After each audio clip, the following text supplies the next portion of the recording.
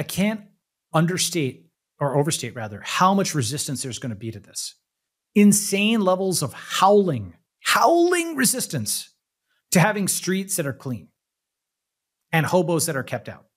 The Fed was able to spend so much money so quickly because it has a unique power. It can create money out of thin air whenever it's. See, they admit it. Do you know what? I mean, all of these shell games were played in the early 2010s to pretend that this is not what they were doing, but then they actually admit it. They would decide to buy a bond, they'd push a button on the computer, and voila, money is created. Okay. we got them, ladies and gentlemen, right? We just called them mid morph you know, the shapeshifter stake it to the wall where it's like premium bonds are good because they're hard to understand, right? Trillion dollar coins are easy to understand, so they're bad. Boom, they printed the money. So all of this is essentially a way for blues to prey on reds and grays while telling themselves that they're helping, right? Now this gets to San Francisco. Blues have a business model. And that business model is whether it's BLM or whether it's the homeless crisis or whether it's climate it's essentially causing some sort of religious like quasi religious fracas on the streets, getting people agitated, and then setting up either a government agency or a set of nonprofits or both to funnel money from the public to their causes. I mean, like a huge win would be a gray pride parade with 50,000 grays. That would be massive. That would start to say, whose streets? Our streets, right? You have the AI flying spaghetti monster. You have the Bitcoin parade. You have the drones flying overhead in formation with, you know, whatever song you want, right? You have bubbling genetic experiments on beakers. You have the laser eyes, you know, Bitcoin maximalists. I mean, you could do this whole thing. That that itself would be an awesome goal. The Gray Pride Parade, planning and executing it. You have the police at the Gray Pride Parade. They're flying the Anduril drones. They are there, and ideally, you even design the police uniforms.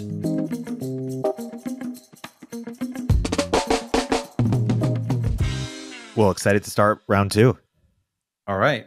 But even before getting into the, the weeds, it's worth addressing some some follow ups I know listeners have, which is a, couple things, Balaji. One is a lot of people don't identify as part of a tribe. You know, 40% of the country is independent, 30% is Democrat, 30% Republican. So, like, most people don't identify on a strict political party line. So, how should they make sense of your tribal lens? So, it's funny you say that because, you know, a lot of people start with the constraint of this has to be for normies, right? And then you you're so constrained that you only have to start with the lowest common denominator thing. But you can found a tribe just like you can found a startup. I mean, that's what Joseph Smith of the Mormons did. That's what Abraham did. That's what Jesus did. That's what Satoshi did. Uh, that's what George Washington did. That's what Lee Kuan Yew did, right? Um, you know, they all, uh, that's what Herzl, well, okay. You could argue whether Herzl founded a tribe, but, or he founded the V2 of a tribe, like the more conscious version, right? You know, what I'm really calling for is something like tech Zionism. And there's different versions of that, which are reform in place and immigrate. And the network state is about the the book is about the bare land version of it, right? Which is all already being tried. You're seeing it in Northern California, you know, this thing, this project. You're seeing it, it with creator cabins and Prospera and Culdesac and Praxis. You know, there's like 50 of these projects now around the world. There's you know the network state dashboard there's a bunch that i'm going to be announcing at this uh, this upcoming conference by the way put that on screen the networkstate.com front slash conference short version is you can found a tribe and you can find a tribe and those people who think they don't need a tribe right now, it's totally fine. And in the sense of there's a decision tree. Basically, you can first branch on whether there's a big problem or whether there's no problem. And a good chunk of people will say, not really that big a problem. Come on, doomer. Everybody's always overstating things. I'm just going to go back to work and ignore the fires and riots and bottle rockets being launched on the bridge and broken windows and poop and syringes and political polarization. That's all just Twitter noise. I'm just going to focus and grind, right? I actually understand that. I do, because for many people, there's no point in even acknowledging that. That's negative vibes, man. You know, so they'll basically say, you know, there is no problem. It's always overstated. People have been saying the end of the world forever. Who cares? Just another political cycle, whatever. Okay. Get back to working on whatever they're working on. That's a good chunk of people. this is not for them. If they don't believe there's a problem, then obviously they don't care. They shouldn't even care what I'm saying, right? Fine, go ahead. Then now you, so that, I don't know, maybe it's 50% of people, 30%, I don't know what fraction, some fraction of people. Then you get to those people who, who believe, yes, the post war order is creaking. The verities, the certainties we grew up with, the constants are becoming variables. Uh, and in many, many senses of the term, like fiat currency is now fiat and cryptocurrency. Are you doing a meeting? Okay, is it remote or in person? How many genders are there? Uh, how, you know, do, what is the default ethnicity of somebody in a TV show? All of those things, whether from the tech or the woke side, are changing constants and turning them into variables. And you know, who's who's dominant? Is it just the USA for lesser, or is it the US and China, or is it multipolar? All of these things, like the things that you grew up with and you took as constants, and you just thought the way of the world was those things, those are in flux. And there's various responses and you can try to uh, assert that the change is bad, but you can fix it within the political system. You can try to assert that the change is not really happening that much. This is a version of the denialism. It's a problem, but it's not a big problem, right? Or you can look for a, a solution that is at least partially outside the political system. And that's where I am. And so so now just just to recap that. First, is there a problem or not? Second, can the problem be solved within the political system or not? And specifically, I'm talking about like basically our circle of people, the kind of folks watching this show, roughly gray tribe ish, not necessarily Americans, but Westerners. And I'll come back to that point. Gray tribe thinks it's American, but it's not really American. It's glo- gray tribe is as American as Americans were British, right? The internet is in is as American as the Americans were British. That is certainly the antecedent culture. You respect that culture. It's the originating culture. You take a lot from that culture, from language and other byways and so on and so forth. But this is becoming something new. In the same way that America was, you know, if, if the British had the Magna Carta and they had the rights of all Englishmen, the Americans had the Constitution and for a long time the rights of all Europeans. Okay, eventually, all you know, in theory, all people, and uh, and in practice, in many ways. But that was all paper laws, and now the next step is the internet, where first of all you have way more Chinese and Indian influence, way more Asian influence, way more influence of this new world. But there's a synthesis of it. And then you go from, you know, common law like the British and Constitution America to smart contracts. You go from the rights of Englishmen to the rights of Europeans to the rights of everyone. You go from like basically, uh, you know, one island to one continent to the whole world. In many ways, this is like the version 3.0. And in many ways, when you talk about the conflict between like the US and China, uh, or between the West and BRICS and, and so on and so forth. That's actually already being resolved. The thesis, antithesis, synthesis is the internet, where Westerners and Chinese ancestry people and Indian ancestry people all work together productively already. That actually that is the fusion where you can't. I mean, how many tech companies do you know that don't have significant Asian influence? Right? Not not that many. Even if it not like directly at the person level, often at some level of the stack or what have you. I mean, are they using Google? Right? Are they using some technology, like uh, they're using an iPhone manufactured in China or some software written by an Indian guy? Probably, right? At some level of the stack. So that rapprochement already exists where these rising two civilizations have met the West in a productive and useful and like attractive manner. We just haven't seen it as a civilization in its own right. We're still focusing on the offline, the visible stuff we can see, and not the online. This is actually the union uni- unification, right?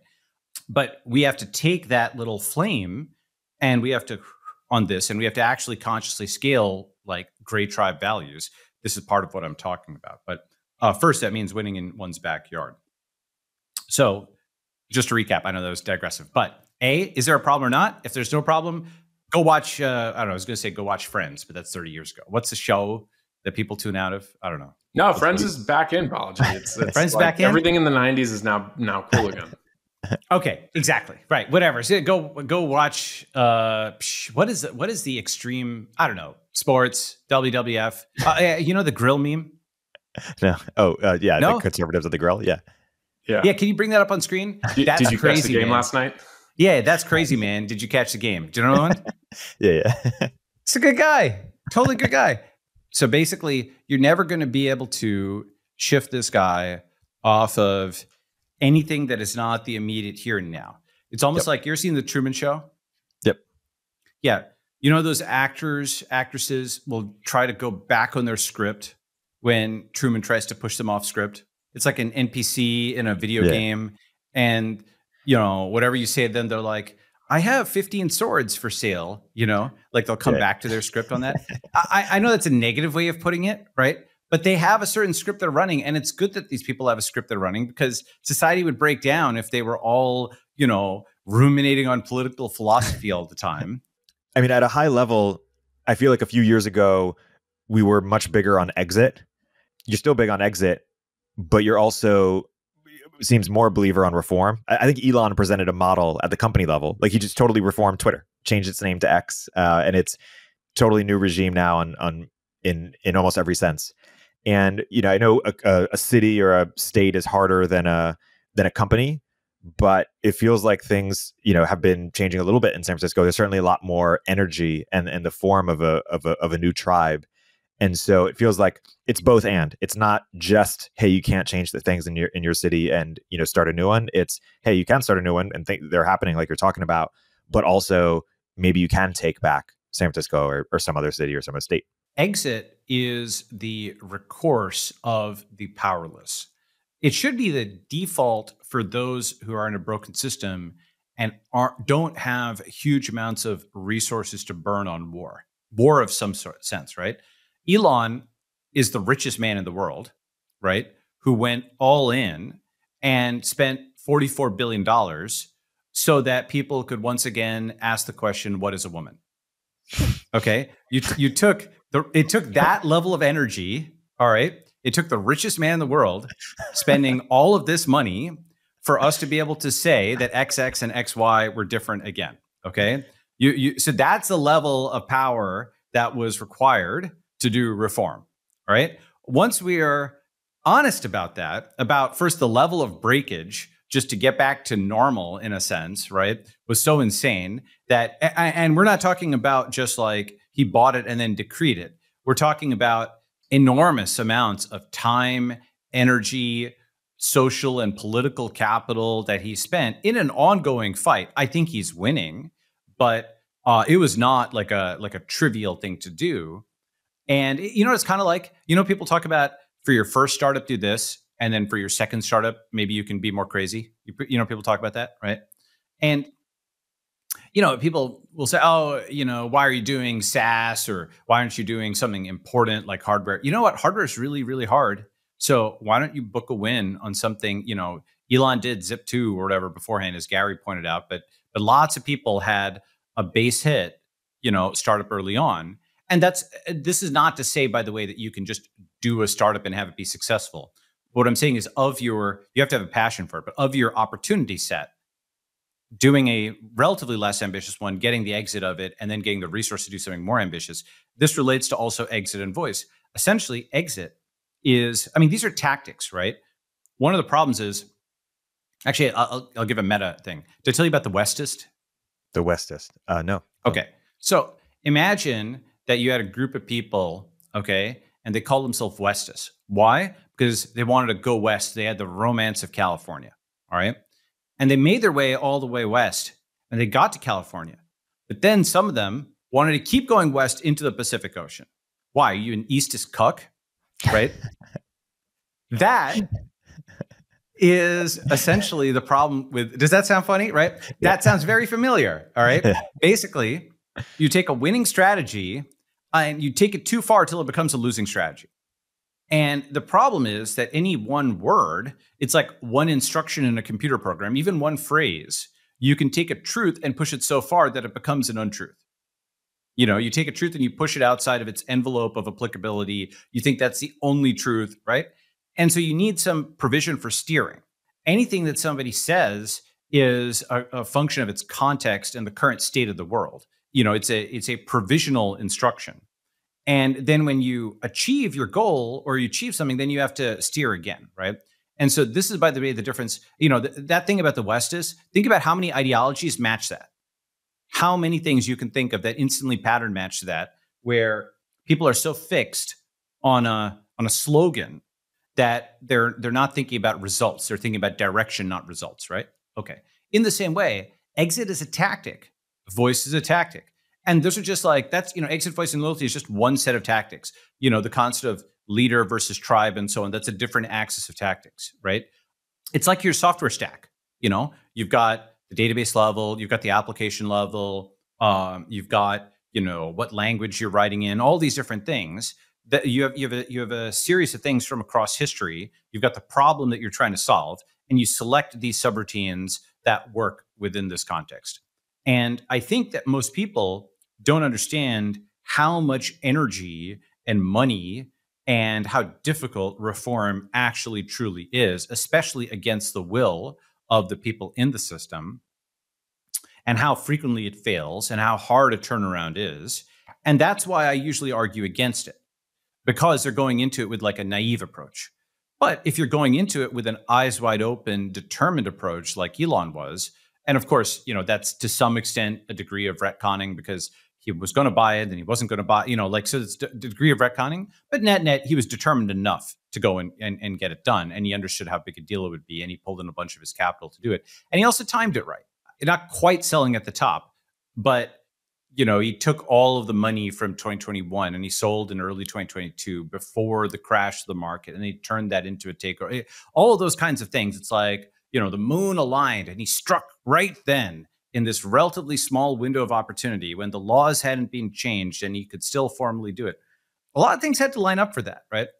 So, with that said, sure, it can be done. It's just hard. Most people don't acknowledge it to be hard. That's a big thing. Hey, we'll continue our interview in a moment after a word from our sponsors. Are you building a business?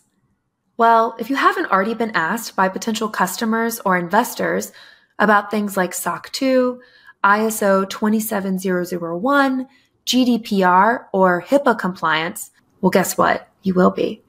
Achieving compliance can actually unlock major growth for your company and build a foundation of trust. And Vanta can help. Vanta automates up to 90% of compliance work, getting you audit ready in weeks instead of months, and saving you up to 85% of associated costs.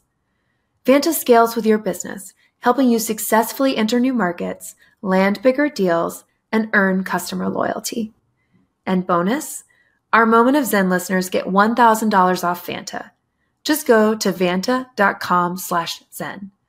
That's V-A-N-T-A dot com slash Z-E-N. Hey everybody, if you're a business owner or founder like me, you'll want to know more about our sponsor, NetSuite. NetSuite provides financial software for all your business needs. Whether you're looking for an ERP tool or accounting software, NetSuite gives you the visibility and control you need to make better decisions faster. And for the first time in NetSuite's 25 years as the number one cloud financial system, you can defer payments of a full NetSuite implementation for six months. That's no payment and no interest for six months. And you can take advantage of the special financing offered today. NetSuite is number one because they give your business everything you need in real time, all in one place to reduce manual processes, boost efficiency, build forecasts, and increase productivity across every department. More than 36,000 companies have already upgraded to NetSuite, gaining visibility and control over their financials, inventory, HR, e commerce, and more. If you've been checking out NetSuite already, then you know this deal is unprecedented. No interest, no payments. So take advantage of the special financing offer with our promo code at netsuite.com slash Zen. That's netsuite.com slash Zen to get the visibility and control your business needs to weather any storm. netsuite.com slash Zen. Well, they thought it was a waste of his time too. They said, "Hey, focus on SpaceX, focus on Tesla. Why are you?" That's different. So that's funny. It's interesting you say that. I would say uh, there's so that's actually going back to our initial branching. The people who didn't understand what's what level the problem was, they didn't understand. Again, now that we're post twenty three and twenty three, post Elon, you do you know Orwell's classic example of two plus two equals five? Yeah, it, it's funny how that became literal like a few years ago, or when when that was like a literal drama. Yeah. Yeah. That was his go to example of Newspeak.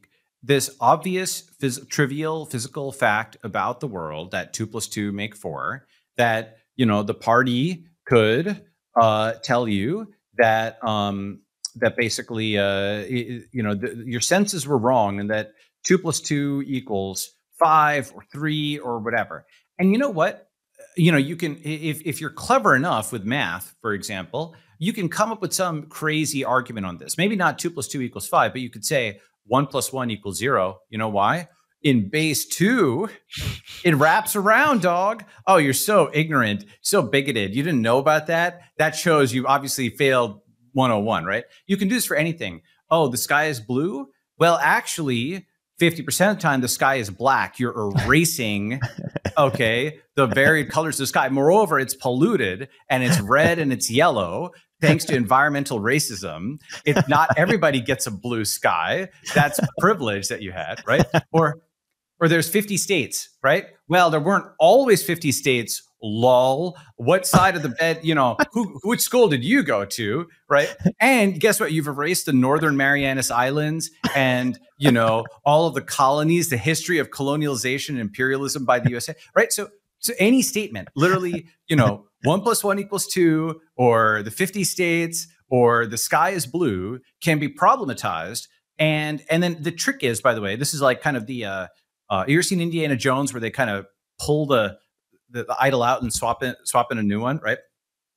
So the, the trick is to say that this general truth has certain exceptions to it.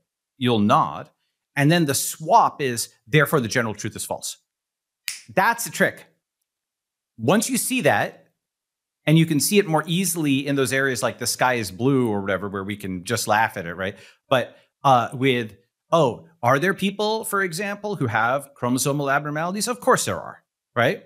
Therefore, nobody has chromosomal, there's no such thing as normal, right? Now, if I want to get into, I could show you a zillion karyotypes and you know, you know what karyotype is? Dear, dear listener, it's uh, our, our, esteemed guest here did start a genetic uh, testing company for people thinking about That's actually my true area of expertise like I, I don't really know crypto.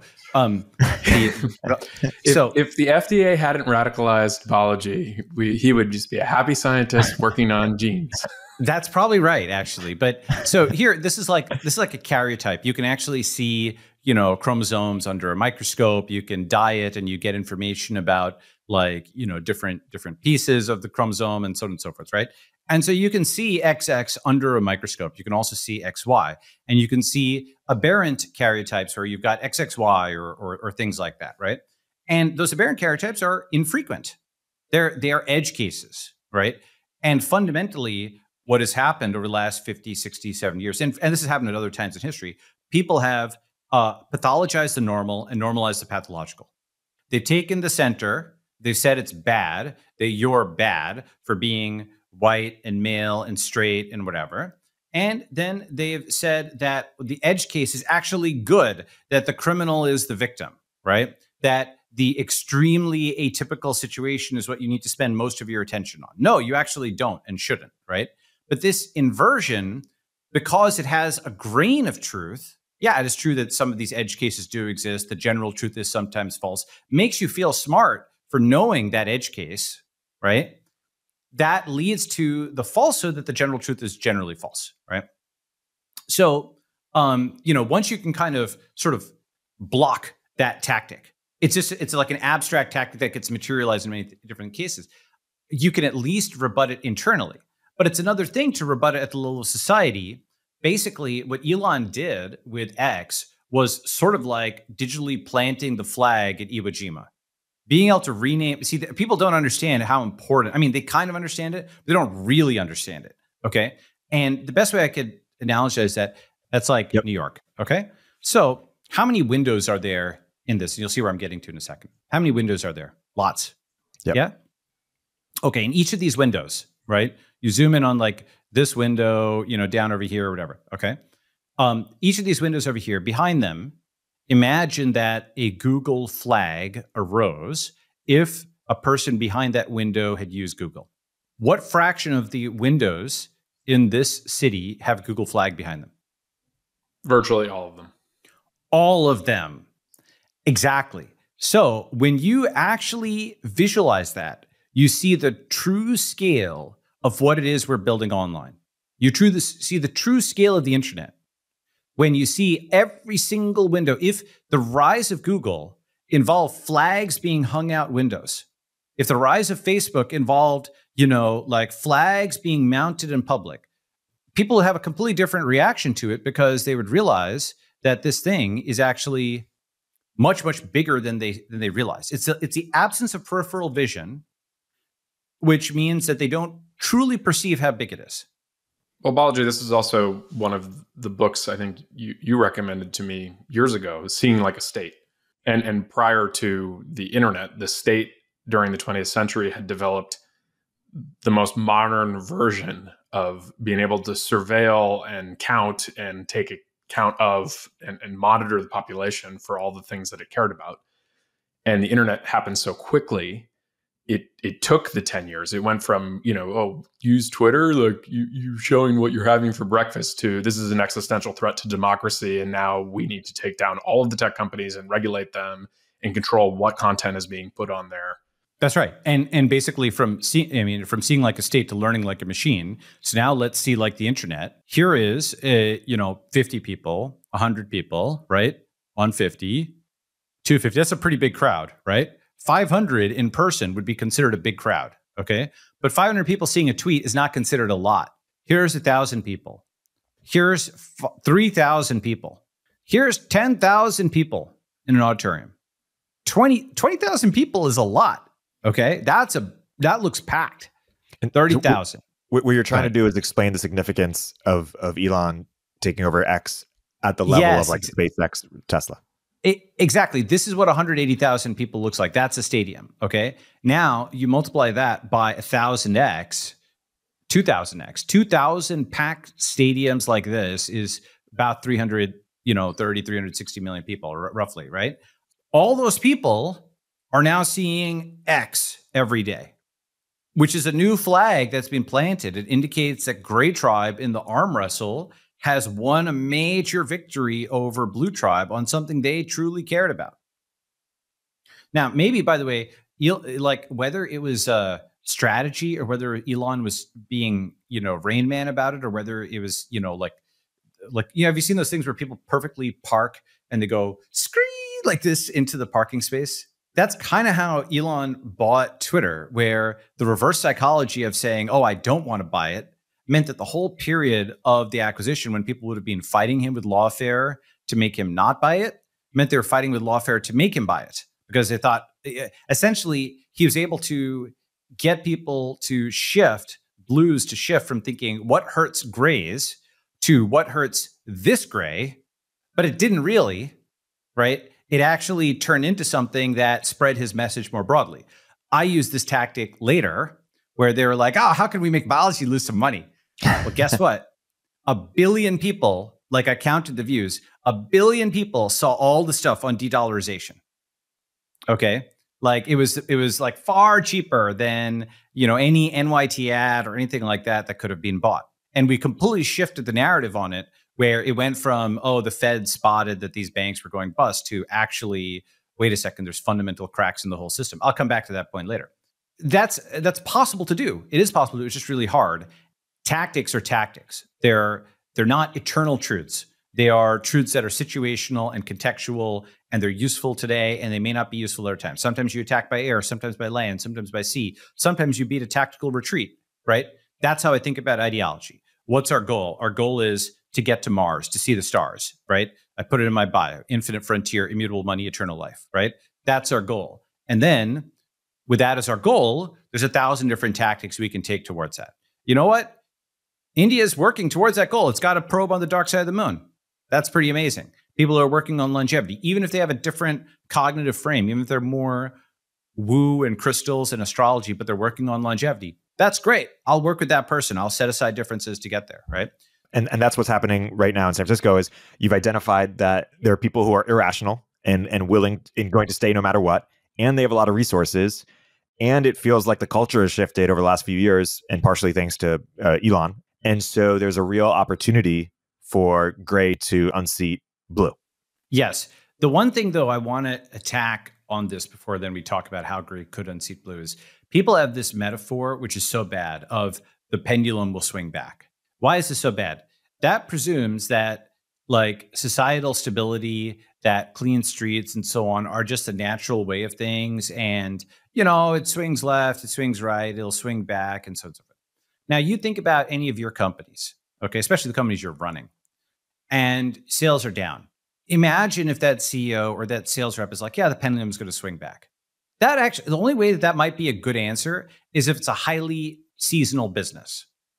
Okay, if you have a known pattern of up and down, if it's like crypto winter and that comes every four years, if you're uh, if you're selling Halloween masks and there's a known kind of seasonality to it, okay, there's some you know there's some answer for that, and then that would be people's rebuttal. They'd say, well, politics has a seasonality to it, and I'd say, yeah, sometimes, but often otherwise, I mean, yeah, I mean, eventually the Soviet Union like undid its bad regulations, but it took more than 80 years, right? Or almost 80 years uh, from from 1917 to uh, to 1991, 74 years. Okay, so yeah, the pendulum did swing back, but not within like a human lifetime.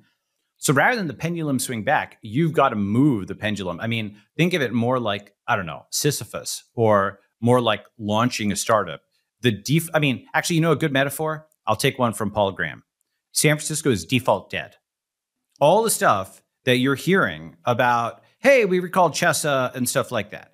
That's like a failing startup, which is correctly pointing to the fact that someone looked at their website yesterday.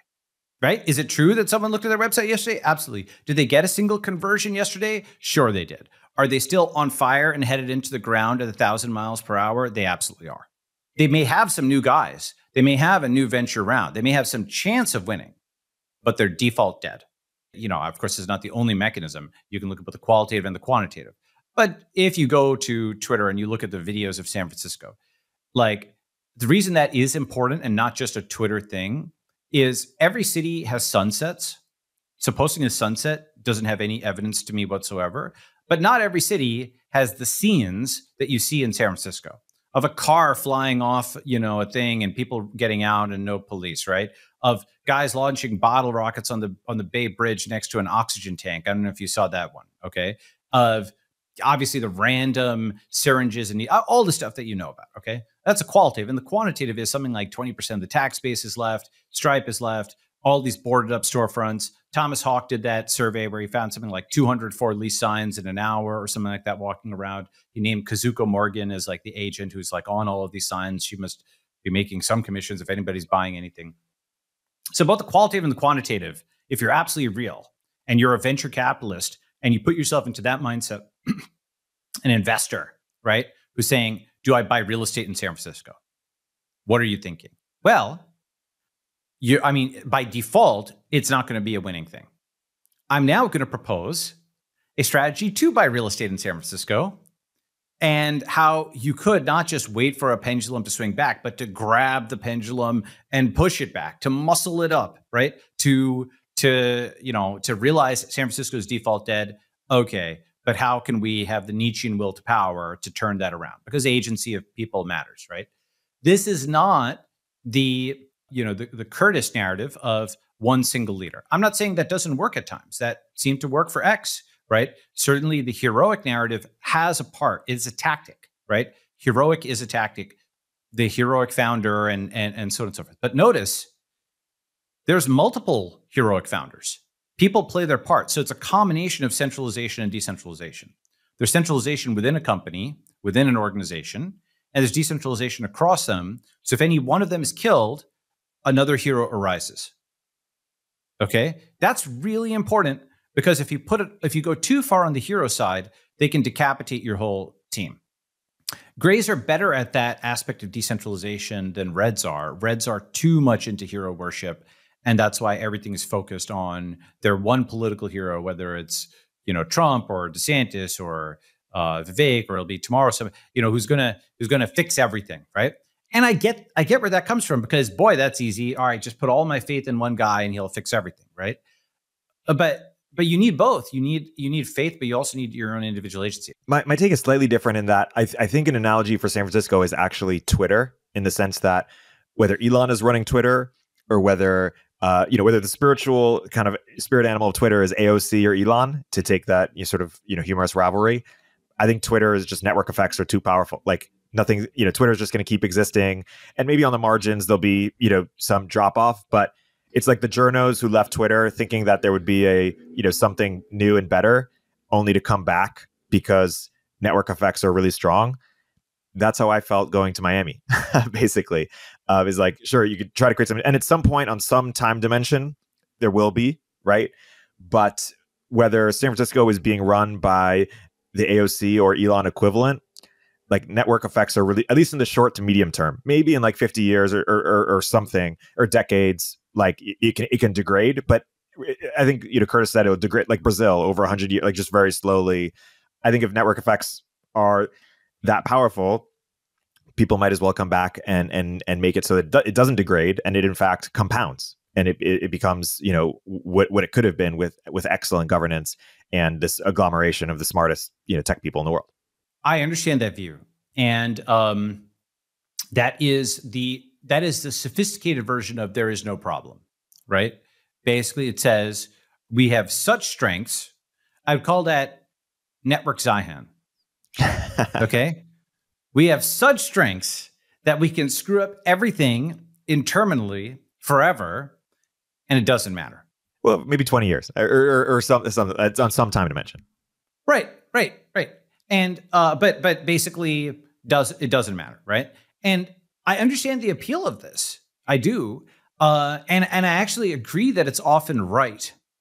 Okay, in the sense of you know people can screw things up if when they've got a certain you know altitude, they can screw it up for longer and worse than often people think. I think slightly differently, which is it, it's not that you can screw it up and it doesn't matter. It's that you can't screw it. You screw it up and it matters so much that it's hard you you shouldn't leave and just try to start something new necessarily unless you can like what's happening in California or like if you have some real momentum but actually like this is the prize like this is worth fighting for because it's so powerful that's different that then you're saying that well so I, I would say those two different things uh, subtly different perhaps the first is it truly doesn't matter what happens because the network effect is so strong, the dollar is so strong, the geopolitics or the geography is so strong, the city has such strong network effects that literally nothing can affect it and everything else doesn't matter and so over. The second is yeah, things are getting worse, but we have enough resources to potentially be able to fix it. The third is we're default dead, but we potentially have enough resources to fix it when you talk about the network effects of SF or California or the USA or the US dollar, you know, there, there's different views of how strong an asset that is, right? Think about like a company's balance sheet. You know, you talk about uh, goodwill or intangibles, right? Is that asset just so ridiculously strong that you can pretty much screw up anything and it just doesn't matter? It's just people will keep coming back to it. Is it strong and it's strong enough that people will fight for it? And so you've got a chance of winning. Is it strong and people will fight for it, but by default you're dead? So that is to say, you you're not ascending, you're not flat, but you're actually declining, but you could turn around, right? Or is it finished, right? Those are kind of four different things. Is it ascending? Is it flat? Is it declining gradually, but you could turn around? Or is it actually finished? In the absence of travel, a lot of people are um, overestimating the network effect thing. And the reason is, I, actually go go to YouTube and look at walkthroughs of Chinese cities. Just have you seen that thing like like night night walking tours of Chinese cities, or look at like BRICS's Flip G7, right? Those things that we're talking about happening over decades. A lot of them have happened past tense. Brixmore has has more GDP than than the U.S. All, all, I showed you those graphs of history running in reverse. Yeah, yeah, yeah. Of course, yeah. You're calling BS on the network effect argument, basically. I think one thing that's worth delineating because I think SF gets used to represent a bunch of different things. So to use Balaji's framework, I think SF is as close to finished on that framework.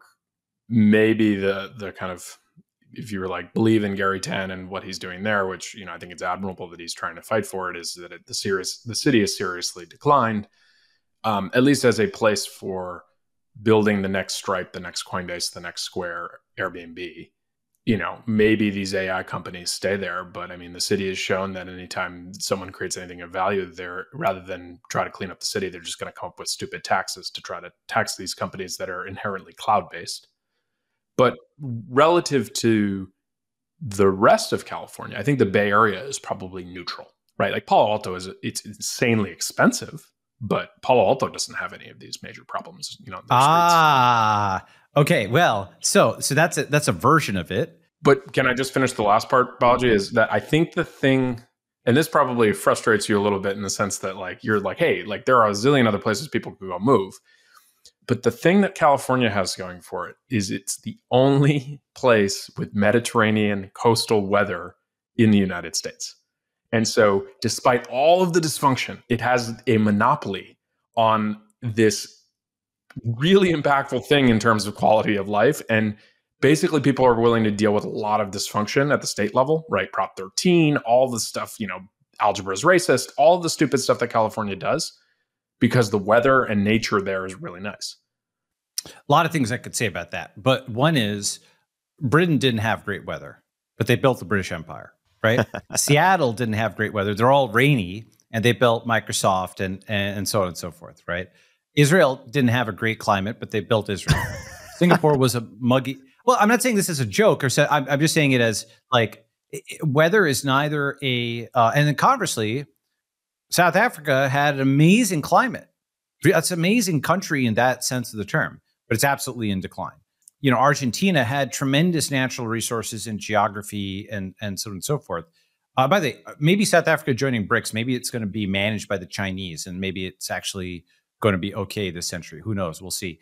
China's managing a lot of countries in Africa, and China actually, there. I think probably the reason that they had admitted Argentina into BRICS because they've got all these raw materials and this amazing climate. They've got terrible government, and in the next collapse, it'll be run by, you know, Hangzhou Fishery Corp or whatever, and uh, you know they'll go and install the Chinese stack and and run Argentina on the Chinese stack. I think that's quite likely because they get they want to pump the natural resource out of it.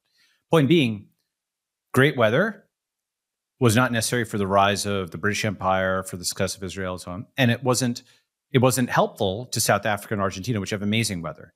Obviously, it's a it's a plus, right? It's nice to have sun sunrise and so on and so forth. But it's also the kind of thing where I do remember. I mean, look, you and me and Eric, we're all, uh, you know, Dan, we're all on Startup X or whatever. But I do remember that in the 2000s, I mean, I'm still grind most of the time. I don't really even see the sun on many days, you know? So the weather is like does it exist? Is it raining? Is it what time of day is it? I don't even know. I'm just coding, right?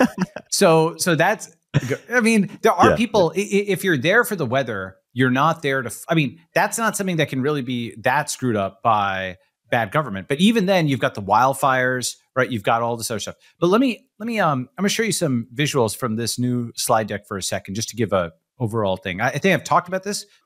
History is running in reverse. Some of this is from the network state book basic concept what do I mean by history is running in reverse? I mean, things that happened in the past are happening now, but in like reverse order. For example, back then, the Western frontier closed, turn in your arms. Now the internet frontier opens, 1991. Okay. Back then, Spanish flu. Today, COVID 19. Back then, we had the captains of industry, you know, the, the so called robber barons and so on. Today, we have the tech founders. Okay. Back then, the journalists beat the founders. This one I'm not sure we've talked about, but Ida Tarbell, she doggedly pursued Rockefeller and demagogued him. And the rise of quote, what we call mainstream media out of yellow journalism, the neutral seeming media, this is how they busted the trusts and this is how they built the consensus for essentially you know later you know regulated industry and eventually you know communism in the east but managed capitalism in the west was because all of these journos tore down the entrepreneurs. Okay. Ida Tarbell versus Rockefeller being one of them. But now founders are beating journalists. Elon's Twitter is still banning journalists simply for doing their job. And what is their job? Their job is essentially corporate espionage, right? That is to say, they will try and get somebody's hacked emails or they'll try to spy on someone go through their garbage and they'll print that to make money that is their job their job is like a for like a private cia right but now the founders though it's a huge fight, we're beating the journos. Okay.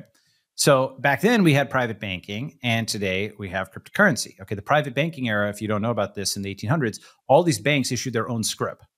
Stonington Bank and so on. Okay. And they floated at some exchange rate and what, and lots of crashes and crazy things happen. Now we have the cryptocurrency era.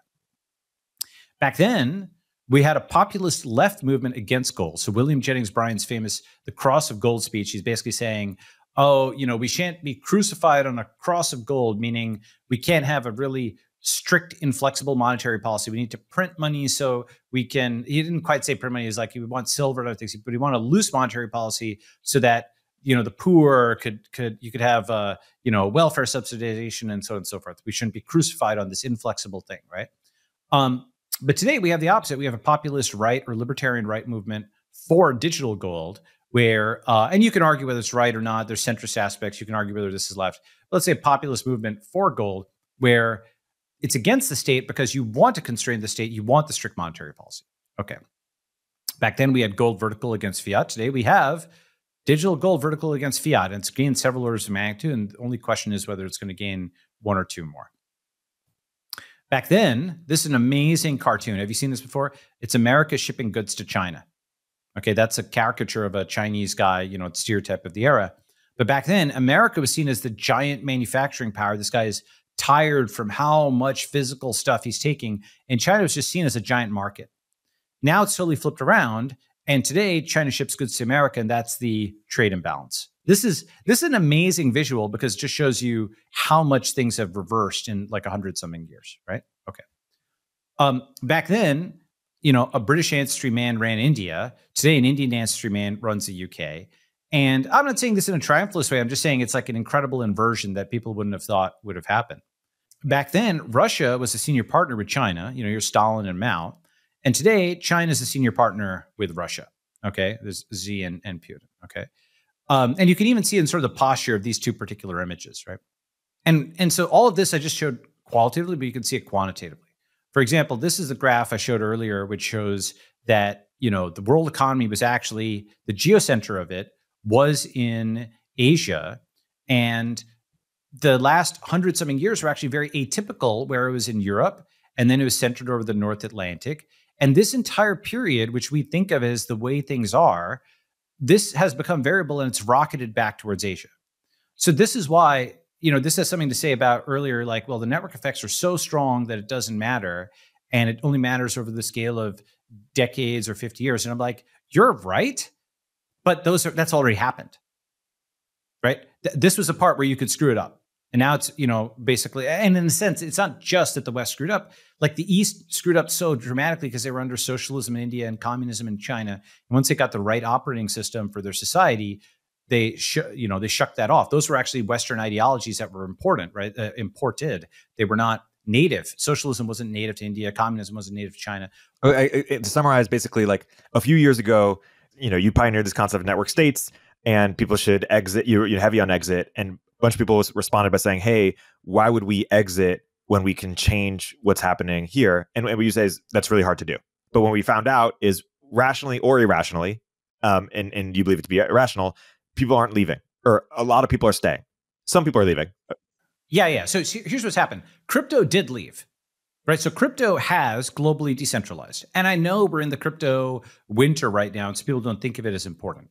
But crypto decentralizing and AI remaining centralized is actually similar to the Bitcoin civil war, where a lot of people went to Ethereum and they went to now Solana and all these other chains, but a lot of people stayed in Bitcoin and remain maximalists we have SF maximalists and global technologists. Yep. Right? Similar to how we have, you know, single coin maximalists and multi coins. We have single city maximalists and then multi city, multi jurisdiction. And so, so, you're saying, hey, if there's going to be SF maxis, and maybe you'll say the same thing in America at some point, but if there's going to be SF maxis, well, here's a plan for how to how, how to win because you're you're pro gray tribe, and people thought you were sort of anti-American, but where you said, no, no, no I'm just anti-blue. I'm pro gray, pro red, anti blue. That's right. I'm pro gray American. I'm positive ish on right Americans. And I can say that today because we've, you know, like a lot of the old taboos have collapsed. And I used to be much more friendly to blue Americans. I was a blue American because in the 90s and the early 2000s, blue America delivered the best quality of life on earth, like Stanford or New York City under you know, like Giuliani and Bloomberg were not thought of as highly partisan at that time. You know, they were basically good government guys. One was a Republican, one was a Democrat.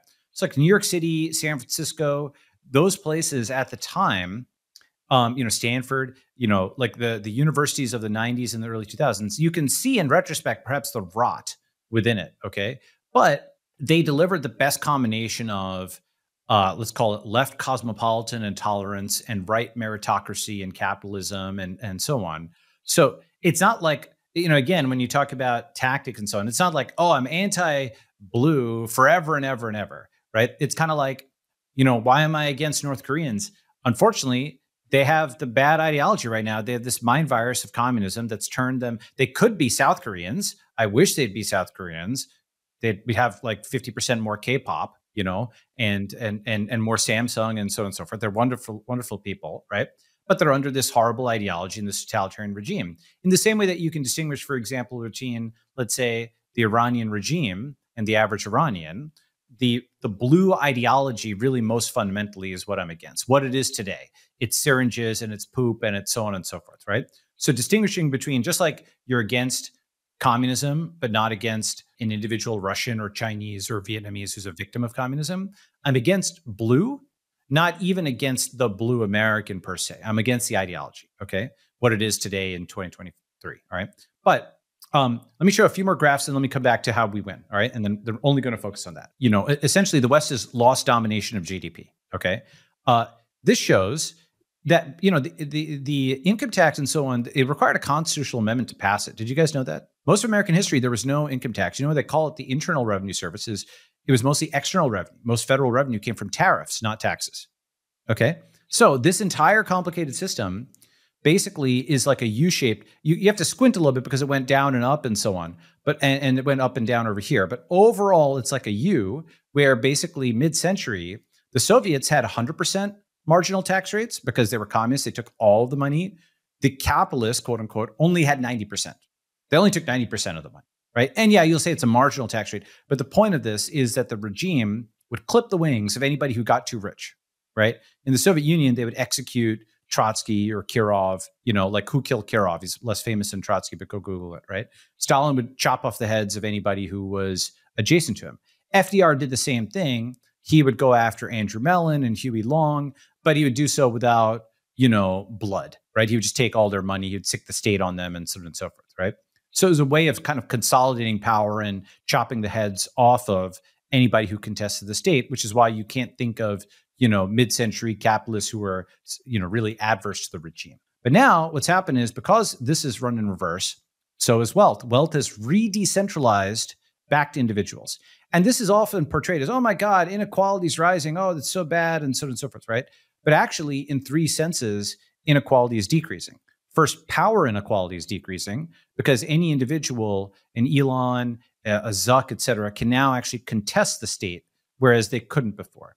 Second, consumption inequality is decreasing because your phone gives you essentially the same information experience as Warren Buffett. Many, many, many services, Netflix, anything that's digital is actually now much more comparable to uh, even a billionaire's kind of thing than than what it was before. They don't have as different a life online.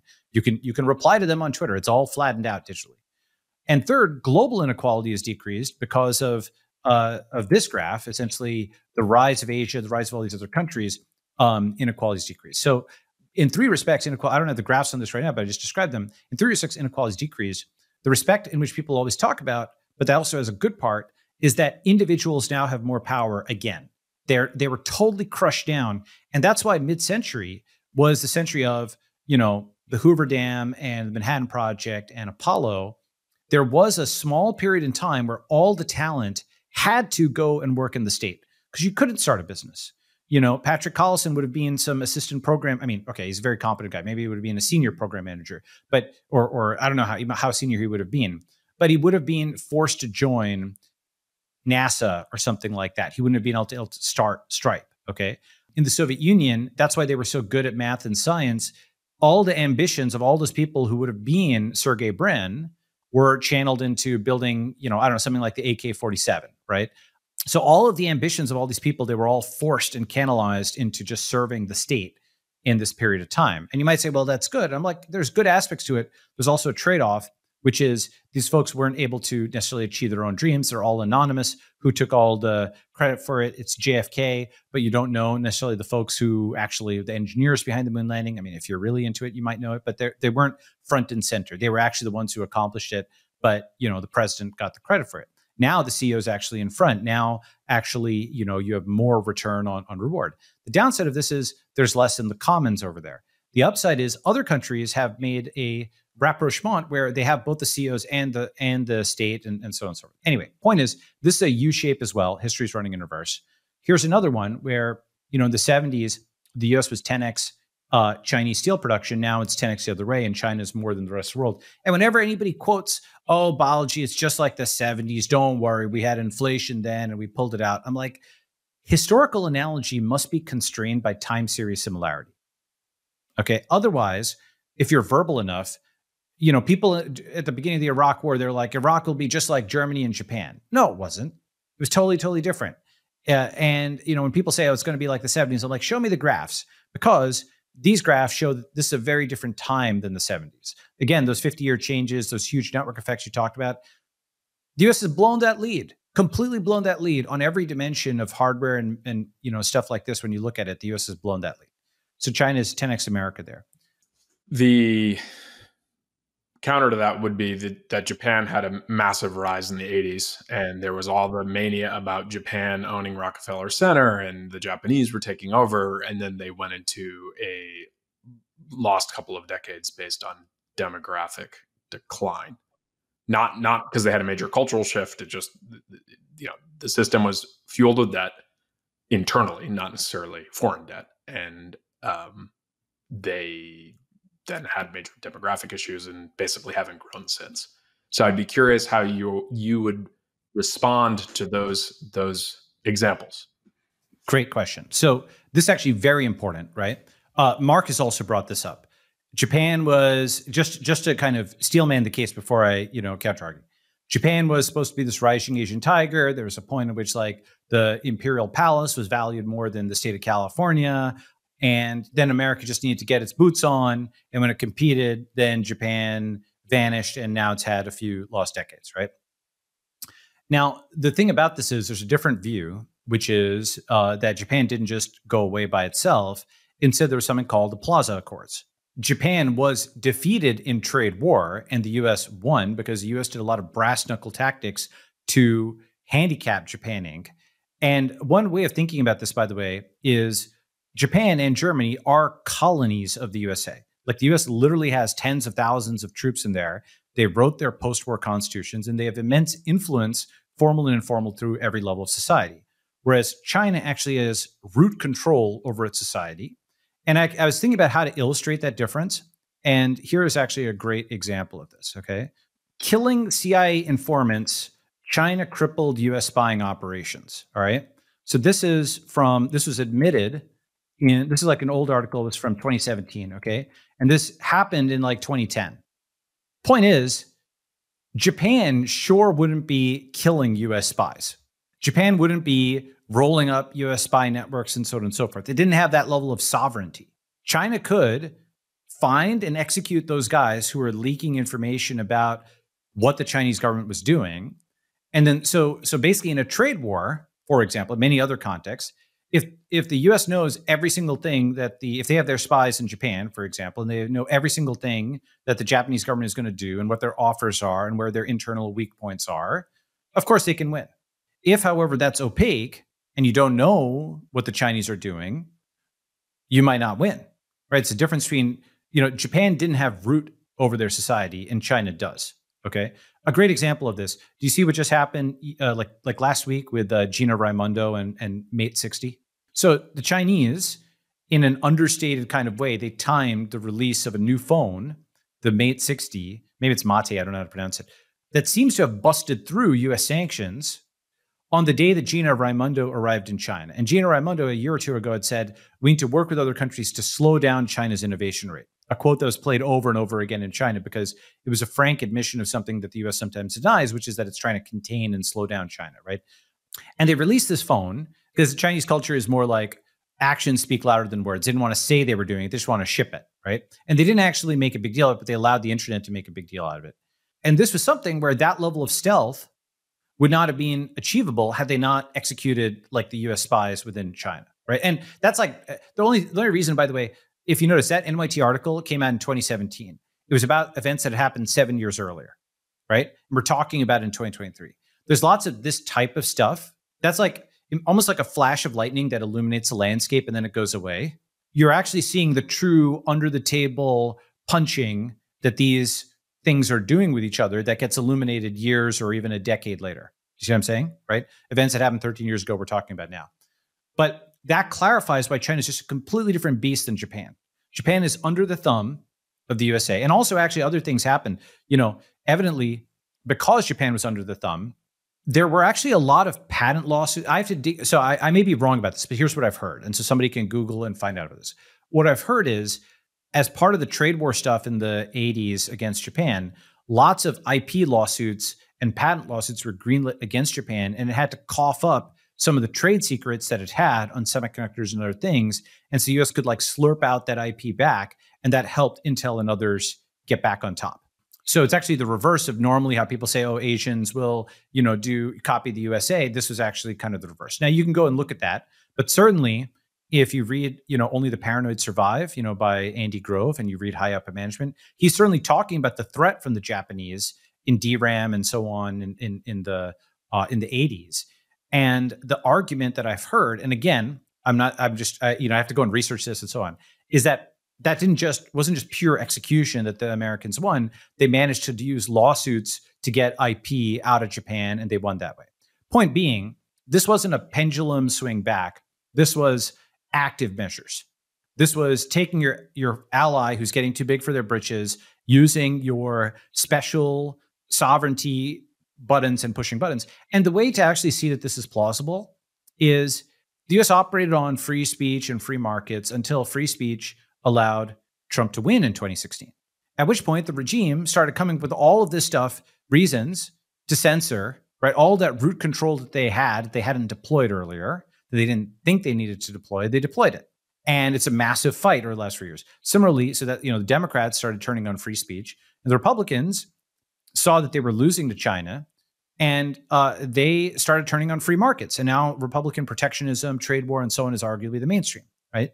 So you you've seen something similar where the peacetime principles, where you kind of hang back and just let the machine operate, in, when when people feel threatened, when blue felt threatened by red domestically and red felt threatened by the Chinese globally, they suspend those principles and they start using root to try to to punch, right? So that's why I think China is highly different than Japan. I can give more examples, but let me pause there.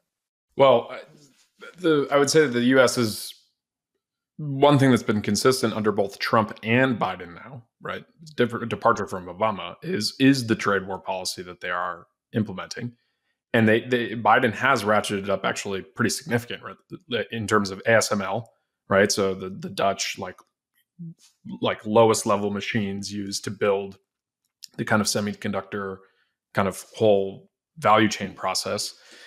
The Biden executive orders that have come out where they took all the Americans out of China who had the specialty around semiconductor stuff, the limiting of uh, additional, you know, Sequoia Sequoia spun out uh, Sequoia China as a result of this, right? So, I mean, the U.S. is definitely taking a set of tactics. Whether they're effective remains to be seen.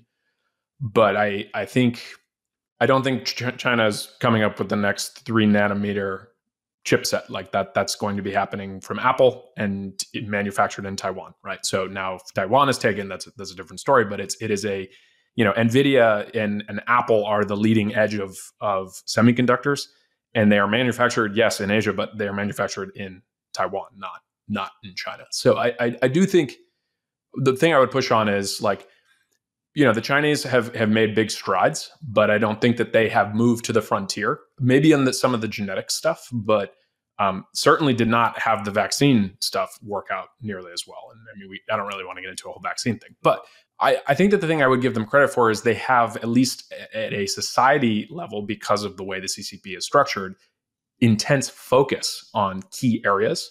Whereas we, with our messier process, um, don't arrive at consensus on those areas as easily. But I mean, like, you know, SpaceX is 80% of, of kilograms loaded into space. So, you know, despite China doing a bunch of launches and stuff like that, like Americans have found our our savior in the the private market, right?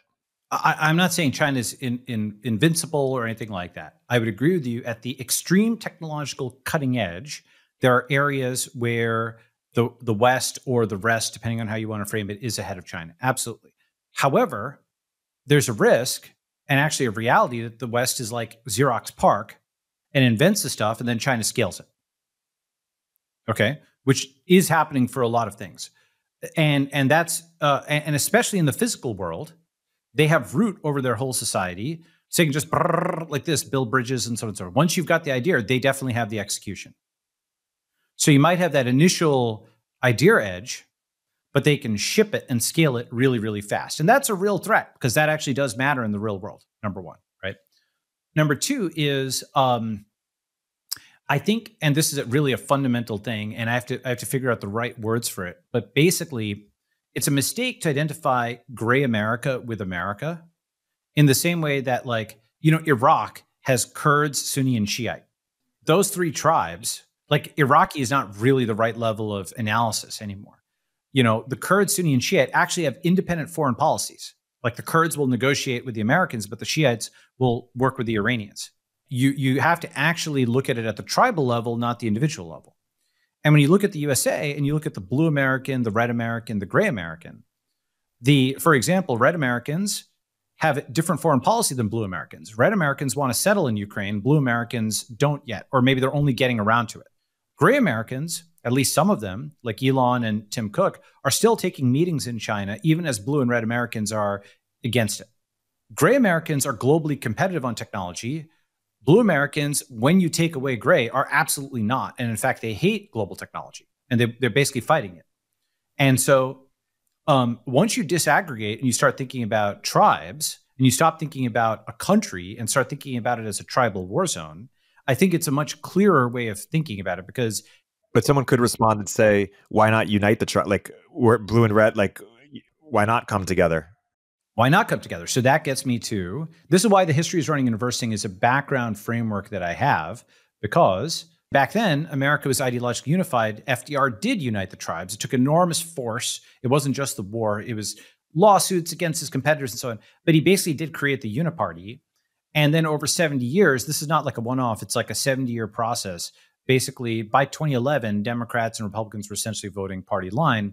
And that was at the legislator level. You have a very similar graph at this at the level of Twitter and so on by 2017, red and blue came apart.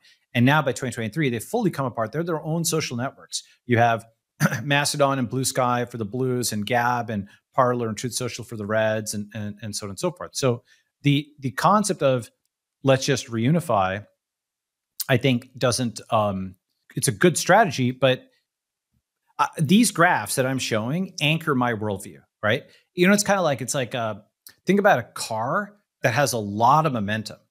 And you just take a photo of it, and you can't tell from that still image how easy it is to stop that car.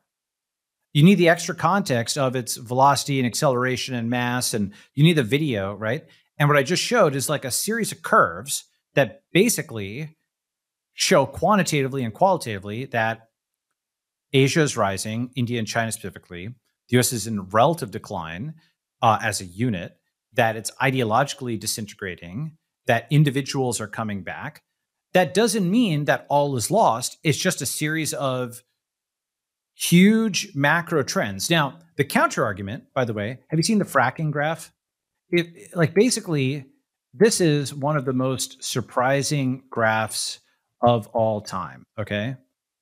This is like the Hubbert curve. Okay. And this is like where uh, you know, the green is like empirical and and red is the you know kind of theoretical. Looked like a bell kind of curve of of um, you know lower 48 states oil production, and it just basically looked like it was just going to go down. And then suddenly fracking was invented and kaboom. And this is actually part of why the U.S. doesn't care as much about the Middle East uh, as much because it it can you know produce domestically, albeit at a high cost, and so on and so forth. Okay, so uh, this that kind of that's a Deus ex machina.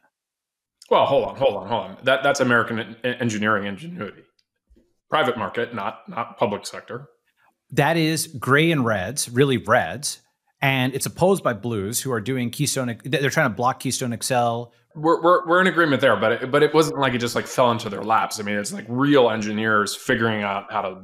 I, I should be I should be more clear. If you weren't close to fracking, right? If you weren't somebody who but but but this way, Balaji, I will agree with you. It's Deus Ex Machina for the Blues, even though they fight it. That they've benefited from all of the policies that have exactly. Okay, so now now we're Wait, talking. Here, even even better. I mean, obviously, everyone loves to tell you that Trump got him out of the the Paris Climate Accord, despite the U.S. actually having record drops in emissions. Why? Because of fracking and natural gas, right? So the thing that they want to run their stupid you know, uh, executive order to ban it the first day of the Biden administration, the the result of American base load power because we don't build nuclear has has decreased carbon emissions is because natural gas fracking has made it cheaper to convert coal plants to natural gas, which has half the carbon and and, and you know overall you know greenhouse emissions. So Deus Ex Machina for the blues, who who are opposed to it. You're absolutely right, actually. And here's the thing: it is the Reds and the Grays have ha, have been bailing out the Blues for the last decade. So the Reds, in what you just said with fracking, the gray chart, right, is toys, te- like computer software. All of this stuff has been hyper deflated, all the tech stuff. But everything that Blues have control over with regulation, so healthcare, tuition, right, all of these physical things have gone up, right, because these are highly regulated industries where you can't housing, right. All these things have become more expensive but all the tech stuff has become less expensive. It's so bad that even Ezra Klein and Derek Thompson and Noah Smith write about how the Blues make everything more expensive when they touch it and we can't build anything. Let me show you this last bit and then let's come back to that, right? So this is one of the most important graphs out there. Uh, what what are what are what are we showing here? So this is basically GDP by congressional district, okay? And this axis is, you know, this is a, uh, a 10, $10 billion, $20 billion. This is how wealthy the district is. So these are the poor districts down here, wealthier up here. The solid line outline is the distribution of those districts in 2008. So the solid line shows that in 2008, blue and red districts were roughly equally matched. You see lots of poorer blue districts in the solid line, okay? But somehow by 2018, the, the filled in dots show where blue got to. Okay, and there's an animation of this where you see the distribution of blue just shifting up in 10 years and red shifting down, such that by 2018, the median of red was about 30 billion GDP for their district, but the median for blue was like 50 billion, and all the money, all the all the richest districts were blue. It's a it's a great. Uh, I remember you showing me this Balaji, like the the because the Wall Street Journal has a whole bunch of these articles. Favorite dinner party trick because I think the average educated midwit thinks of the Republican Party as the the party of the rich. And there is no empirical data, you know, some outliers, sure, but but the the stock wealthy group of people in the country are Democrats. The the wealthiest places in the country vote Democrat. Democrats are the party of the rich. Yes, and now, but here's the thing. You're right. Here's the thing that's really interesting. It, you know, when I grew up, like and you guys are about the same age but basically in the 80s especially but 80s 90s early 2000s republicans were per- conceptualized as suit and tie wearing. How did they go from the suit and tie wearing republicans to the trucker hat wearing proles of the trump era in 10 years? Answer that graph shows a giant redistribution of wealth from red to blue. Republicans paid for 2008 because in 2008 these two groups were roughly the same then a gigantic amount of money was printed. And the Cantillon effect says that because what happens, let's say there's a trillion dollars out there, blues print another trillion dollars. Everybody's being devalued by 50%. And who gets those trillion dollars first? Blue banks in New York, right? These are, you know, e- equities get bid up. Basically, the guy who gets the dollar bill last is some, you know, cashier in Oklahoma who doesn't understand how they're being screwed. It's like this counterfeit money of, you know, the $787 billion bailout. The guy in Oklahoma gets the bill last, and he doesn't realize it's being devalued 50% by the time it gets to him. So the Cantillon effect at the level of a country was Blue Tribe essentially stealing enormous amounts of money from Red Tribe, the other group that, you know, stole from everybody around the world who used the dollar. Basically, the UK, Japan, the Republicans, they're all Blue Tribe's blood boys Okay. The dollar is a vampire, right? And anybody who uses a dollar system is effectively taxed in many ways. And the inflation devalues you.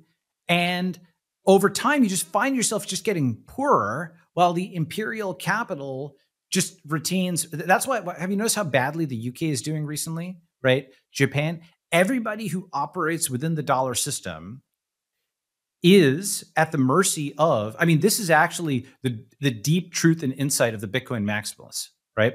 They may not articulate it quite the same way but the dollar is a network and powell is the system administrator and all of the banks in you know bank of canada bank of japan they're all like sub networks that fold into it. Sort of like how zuck administers facebook but he also administers instagram and whatsapp and, and threads and so on right? So powell administers the usa and indirectly administers Canada and the Bank of Japan. And every bank within this network, he can order the assets frozen, you know, like they did in Canada, right? He can order a bank to not receive a license, like, um, like for example, uh, Caitlin Long. You know, she's trying to apply for a banking license, isn't getting one.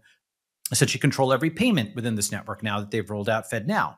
So this giant dollar network is something which has immense control over the world, and everybody who operates within that dollar network is effectively being taxed both visibly and invisibly to pay for the imperial capital for the blues. Now, um, how do you get outside of the network? Reds are basically mostly dummies. Uh, I, I'm sympathetic to them, but they just got massively robbed and they don't even understand how they got robbed. And the blues don't even admit to themselves they've robbed them. See, the thing is, the advantage of Keynesianism over communism is the communists in the the 20th century, they would go house to house with a gun and take your farm. They'd call it land reform, but they'd, you know, kill your husband and send you to a gulag. And, you know, they would just, they would just like physically do it. Okay. Keynesianism is communism for wimps, where basically you hit a button and you steal all this. I mean, to go and rob somebody at like a convenience store, okay, you'll get a hundred bucks, right? The level of robbery the Keynesians can do is like hundreds of billions of dollars. Tr- trillions of dollars. Trillions of dollars, right? So, so I mean, and what do I think about it? Think about like the the animal kingdom. Okay, a lion, you see it coming at you. All right, you get your energy up, fight or flight, pull out your spear, your gun, whatever. You're fighting it. Okay, that's like the communists. They're like coming at you to take your stuff. Right, pull out your gun. The mosquito or the snake uses camouflage. Camouflage has evolved many, many, many times, right, in the animal kingdom. And in fact, like guys like Krugman will actually talk about, uh, you know, for example, just like a small example of this. Remember the thing a while back with uh, the the premium bonds and the trillion dollar coin? Wait, Balaji, I, I do want to bring up one point. I, I would say that I think that the average red person does know that they're getting screwed, and I actually think that that is that's Trump right? Trump is the FU saying, I don't have any agency over getting screwed.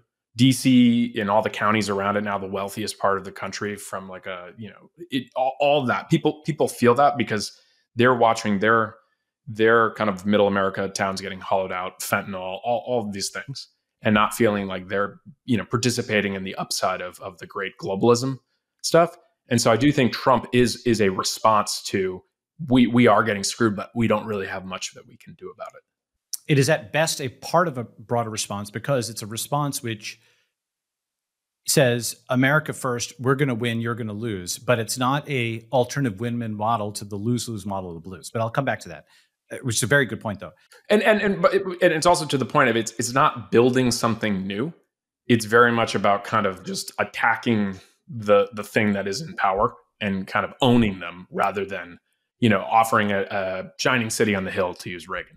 Yeah, there, there's well, okay. Let me come back to the Reds, but I just want to close off one point. Then let me co- come back up a sec. So this is an article from like a few months ago in defense of debt gimmicks by Krugman. Okay, and I want to just highlight this particular line. Premium bonds are harder to explain, which may make them a lore, more likely route simply because of. Pla- mean, in other words, if you say trillion dollar coin, it's obvious to the average person that they're being screwed and uh, you know that that there's some crazy thing happening where you know huge amounts of money is being printed and and funny money is being played. If you say they're creating premium bonds, it is engineered to be hard to understand. He's literally saying because it's harder to explain, it's better. he says false narratives, but really what he's saying is let me make the contract so insanely complicated that these reds don't know how we're screwing them. Right there, that's capturing the micro evolution of ideology. If you took the branch of a uh, of a trillion dollar coin, you get staked. It's like a snake that you can see. It doesn't have great camouflage. It doesn't reproduce, right? But the premium bond, that's a direction that could reproduce because the red can't see it coming. Okay, it's optimized to be invisible. It's optimized for camouflage. Multiply that by a thousand x, and that's how you have a financial system that is set up to have amazing camouflage and set up to be hard to understand. You know, the Big Short actually talked about this. It's like, you know, tranches, CDOs. Are you confused? Well, it's supposed to be confusing because the finance guys want you to seem stupid and get you to go away so that you don't understand how they're screwing you. The thing about this is this gets back to red and blue and gray is uh, by the way, it's also optimized for blue to think they're doing good. Because people don't actually want to consciously think I'm getting paid by the government to addict vulnerable people to drugs. Instead, they're like, we're handing out syringes for harm reduction, not I'm waging the opium wars on the streets of San Francisco against our own population for money for my nonprofit, right? That's what's actually happening. It's a non result, by the way, not a nonprofit. Dan isn't smiling because he knows this is actually what's happening, unfortunately, right? you know, they don't want to say, oh, the, that poor proletarian in Oklahoma. Uh, I mean, it's it's like comic, but it's also tragic, right? They don't want to say that that poor uh, proletarian Oklahoma that I'm enslaving them invisibly, you know, invisibly with the dollar, so I can have a better life in uh, in, in Maryland where the property values are going up. Instead, they say the Federal Reserve rode to the rescue with you know tons of liquidity. Where's that liquidity coming from? Oh, they just printed it, right? Oh, so they diluted everybody down. So who who took the dilution? Well, the whole system. It's not on a blockchain, right? So you can't just see a trillion dollars of liquidity getting created Instead, you have to wait later. They will admit it, right? Once in a while, they will admit it. So, how to spend a trillion dollars? Okay, this is that's a word of the day. How to spend 1.25 trillion? Okay, August 2010. All right, and here's this, this amazing thing, right? The Fed was able to spend so much money so quickly because it has a unique power. It can create money out of thin air whenever it's. See, they admit it. Do you know what? I mean, all of these shell games were played in the early 2010s to pretend that this is not what they were doing, but then they actually admit it. They would decide to buy a bond, they push a button on the computer, and voila, money is created. Okay. we got them, ladies and gentlemen, right? Okay. Yeah. So so we just caught them. Point is, we just caught them mid morph. You know, the shapeshifter stake it to the wall where it's like premium bonds are good because they're hard to understand, right? Trillion dollar coins are easy to understand, so they're bad. Boom, they printed the money. So all of this is essentially a way for blues to prey on reds and grays while telling themselves that they're helping, right? Now this gets to San Francisco. Fundamentally, um, and this actually it took me a little while to kind of encapsulate this Blues have a business model. And that business model is uh, whether it's BLM or whether it's the homeless crisis or whether it's climate or whether it's, um, I mean, almost anything else you can think of. It's essentially uh, causing some sort of religious, like quasi religious fracas on the streets, getting people agitated, and then setting up either a government agency or a set of nonprofits or both to funnel money from the public to their causes. For example, here's how it works in San Francisco.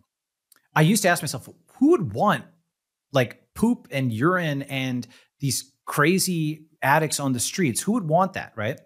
And of course, you couldn't even say this, by the way, in the 2010s. Why? Because journalists would attack anybody who even talked about the homeless problem in the 2010s.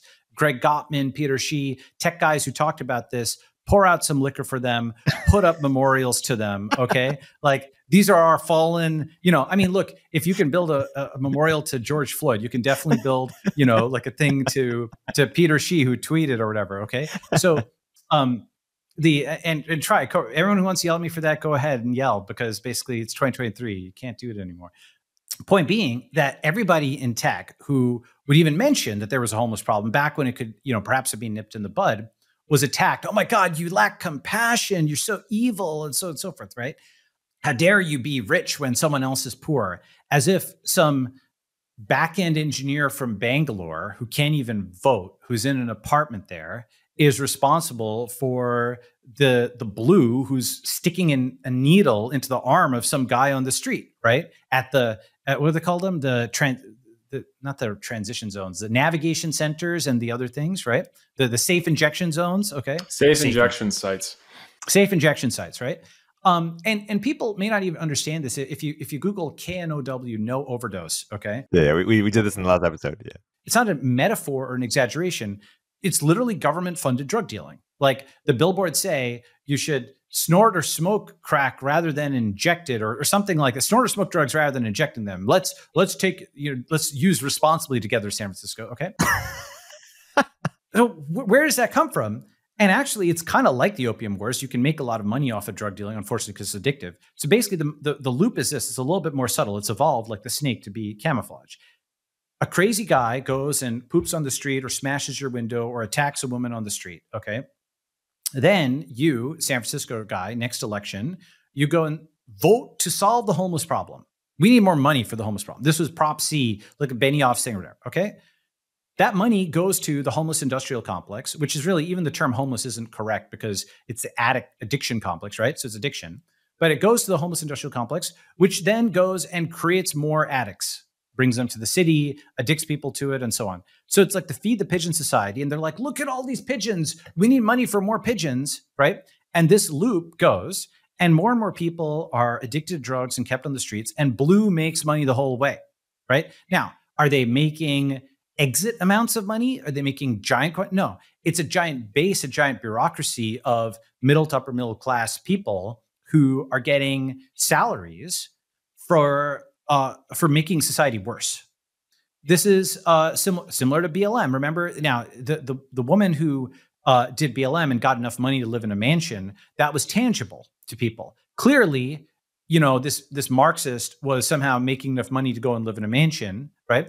But billions of dollars were allocated for BLM, and many of those people weren't living in mansions. It was this giant blue bureaucracy of all of these workers who are paid. That's their exit, right? Their exit is like for us, quote, going public means a tech company goes public on the public markets.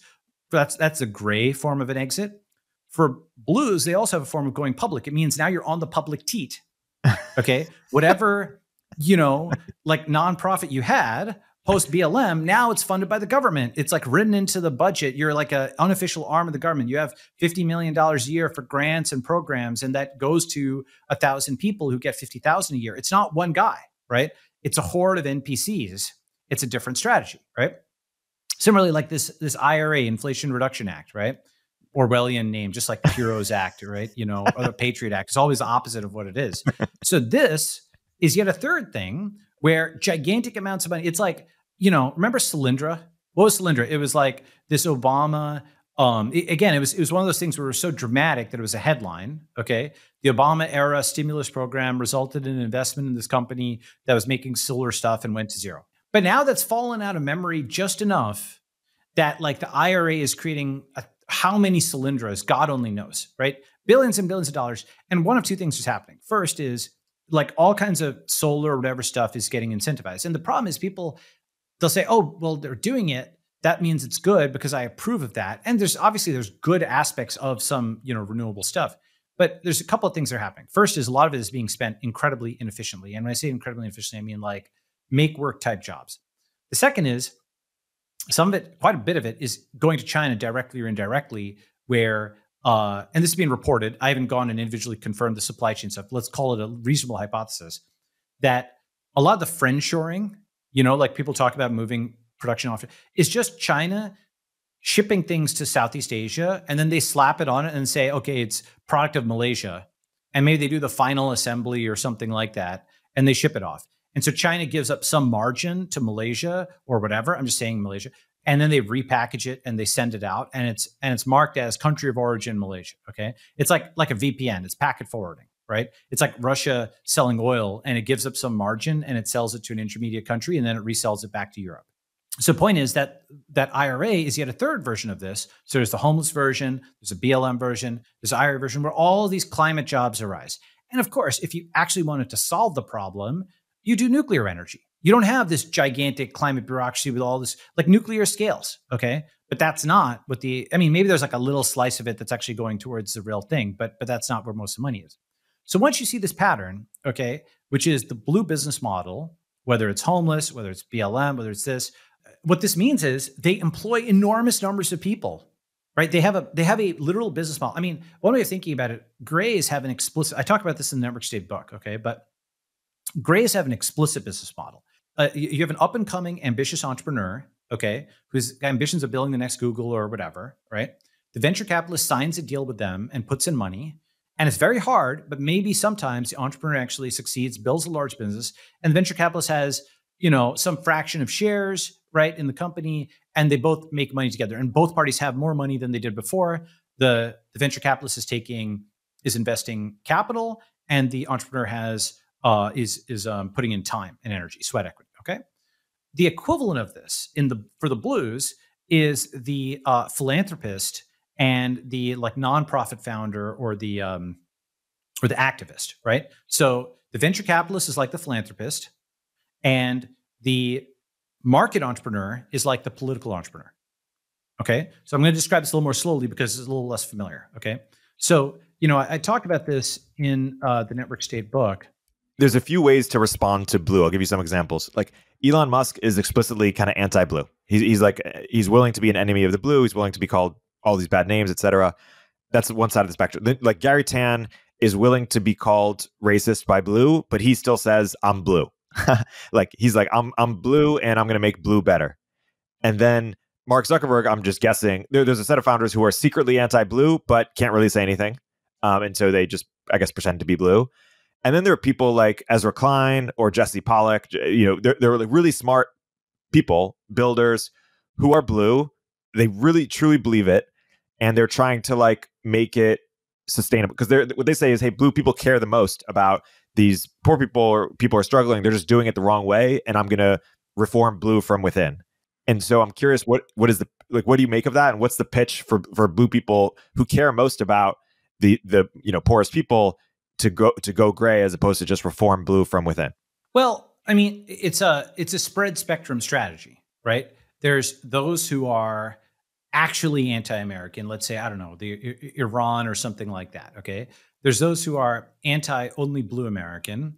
There's those who are anti blue, pro gray. And there's those who are pro blue and want to reform from within, right? There's a whole spectrum on this, right? But the main thing is blues lose. Basically, like blues as they currently are, eh, the, the fundamental thing is I think up until maybe mid 2022, somewhere between let's say March 2021 and mid 2022, you could argue blues are winning, right? uh, as we mentioned maybe on the previous episode, like Hanania actually wrote a post, which I would say is, you know, like Osama bin Laden said, there's when there's a strong horse and a weak horse by nature, people will like the strong horse. Okay. So Hanania wrote a post like the media is good or something like that, which I compared to the blue is the strong horse mid 2022. It looked like blue was the strong horse. It had defeated everybody, etc. But actually, that was, I think, in retrospect, you know how you've seen those maps of Nazi Germany or Imperial Japan when they're at their zenith, and then everybody piles on them and they get pushed back really hard, right? So I think whether it's early 2021, mid 2022, blue was at their zenith, and it looked like I mean because they've been fighting. Once you once you analyze it as colors, right? Blue had been fighting tech and Trump and Russia and China, right? They've been fighting gray and red and Russians are whites, and also the the yellow peril. Okay, the second yellow peril, peril abroad, right? So blues have been fighting all these other colors, colors, and it looked in mid 2022 like they were actually arguably winning. Okay, because uh, all these guys had been beaten back. Like the ferocity of blue in early 2021, mid 2022, depending on how you pick it, looked like it was actually winning. But blue doesn't actually have staying power, and it's lost a lot of IQ. It's lost a lot of IQ to grays. It's lost a lot of political energy to reds. Um, it looks like it's literally losing militarily to Russians. And I think it's also probably going to lose the trade war with China and already lost and doesn't realize that. And again, we can argue about those points for mid mid war, but at least you can't you can't argue blue is just winning on every front at the same time. It's a little bit like again, it's like Germany fighting the Soviets and the British and you know the Americans all at the same time. It's too many wars at once and they lost, right? Blue fighting tech and Trump and Russia and China and Israel and India and Hungary and, and and all these other countries. And you can argue, okay, blue is trying to make nice or whatever with India. India is smart in, in this sense, right? India is also uh, India is a whole separate thing, and we can talk about India, but India isn't a pawn, right? Thiel a while back, and I, I love Peter, right? He basically said something like, India isn't going to be like a reliable ally like, you know, Japan is. I'm like, because India isn't a pawn, right? It's not a colony. It's not doesn't have tens of thousands of troops in the country like Germany and Japan, where you know Germany can just be like told to to. Eh, you could literally conduct an act of terrorism, blow up Nord Stream, and Germany won't say anything, right? Germany's just like you know gelded and in the corner, right? Japan, you can do the Plaza Accords, destroy their economy. The UK, the special relationship, you can you know bleed their economy with the dollar, and they won't do any right. Those are pawns. There aren't allies, right? And whereas India is actually like a fairly, you know, strong independent thing. And the whole strategy of blue of fighting all these different wars at the same time with everybody, they decided to, for a few years, to stop saying, oh my God, Modi's a fascist or whatever, and realize, okay, they need at least some allies. Okay. So making tactical outreach here. At the same time, though, other blues are still yelling at India. And India is smart enough to understand that, okay, blue is like, you know, schizophrenic and can change its mind at any time and will stab it the moment it feels it has advantage for it. So it's a very tactical kind of thing. What I've got on screen, this is just a part from the Network State book. It's it's one subchapter, the market for for revolutionaries, right? So this whole chapter, I'm just to you know summarize it, but basically, you know, if you heard the saying like "afflict the comfortable and comfort the afflicted"? Yeah, that's the point. The purpose of journalists, the reason to try. Yeah, exactly. Well, actually, from one vantage point, that's similar to buy low and sell high.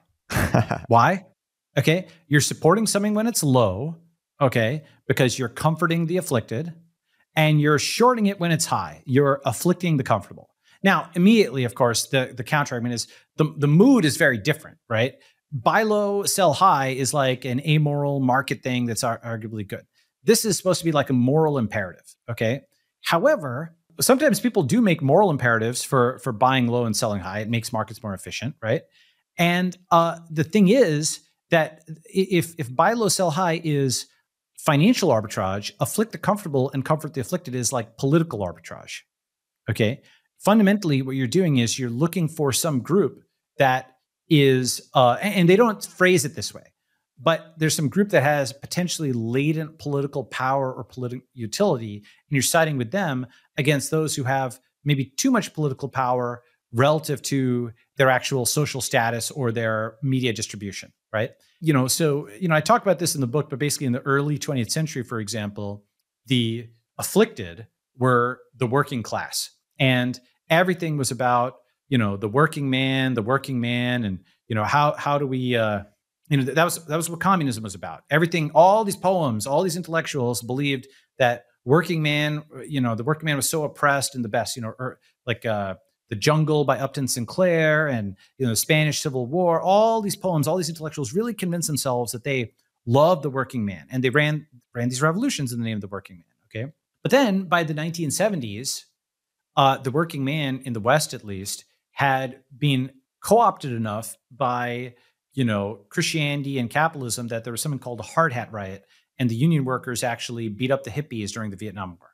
And around this time, the left switched from having the working man as their main ally and main source of political arbitrage to the current thing of women and minorities and gay people because after all that working man well he was white and he was sexist and racist and homophobic so basically it went from stakhanov which is like the soviet you know muscular worker of like the early 20th century who was working all the time and so on to Archie Bunker, who is like a Homer Simpson, you know, predecessor, like this, but but less lovable, this fat, dumb, you know, racist kind of thing, right? So this the left basically swapped it out, and they went from the working class to the wokest class as the form of their political arbitrage. And as communism kind of receded, this became bigger and bigger, and this became essentially what they switched to completely after the early uh, 90s. Okay, because you know the working class is no longer something that they could pretend to support, and now it's their primary enemy because it's on the side of, of Trump and, and what have you. Point being, that's an example of like a political arbitrage trade where they feigned or genuinely believed that they were sympathetic to these workers. They rode them to power in the Soviet Union. They rode to head of socialist parties. They rode to heads of labor unions and so on and so forth, all through the 50s and 60s until eventually that illusion couldn't work anymore. And then they sold, right? So you buy, you hold, it rises, then you sell, and you reallocate into a new form of political arbitrage because all of the new demographics who had maybe gotten enfranchised in the 20th century they were new forms of votes by the 60s and 70s. They'd kind of built up. And now you could switch over to them. There was a latent form of political arbitrage. If you cater to them, it's a whole new form of votes. Okay. So I know it's a very cynical way of thinking about things, but if you take the long view, people have always done this with, oh, that's a political demographic we can support. Uh, let's side with the, the, the Catholics who are coming to the U.S. Uh, against the native Protestants because the Catholics are going to rise in, in demographics and it's going to get us more votes over time. People all the time make those kinds of political calculations, and it's considered less moral than making market calculations, right? If um, you know the equivalent might be all, all these people are coming to the US, so we're going to sell a lot more signs for billboards that are in this language rather than that language, right? That's a market calculation. That's less. It, people can do that more openly, more publicly, right? Point is, once you kind of start to see this, you start to see how these movements are built. It's not just slogans. The, you know, why why did they not side with the Kazakhstanis? Because that wasn't a significant demographic, that wasn't a latent source of like political energy. Another interesting question is why not Native Americans? Native Americans aren't really on the radar. Again, not as large a demographic or not as energetic a demographic in various ways. You know, uh, they, have been they, they, used to be much more prominent in the Western um, you know imagination but less so okay? And energy is just in the you know like in the sense of political energy for change you know is, isn't isn't there for a reason right now. The market entrepreneur recognizes some opportunity market opportunity. They find the venture capitalist who goes and invests in their company and then there's an exit. The political entrepreneur sees a political opportunity. They find some philanthropist or the state department which is also like a philanthropist and they get an investment of political capital and then they try to conquer Okay. And what are the, what's the ultimate version of this? If the most successful founder can become the next billionaire, the most successful political entrepreneur can become the next president or prime minister or ruler of a country. Okay. And I've got some examples here. These are really high profile ones, but they'll make the point. Okay. So, um, the market for revolutionaries. Okay. So basically, if you think about the careers of Aung San Suu Kyi, Viktor Orban, Václav Havel, Hamid Karzai, Ahmed Chalabi, Joshua Wong, Liu Xiaobo. Okay. This is, you know, Myanmar, Hungary, Czechoslovakia, Afghanistan, Iraq, Hong Kong, and China, right? All of these basically had Western resources that back them to try to come to power and build pro Western governments in the region or fund them. That didn't mean that they always won, Joshua Wong is in jail. Xiaobo is, I forget happened to but I think he's he's definitely not doing well. Uh, like Karzai and Chalabi, like the countries got conquered, Afghanistan and Iraq got conquered, but they they weren't able to like run it. And uh, you know, Aung San Suu Kyi and Orban didn't stay West aligned indefinitely. You know, she she won like the Nobel and she was so praised by people, and now she's you know attacked by them. Orban famously actually worked with Soros to help overthrow the Soviets. Okay, and then you know, now he's on the right. You know, and this is a thing, you know, this episode where Soros was funding Orban and both were on the same side as revolutionary forces against Soviets. See, the reason I point this stuff out is, is similarly like Aung San Suu Kyi. The reason it's actually quite similar, the philanthropist activist relationship is quite similar to the venture capitalist entrepreneur relationship because these philanthropists back these guys to get to political power right? And sometimes by the philanthropists, they, they, can be private, like Soros, but they can be uh, public, like the State Department, or some combination. It's often a combination. The public aspect is different than the tech version, but it's a little bit like uh, a venture capitalist might invest in you, but a sovereign fund might as well. Flip the you know frequencies or whatever, right? Maybe it's more frequent for sovereign funds to invest in in these activists, right? Even the term nonprofit, for example, or NGO, like why do you have to call them a non-governmental organization? Because they're often at the same table as a government and so you have to actually distinguish them. The reason this is important to understand is there's a whole sophisticated, blues have a whole sophisticated infrastructure for essentially capturing governments, getting money out of them, and using that money to fund the next generation of activists. And it's not just money, it's power, right? Power is money, right? Like, what, what is a tech exit? Oh, it's a billion dollars? Well, that's great. Good for you. So IRA is like whatever $100 billion, right? Stimulus Act, $787 billion. If you can control the levers of government, you're controlling 100x, 1000x the amount of money. That's why, like all the people in San Francisco, they're political billionaires. Okay. Why?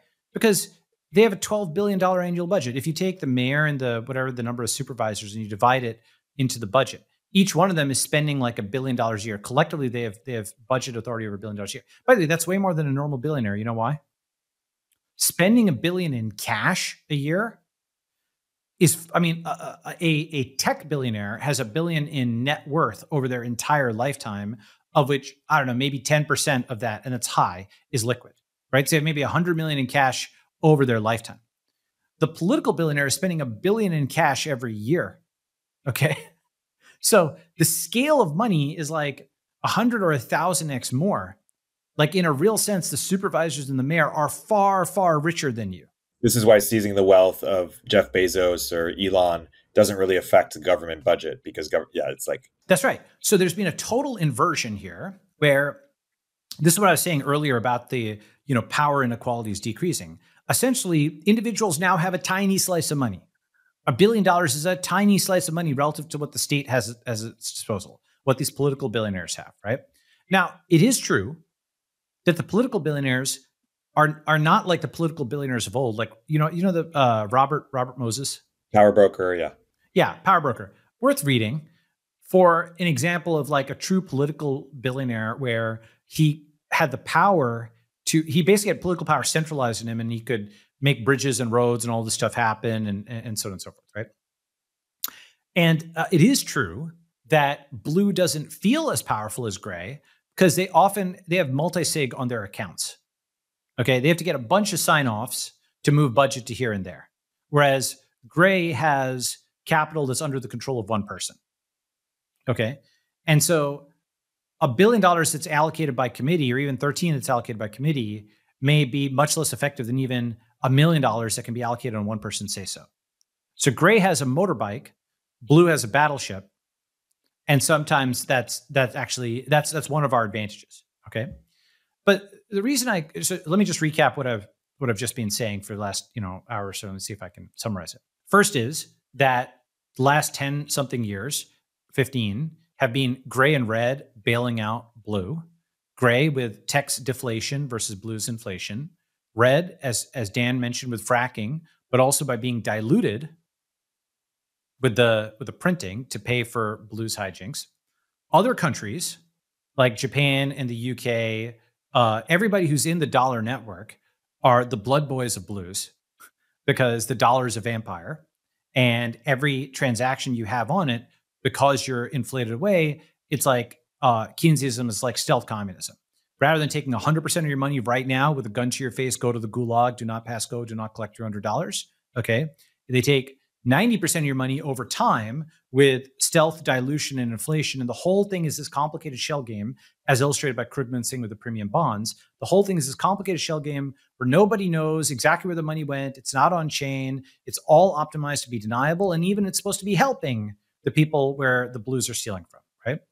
And this gets us to the broader concept of the blue business model, where whether it's inflation, whether it's in Keynesianism, whether it's the homeless industrial complex, whether it's all the money that went to BLM, whether it's all of the climate stuff, the blue business model is have some religious ish cause, quasi religious, and I should say it's a doctrine, right? You know, Yarvin and a bunch of other people have talked about how, you know, wokeness is a religion or whatever. Uh, and there's definitely a lot of truth to it, except it's not exactly a religion. They've replaced God with GOV. My, I have this concept of like God, state, and network. What do you think is the most powerful force? Is it Almighty God? Is it the US military, the US government, or is it encryption? And based on that, that actually is your doctrine. And so blues have replaced worship of God because the church used to serve this kind of purpose. It could have tithes, people believed in it, it had religious police, you know, all, all the kind of stuff, right? Uh, now, when people didn't believe in the church, they switched to God. And uh, this is, by the way, similar to you know, you were saying there's a continuum of, of opinion among blues, right? Some people want to reform blue. Some are anti-blue but want to claim the blue mantle. Some are anti-blue but don't want to claim the blue mantle. Some are all the way on the outside. Okay, uh, and some are of course totally pro-blue and don't think it needs to be reformed and everything is going great. That's a little bit similar to in the early 20th century. There were a lot of Christians in FDR or Wilson's administration, and they believed in God, but they were actually strengthening the state. They didn't fully, un, you know, they didn't. They would never say they weren't Christian, but they were strengthening. They may not even think they weren't Christian but they were strengthening something that was more powerful than God at that time, right? Or became more powerful. And why do I say more powerful? Because you know, religious law wasn't the base of law. It wasn't the base on which money was allocated. It was it was the state that was prime in the 20th century. As Nietzsche said, you know, people didn't believe in God, so what are they going to believe in? They believed in the state. Point being, once you understand blue as a business model, that this applies in many ways, you start seeing the world in a totally different way. These people have gigantic quantities of money that they have access to. They have these philanthropists that fund the political entrepreneurs to gain control of these sums of money. And the ones that I mentioned, like Joshua Wong, Aung San Suu Kyi, and so on, those are like the most ambitious projects on the edges of Blue Empire. Yeah, like uh, so, some folks, I think JD Vance, others have said, why are we fighting on, on uh, you know, uh, Ukraine when rather than dealing with the border with Mexico? And the reason is that for red Americans, yeah, the border is with Mexico. For blues, the border is with Russia. The border's in Ukraine, right? That's the border of the Blue Empire. The part where the dollar vampire ends is there, right? That's not to say Russia is good, but Russia's just not under their control. Mexico doesn't matter to blues. It, my, the, the border between Texas and Mexico to blues matters as much as the border between Texas and New Mexico, meaning it doesn't. It's some stupid administrative internal thing. It doesn't affect them. People flowing back across, like they're not paying for it, you know? Um, the people in the border regions are, and they and and this is the fundamental thing that I don't think Reds get. Blue Americans don't really think of red Americans as being quote fellow Americans, and the way you know uh, to see that that's only admitted some of the time. But you know this uh, there's this good article in the Atlantic. America is growing apart, possibly for good. Okay, the Great Convergence. He's seeing some of the things I was talking about with history running in reverse, right?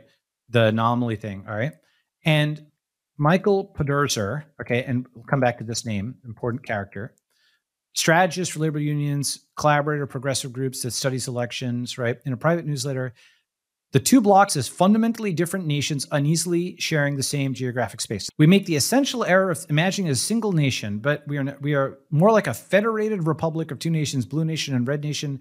This is not a metaphor, it is a geographical and historical reality.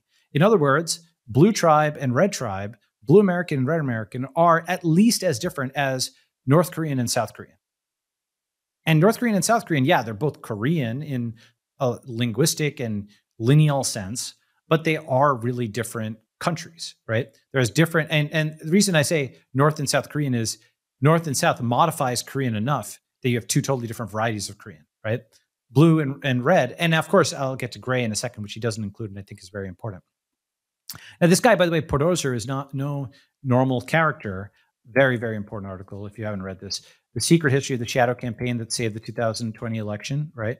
And he is basically the guy who organized the conference call that um, helped, you know, do the protests and stuff in 2020, and even gave the stand down order. So all the riots were basically on a string, and um, you know, basically uh, the conversation that followed was a difficult one.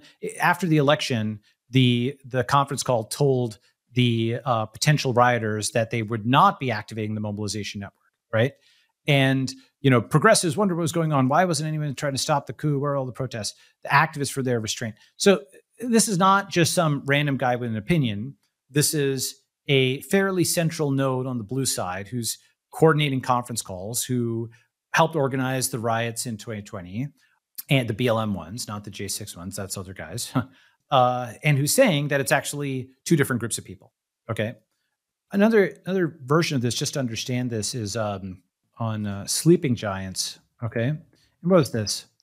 This is this is um, basically a Twitter account that organized boycotts in the mid 2010s. Right, and just look at how the founder of it describes this. Sleeping Giants quickly became popular because we brought some good news every day. Each day, advertisers would drop Breitbart or some other horror show. We built a community of foreign terrorist followers who helped us lose Breitbart 90% of its ad revenues, put Bill O'Reilly out of a job, and deplatform hate figures like Alex Jones and Milo Yiannopoulos. Behind that flow of daily wins, I was creating actions for our community, testing email addresses. This became a core tactic that helped us move fast. In other words, this is a group of 400,000 blues whose daily wins is helping harm reds. Blues on a daily basis are waging a nonviolent social and financial war against reds, where she's speaking about how calculated and intentional it is for her us to make these people lose money, make this guy lose a job, and make these people lose their ability to speak.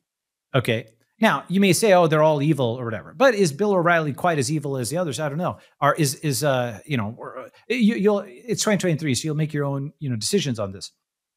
The main point is this is social war. It's essentially right. It's tribal war where this tribe is making money and gaining followers and gaining energy by essentially harming red every day. This is not a normal business. With me so far? And it's also a lot of effort, right? Testing email addresses privately became a core tactic.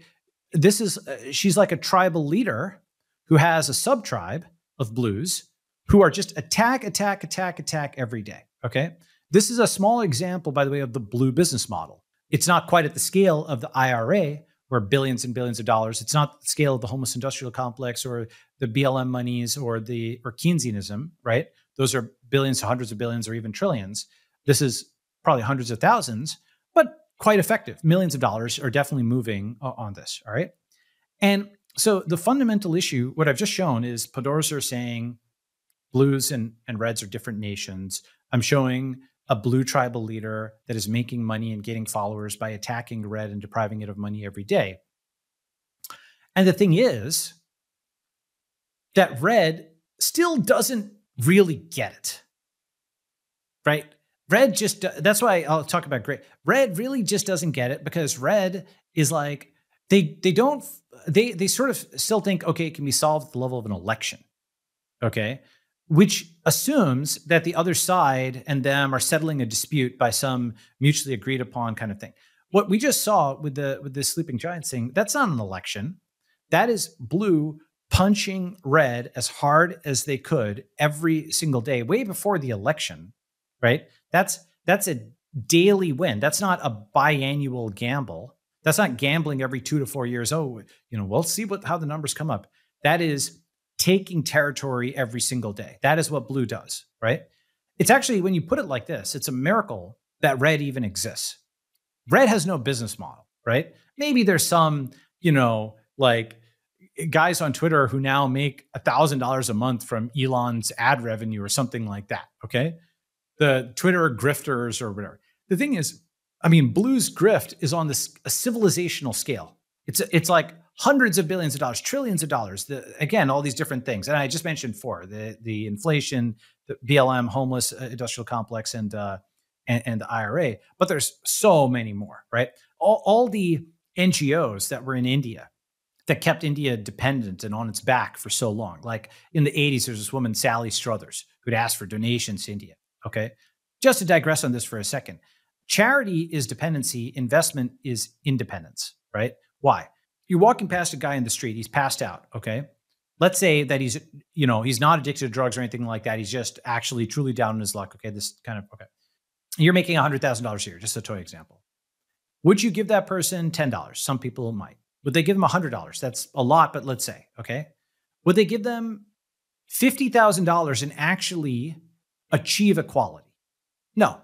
No blue who burbles about equality would actually do this, right? Why? Because uh, may, maybe by the way, some of the effective altruists who actually take this kind of rhetoric seriously, maybe they would do it. Okay, I know effective altruists actually, but most blues wouldn't. All right, vast, vast majority. Why wouldn't they? They give all kinds of reasons, but fundamentally, what they want are pets, not peers. They wanted Indians to be pets. They wanted Indians to be in a form of dependency. How do we know this? Because when India just landed something on the moon, all these people were like, why are we giving India aid? Like, blah, blah, blah. How, what you saw was envy.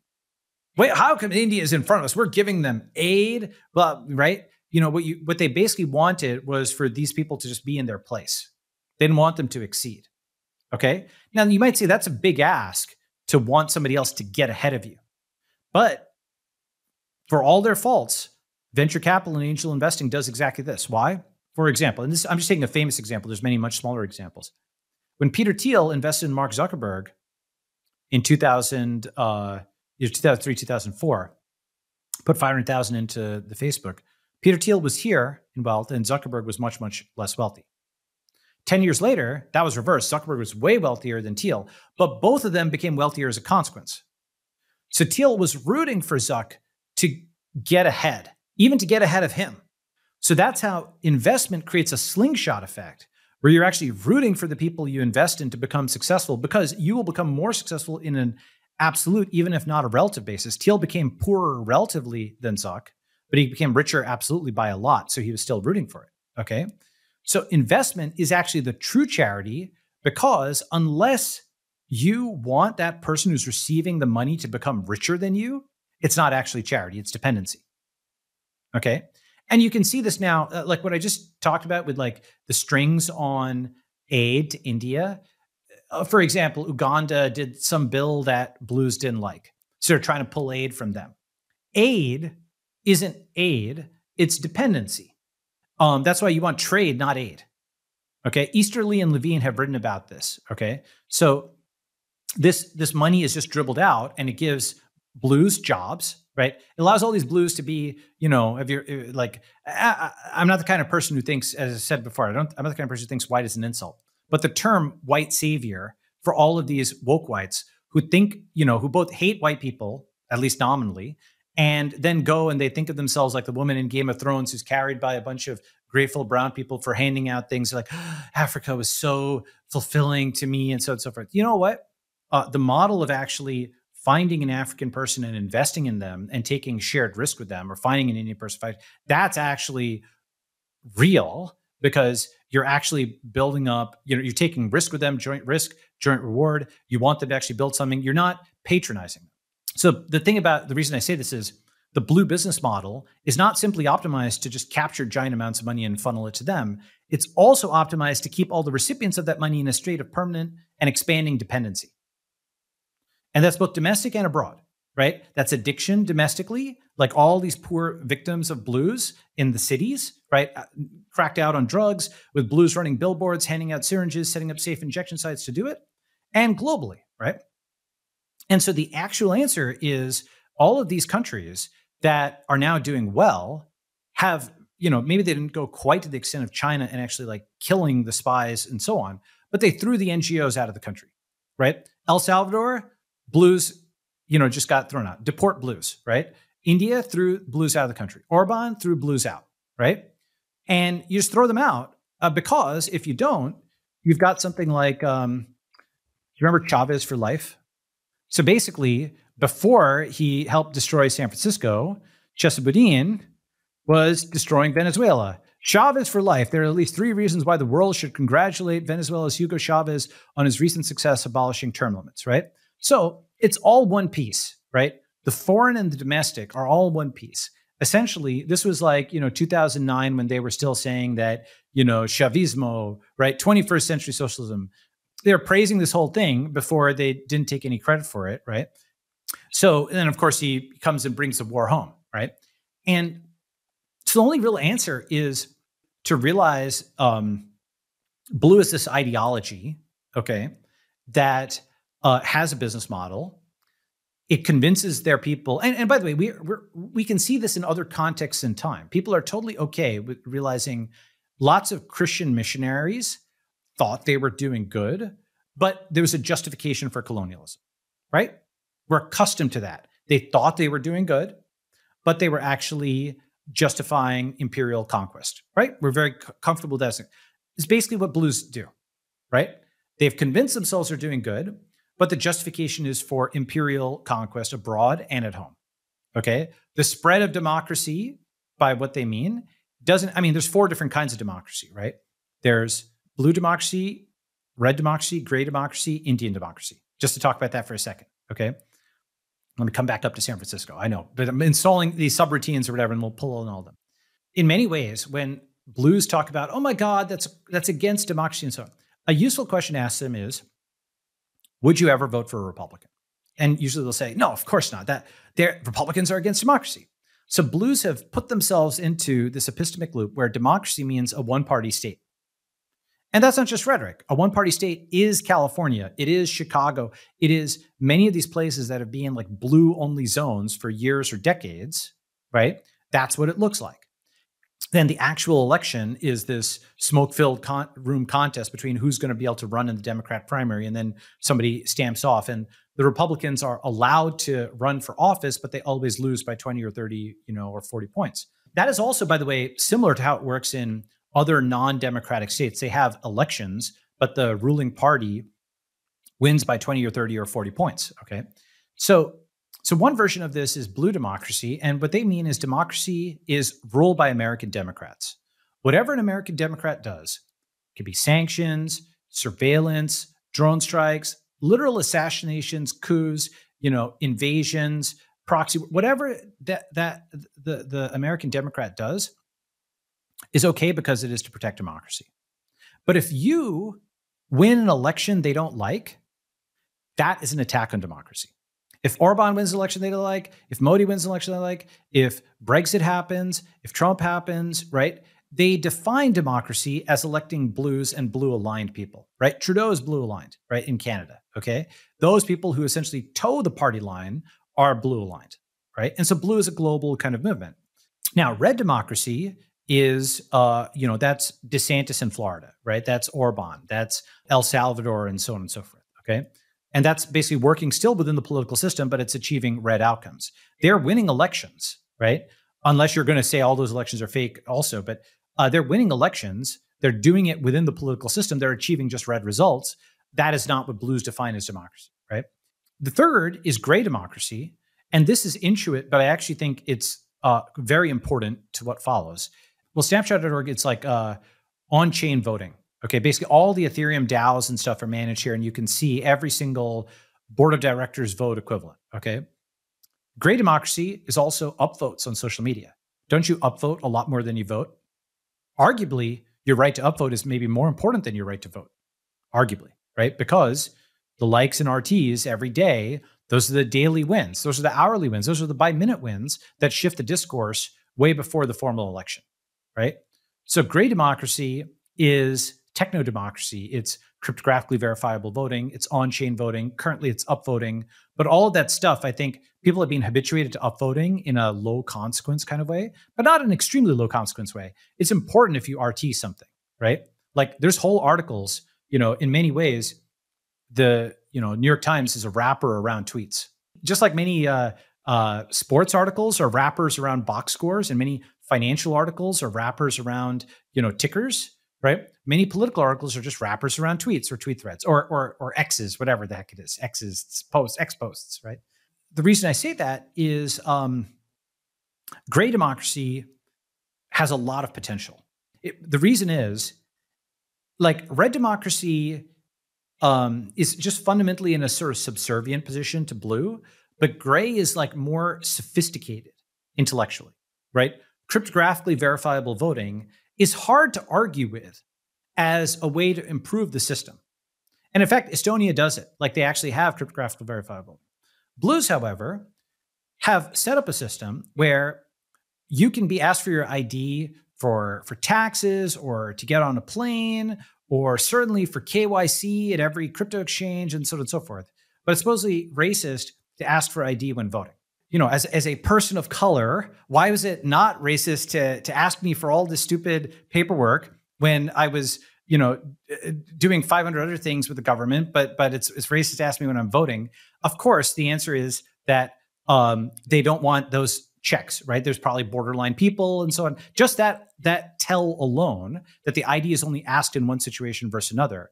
And also, by the way, blues have lost enough control over the discourse that you and I can talk about this and others can hear us, and blues can't really retaliate against us. This is crucial in 2023 that wasn't even there two or three years ago. This is what I mean about like Nazi Germany getting pushed back, like Nazi Germany like losing North Africa and so on, and then you know a beachhead opened.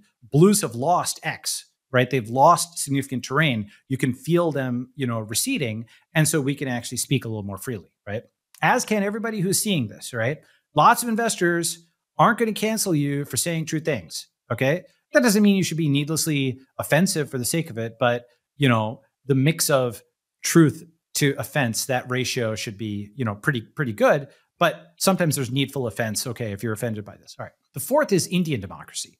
Very underrated. Why is it underrated? Indian democracy ships.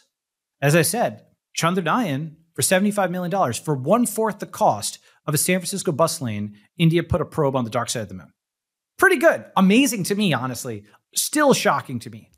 I, you know, I made the analogy. I'm like, imagine a guy was named Bob Salvatore, okay, rather than Balaji Srinivasan. And, you know, he came back to uh, Italy after a long time being away from the old country and he just saw girders going up everywhere. And he was like, whoa, this is like amazing, right? That's kind of me going back to India. And I, I, it's not, I've never been anti India, uh, but I was never an India booster either, right? Because I was just like, okay, it's a place, you know, I came from. It's, but now clearly it's, it's up and to the right. And, uh, and so Indian democracy, the reason I think that's underappreciated is it's actually all the rest of the people in the world are voting less than Indians are. You know, eh, like for example, when, when people are like, oh my God, Modi, you know, democracy, Modi is much more popular as a leader than Biden is. Modi has many more votes than Biden does by like orders of magnitude, right? And I mean, like I, I actually say orders. Let's say on the order of 10x, right? India's got 1.4 billion people, right? Even if you say Biden has 80 million votes, Modi has like several several fold that number. I forget the exact number. Okay, so Modi's more democratically le- legitimate than Biden. He has more votes, and there more people of color voted for Modi than voted for Biden, right? By a lot, right? More poor people voted for Modi than voted for Biden, right? You you have to sort of displace the blue claim on democracy, right? There's red democracy, there's gray democracy, there's India democracy, and each of these are different flavors. Red is sort of within the regime, gray is in the cloud, and India is like a different country. So it's like being attacked uh, in from three different directions, right? From sort of like within the system, from the like the digital system, and from a different system. When I say attacked, uh, I mean uh, in the sense of alternatives, right? In the same way I'd say like Google Docs is an attack on Microsoft Office. It's a better alternative, right? Okay. The, the, the equivalent of this, by the way, is in some ways you know, when Soviet, I mean, Soviet communism for most of its history was a leading brand of communism. Maoism and most other communist systems were downstream of Soviet communism, right? When you said you were communist, you usually meant you sided with the Soviets, except with the Sino Soviet split, with the split between China and the Soviet Union, Maoism became its own secondary variety of communism. And it was the also ran variety through the 60s and the 70s and the 80s. But through the 80s, it actually had quietly reformed and had an Asian pragmatism to it, you know, communism with Chinese characteristics, you know, Deng, Deng Xiaoping and so on. And then in the 90s, and certainly by the 2000s and certainly by today, Chinese communism has become the world's leading brand of communism, right? Now, is it communism? You can argue it's actually more like, you know, right wing nationalism in a sense. It's Chinese, you know, right? But they do, I mean, like the hammer and sickle is flying on a Chinese warship in the South China Sea, 10,000 miles away from where Marx invented it in, in Germany. It's this amazing medic thing.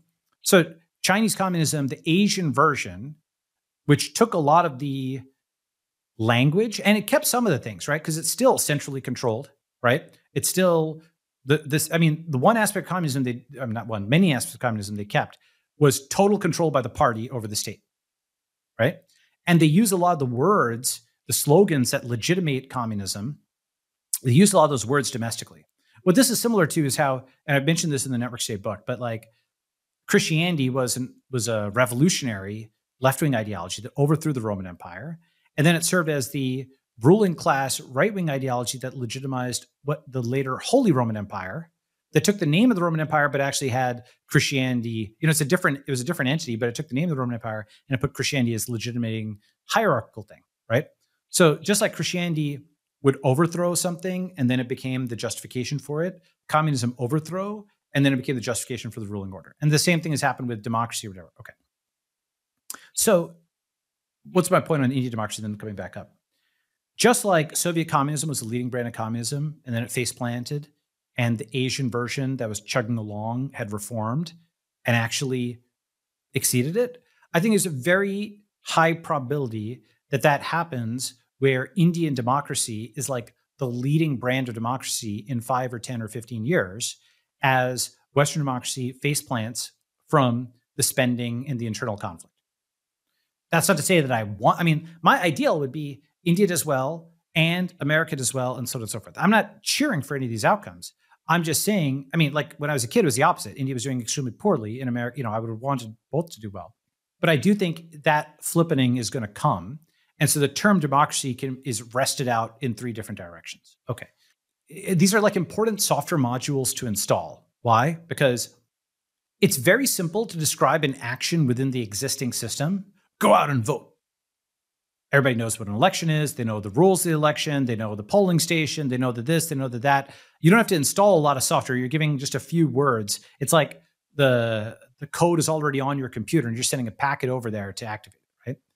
If you want a new set of tactics, though, you have to install a lot of software, right? So the modules we've installed are A, the tribal lens, thinking of this not as red, white, and blue as a unified country, but as red, gray, and blue as three tribes, like Kurd, Sunni, and Shiite, like North Korean and South Korean. B, the fact that blue is just at total war with everybody. Uh, they're at war with tech, Trump, Russia, China, everybody else. C, that prosecution of that war involves like things like the Sleeping Giants thing, where they just had daily were making money by taking away money from Reds, right? By getting them fired. Like that was their business model. Hundreds of thousands of people daily would wake up to try to harm a Red. Okay. D, that that understanding is shared by prominent leaders in the blue space that talk about how there's a blue nation and a red nation, a blue America, red America. They're just different tribes in the same region. And that's not just some random guy. That's a guy who's like organizing BLM riots and stuff like that in 2020 and telling them, as that article uh, in Time, the secret history of the shadow campaign that saved the 2020 election, that, you know, so it's a conscious thing. And then E, that all this accumulates in Blue having a business model like the Christian missionary, where they think they're doing well, but they're actually justifying imperialism, to steal gigantic quantities of money, um, to use it to fund their NGOs and their programs, and to keep their victims in a state of dependency and their enemies on on the back foot with all this propaganda, right? Because people actually believed in Christianity for a time. They believed in communism for a time, and they believe in blue democracy for a time. Less so, right? That doesn't mean we reject democracy, just like it doesn't mean, you know, the, the Chinese didn't reject communism. And uh, the Indians haven't rejected democracy. They've just taken the chassis, they've taken the code base, they forked it and taken it in one direction. Grays have forked it and they've taken the direction of cryptographic verification. And Reds have forked it and they've taken the direction of like Florida home rule or El Salvador and so on. As mentioned, blues have a business model. And the importance of this can't be understated. What that means is they're not primarily just doing politics. Day in and day out, whether something's exciting on Twitter or not, they're being being paid by their nonprofit. They're being paid by their government agency. They're being uh, paid by their NGO to affect, to, to take territory for blue, to put somebody out of work, right? To deplatform somebody, to censor somebody, to sanction somebody, to, to do something that advances blue. They believe in this. Again, like the Christian missionary, whether it's true or false, doesn't matter. They think they're doing it. Red doesn't have that kind of business model. There's a few guys on Twitter who get thousand dollars a month, as I mentioned. There's a few, there's a few shows, Daily Wire or something like that. But if you total it up, it's not even a fraction of what Blue has. Okay. Democrat counties represent 70% of US GDP 2020 election shows. That was like a few years ago, right? And basically, like Blues have all the money, right? Um, Reds are pros by by contrast. It's amazing that Reds are even in the game because what does a Red want to do? The Red wants to wake up, go to work, you know, come home, maybe go and play with the kids or, you know, like go for a walk or whatever, something like watch, watch sports, watch a game on the weekends. They are, they're small c conservative. They're just not that ambitious, right? They just want like a decent life. What's, what's the big deal about that? The blue wants to change the world. The blue wants to make a difference. The blue wants to feel like they're doing good right? They're driven morally. They're actually willing to tolerate some low salaries or hardship to feel like they're exercising power, that they're changing the world, right? And that level of ambition recruits a, a different kind of person than the red. And the Reds, you know, the Reds business model is Dunder Mifflin Paper Company. The Blues business model is capturing the San Francisco government to send billions of dollars to NGOs, right? Okay. So the red really just isn't in the game because the red is still thinking about it in terms of markets and, you know, companies. And eh, for example, a lot of reds will say, because they're not blue, say, we're not going to do crony capitalism, right? We're not going to take over the government and direct it towards reds that's exactly what blues do and whether blues think of it that way that's that's what they're focused on at all times is getting budget for the ngos and nonprofits. And if reds try to do this by the way if they try to do exactly what blues are doing they get their hands slapped. For example remember the tea party? Yeah it was like a big force in 2010 you know why it wasn't a big force in 2012 because it got slapped. Well the government basically there's this woman lois lerner the government uh, you know irs d- denied them you know non they basically harassed them right? The all, all, the 501c3 applications, Red tried to do what Blue did to set up like a network of nonprofits and so on and so forth. But Blue controls that system. So it basically harassed Red, and, and Red wasn't a factor with the Tea Party in the 2012 election. Later, this was admitted, right? Like there was like an apology, you know, apologizes for aggressive scrutiny of conservative groups, right? Expresses sincere apology for mistreating an organization called the Linchpins of Liberty, right? 427 other groups were suing. Okay. So all these guys, uh, now, first of all, by the way, why was there even an admission that this happened? Because it was 2017. And so now Reds were in control of the federal government. So they, or Red probably greenlit that apology, right? But it wouldn't have happened without an actual event. Second is the apology comes five years later after the 2012 election. So the tactic worked, right? And how much it worked on the margins, we'll never know, but 427 groups seems like a lot. Okay.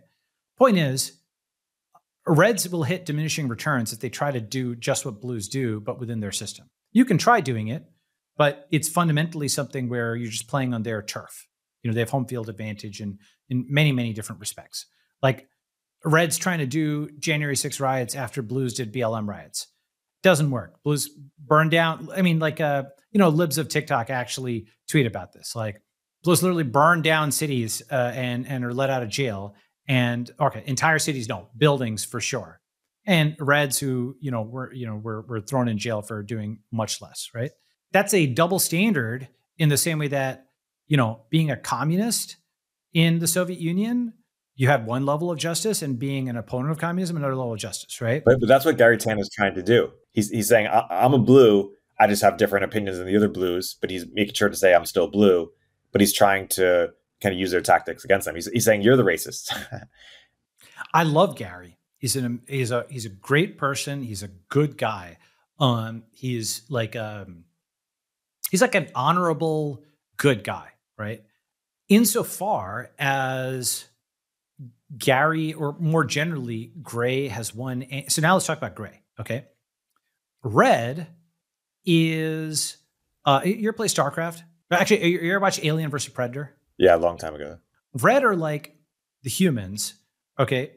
Uh, blue are like the aliens, and gray are like predators or Protoss. Okay. So basically, humans are just prey for aliens. Okay. Aliens are just set up to devour humans. Humans might fight back with like guns or something like that. But this Zerg NPC generating thing, I mean, the thing is what reds will try to do they'll try to be like oh yeah we got uh we got chesa out of office. Yay! Right? We um we, we found something on hunter biden. Because reds think of things in terms of individuals and heroes. And blues the entire npc thing it's an insult but it's also their strength right? Blues every single node is completely dispensable. Knocking out chesa didn't even slow down the the entire blue movement in sf it's a it's a decentralized left right and um, you know, Biden is completely swappable. That's why now you're starting to see negative coverage, right? Maybe they swap him out for Newsom. Doesn't even matter. He's not even like he's not a an agent. He's not an actor. If what I mean, or he's an actor in a different sense. You look at the '90s. Biden sounds really conservative, right? He sounds like Clinton, Clinton Democrat in the '90s. He's he's like an he's like an actor who's a vessel for the blue ideology. Will say whatever blues blue, blue the ideology needs him to say at that time, right? He's not like a, a human being who will have strong different opinions, right? Maybe on the margins, but for the most part, not. So Reds are like trying to go blam, blam, blam, blam, blam, like this against like individual aliens, right? They think of it in terms of individuals because they think we've got an individual hero. But they have to actually think of it in terms of a tribe. The problem is their tribe is weak, and their tribe doesn't have the money, as we just showed, right? And their tribe, uh, you know, is fundamentally trying to fight within the system, that meaning hold an election or something. And you know, at the state and the local level, blues don't see that in the same way. They don't care about it the same way. They care about the national, and they haven't paid as much attention to the state and local. And Reds may have some success at the state and local and they, they and uh, and that's where they've gained some. They've also had like Federal Society. I'm not saying Reds haven't had any victories whatsoever, but for the most part, it's amazing that they've done anything because they don't have a business model. Politics isn't their life, right? They don't worship GOV like God, like Blues do. Basically, the Reds don't have a business model. The Reds don't have money. The Reds are stuck in a psychic prison where they think that the answer is within the system. And it actually reminds me of that, uh, you know, that nine dot puzzle with the with the lines and, and connect it with four lines. So basically the, the problem is given these nine dots, okay, connect the dots with four lines without taking your pen up from the paper. So if you try it in a naive way, you'll go like one, two, three, four, five, like that, right? And you could try this in a bunch of ways, and the actual solution is this where you go one, you know, you go one, two, three, four. And the key is you're actually working outside the system to win win within the system. And right? It's like a trivial analogy, but it's actually a pretty good one where you literally couldn't have won if you just operated within those nine lines. Right? Or nine dots. With me so far? Right?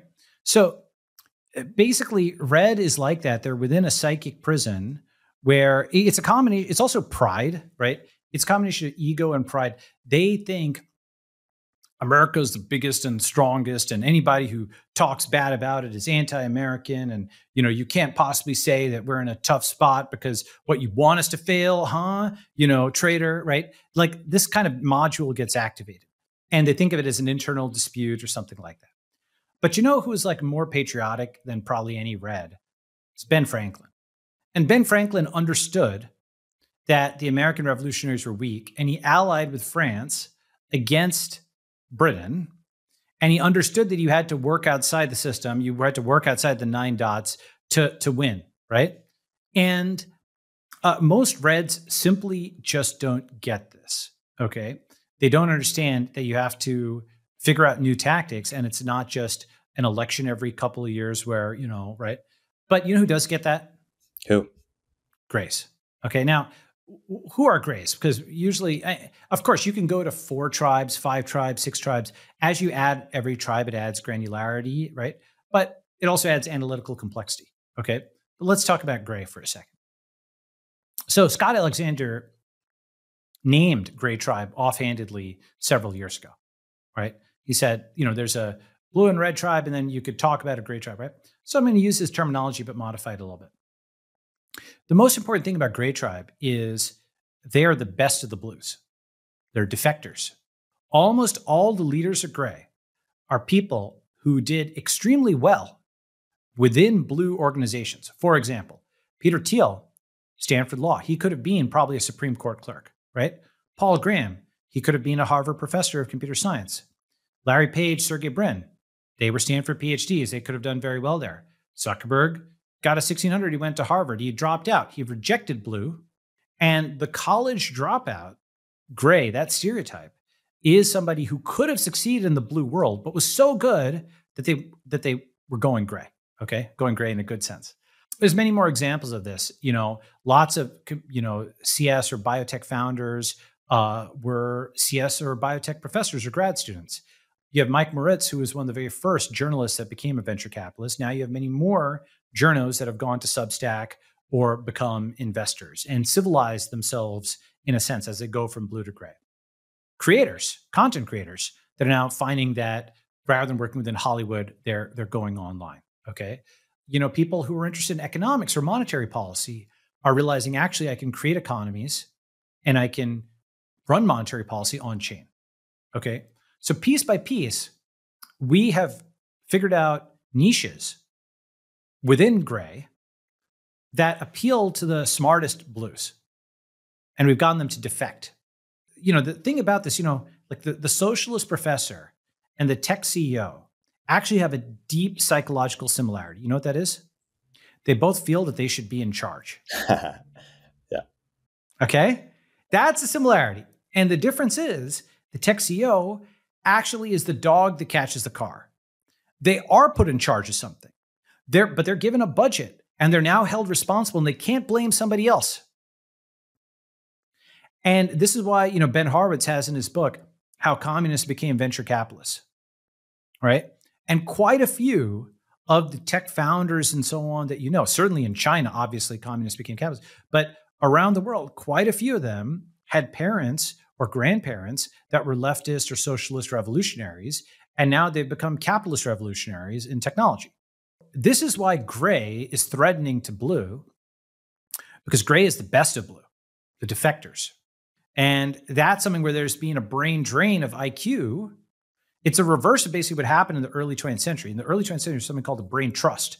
Okay. And all these smart people went into the US government under FDR because the centralizing state was rising, centralizing technology was rising, mass media, mass production. Since the 1950s, decentralizing technology, the transistor, the personal computer, the internet, the smartphone, means that now people have found more opportunity outside with the collapse of the Soviet Union and so on. Capitalism technology are winning. And so that thing about the political arbitrage, you buy and then you sell, the smarter people are now have a brain drain out of the federal government.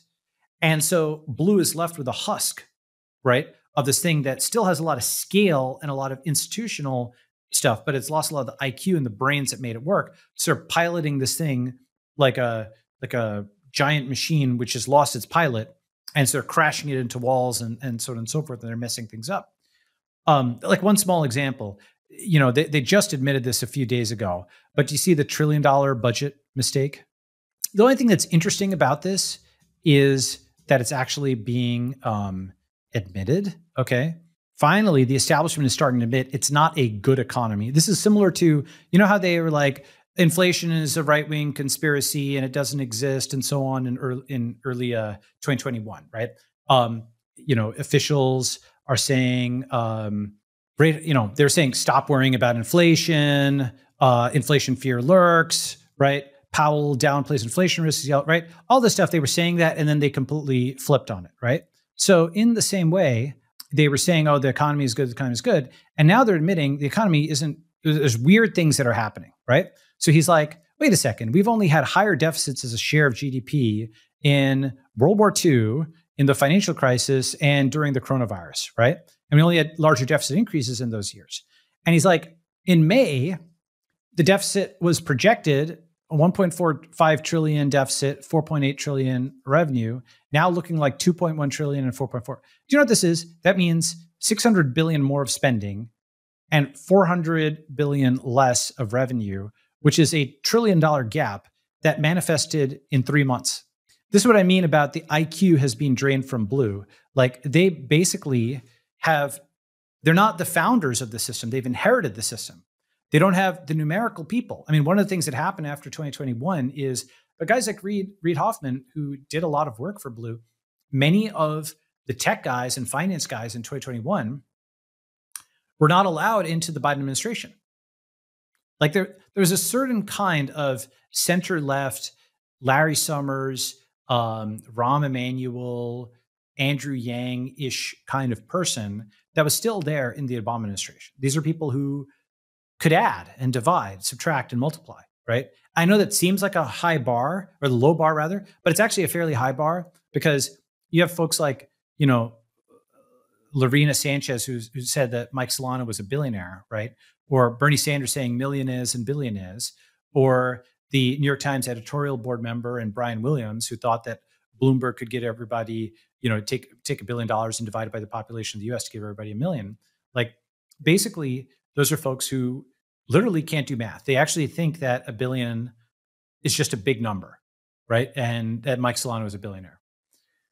And so the bar, where you you you think you might think, oh, like people in administration, blues are um, they may not be able to do differential calculus, all right? They may not be able to, you know, do gradient descent, but sure, they can add, multiply, subtract, and divide. They can't. They like they, they literally don't, you know, at least some of them, like I said, these public examples where you can see they don't know the difference between billion and and, and million.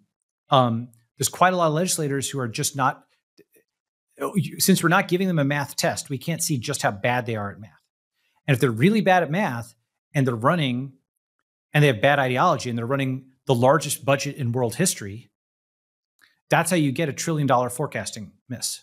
So that's what I mean about when you guys were talking earlier about, you know, the network effects are so strong and nothing will matter. And so I'm like, you know, I don't know about that, right? Like a lot of these things have already reversed, right? You know who is good at math? Like people who are running China and India are actually pretty good at math. And you know who's good at math? Grays are good at math. Blues aren't. The IQ of blues has been drained and gone to gone to grays, right? It's Thiel, it's Paul Graham, it's Larry Page, it's Sergey Brin, it's Zuckerberg. It's a thousand founders who've, rather than becoming professors, have become tech founders. That was like the first wave. It's creators rather than go to Hollywood that are on YouTube. It is uh, journalists who are becoming substackers or investors and so on. And the next step is actually to recruit the politicians themselves. And that's the whole concept of the network state, right? Basically, uh, and now we'll get to San Francisco. Rather than go and run for mayor of South Bend, South Bend's population is 100,000 people, okay?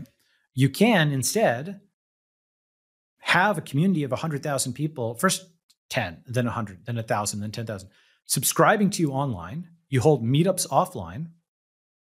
And, you know, as you crowdfund brunches, you can eventually crowdfund buildings. And this is actually so what I mean by that is you are anybody can do this right now. You can take a tribe, you take your online following, your Substack or what have you. You say, we're going to start holding meetups. You collect funds and you organize those meetups. And you make those meetups good. You make them worth coming back to. People will come for the first one. Will they come to the second and the third and the fourth? if they're good enough, you've got paying subscribers. And the goal of these meetups ideally should be, uh, you know, you know that saying from Pride and Prejudice, very old fashioned, but again, 2023, so we can start seeing this stuff. If it is a truth universally acknowledged that a single man in possession of a good fortune must be in want of a wife, right? You've heard this? Okay. So it is a truth universally acknowledged that a group of men or group in uh, you know, must must be one in want of territory. Okay. So the purpose of your digital tribe is to take territory. Cloud first, land last, but not land never. That territory doesn't all have to be in one place. It can be that one of the biggest things about the internet, what key insight is that enclaves are much more valuable. You can have a patch here, a patch there, a patch here, a patch there. And just like Indonesia is a bunch of islands separated by ocean that's considered one country, this is a bunch of islands of territory separated by internet that's like one tribe. The thing is that once you collect funds and you collect, I don't know, $20 from each person and you deliver a good brunch or or a lunch or or or bowling alley thing or hike, whatever the heck it is. Okay. Here's the thing that might seem trivial, but now you go up and you're collecting more money to create a little community center where people can go and meet up. And you collect more money, you do something more ambitious. We're building a statue, we're doing it this. You set those goals. Here's the thing you have become the de facto mayor of that tribe. Because what's the point of a mayor? The point of a mayor is all these people, they pay taxes, and then the mayor is supposed to be a trustworthy member of the community that will allocate the money for the community better than the community members can themselves. There's lots of economic theory around why this goes wrong in terms of public choice and so on. But there's also economic theory in terms of why it goes right, which is there's certain things where it makes sense to collectively fund them, to crowdfund them, to have public goods, right? And it can go right but it can go right if you've got the right personnel. The selection system we currently have with elections is uh, has been corrupted to the point that you're electing actors, right? Like, you know, for example, people are blaming Pete Buttigieg, the mayor, former mayor of South Bend, for like the train derailments or something. And the thing about this is, like, I, am not like a you know Pete fan or anything. It's not really his fault. Why is that? It's not like the you know you know who's like a real secretary of transportation who knows something about transportation? Elon Musk's. He, Elon Musk knows something about transportation. He can build a car, he can build a rocket. He, you know, if all of the CEOs of all the railroads reported into Elon and had been reporting into Elon for five years or 10 years, then it would be legitimate to hold him responsible for some you know, train derailment or something like that because he would actually have been the CEO or the or the executive in charge of that portion of the country. Appointing some ceremonial guy that you know has absolutely no knowledge or you know understanding of the industry, hasn't laid rail or or packed a shipping container, hasn't run a railroad or like obviously he doesn't know what he's doing. It's literally just something where oh yeah, you did you did well during the election. You've got a constituency of two or three percent. We'll give you a cabinet position. It's all ceremonial, right? Now, I'm not saying that that social support, that political support is important. We need to marry that to the ability to technologically execute. You need not just the legitimacy, but the competency. Elon has both. Legitimacy is the social following. You need that. But the competency is actually being able to be Secretary of Transportation, right? Coming back, point is, grays are the best blues right? We've taken their best professors, we've taken their best creators, we've taken their best writers, and we're going to take more, right? Why? AI is going to destroy Hollywood, right? They're striking, but you know what? AI is going to give every Indian and every African and every Latin American and every Arab and every Eastern European and Japanese person and so on the ability to tell their own story. And you know what? I do want to see the Middle Eastern take on the forever wars right? I do want to see their perspective because they got bombed to smithereens, and I want to see that perspective. You know, as as sad as it will be, we should watch, right? We should see the Eastern European perspective on what happened during communism and how the West abandoned them. Uh, you know, eh, you know, with with um, Yalta and Potsdam, FDR abandoned them. We should see the Latin American perspective on you know how they've had all these currency crises and how they've basically been the pawn under the Monroe Doctrine we should see India's perspective. We're starting to finally see it, right? And all of that only becomes possible with decentralizing technology away from the blue choke points like Hollywood towards everybody, right? And and the good thing is, grays are doing that, right? Grays are the best of blues. We figured out niches for the entrepreneurs and the founders. We figured out niches for the professors and for many of the journalists and for the creators. The next one is politicians, and that's what the network state is, right? And what I just described with a tribal kind of organization, there's no upper limit crowdfund a brunch, then crowdfund buildings. You prove yourself as somebody who can collect $1,000 and deliver a good result, $10,000 to deliver a good result, $100,000 to deliver a good result, and you do $10, $100 things before you do the first thousand. And you do $10,000 things before you do the first 10,000, right? And maybe you take a percentage where, you know, at a certain scale, you have a small group of people with you as a tribal leader, and that's a tribal government again, this is taking some of the processes that Discord and blockchains and so on have built, right? All these all these crypto communities. The, the fundamental thing is the physical materialization, right? Because humans are still physical beings. Cloud first, land last, but not land never. You start doing this, and you're building the shadow government. Okay, so this is actually uh, you know something they talk about in Britain, right? The shadow this, the shadow that. So what's the point? The point is you don't just have a like a defense minister you have the shadow defense minister who's the opposition party who says what you should have done okay but what's the difference between being a monday morning quarterback and having a true alternative this is a way of becoming the shadow mayor of south bend the shadow mayor of san francisco is you build a tribe that has subscribers that show up in person that you know whether it's brunch you know the activities are TBD, but they should be in person and they should be uh, involved taking territory, marking territory. This is the pub that we show up at, right? The the bar that we show up. This is the part of the waterfront where we have our statues, right? Here's where our murals are, right? Here's where our people live. Okay? And you take the digital and you start projecting it down to the physical world. And here's the thing. Reds Reds can be part of this, by the way. Reds just and, and maybe even some Reds will produce leaders that that become gray right? In general, blues, because they have their hammer lock on the institutions and so on and so forth, a lot of people who would be good at computer science, would be good at programming, a lot of the um, the mechanics of executing this, the technical skills will come from former blues going to gray. Okay. But they could also potentially come from reds. All right. There's some there's some talent certainly among reds. As I said, blue as a business model.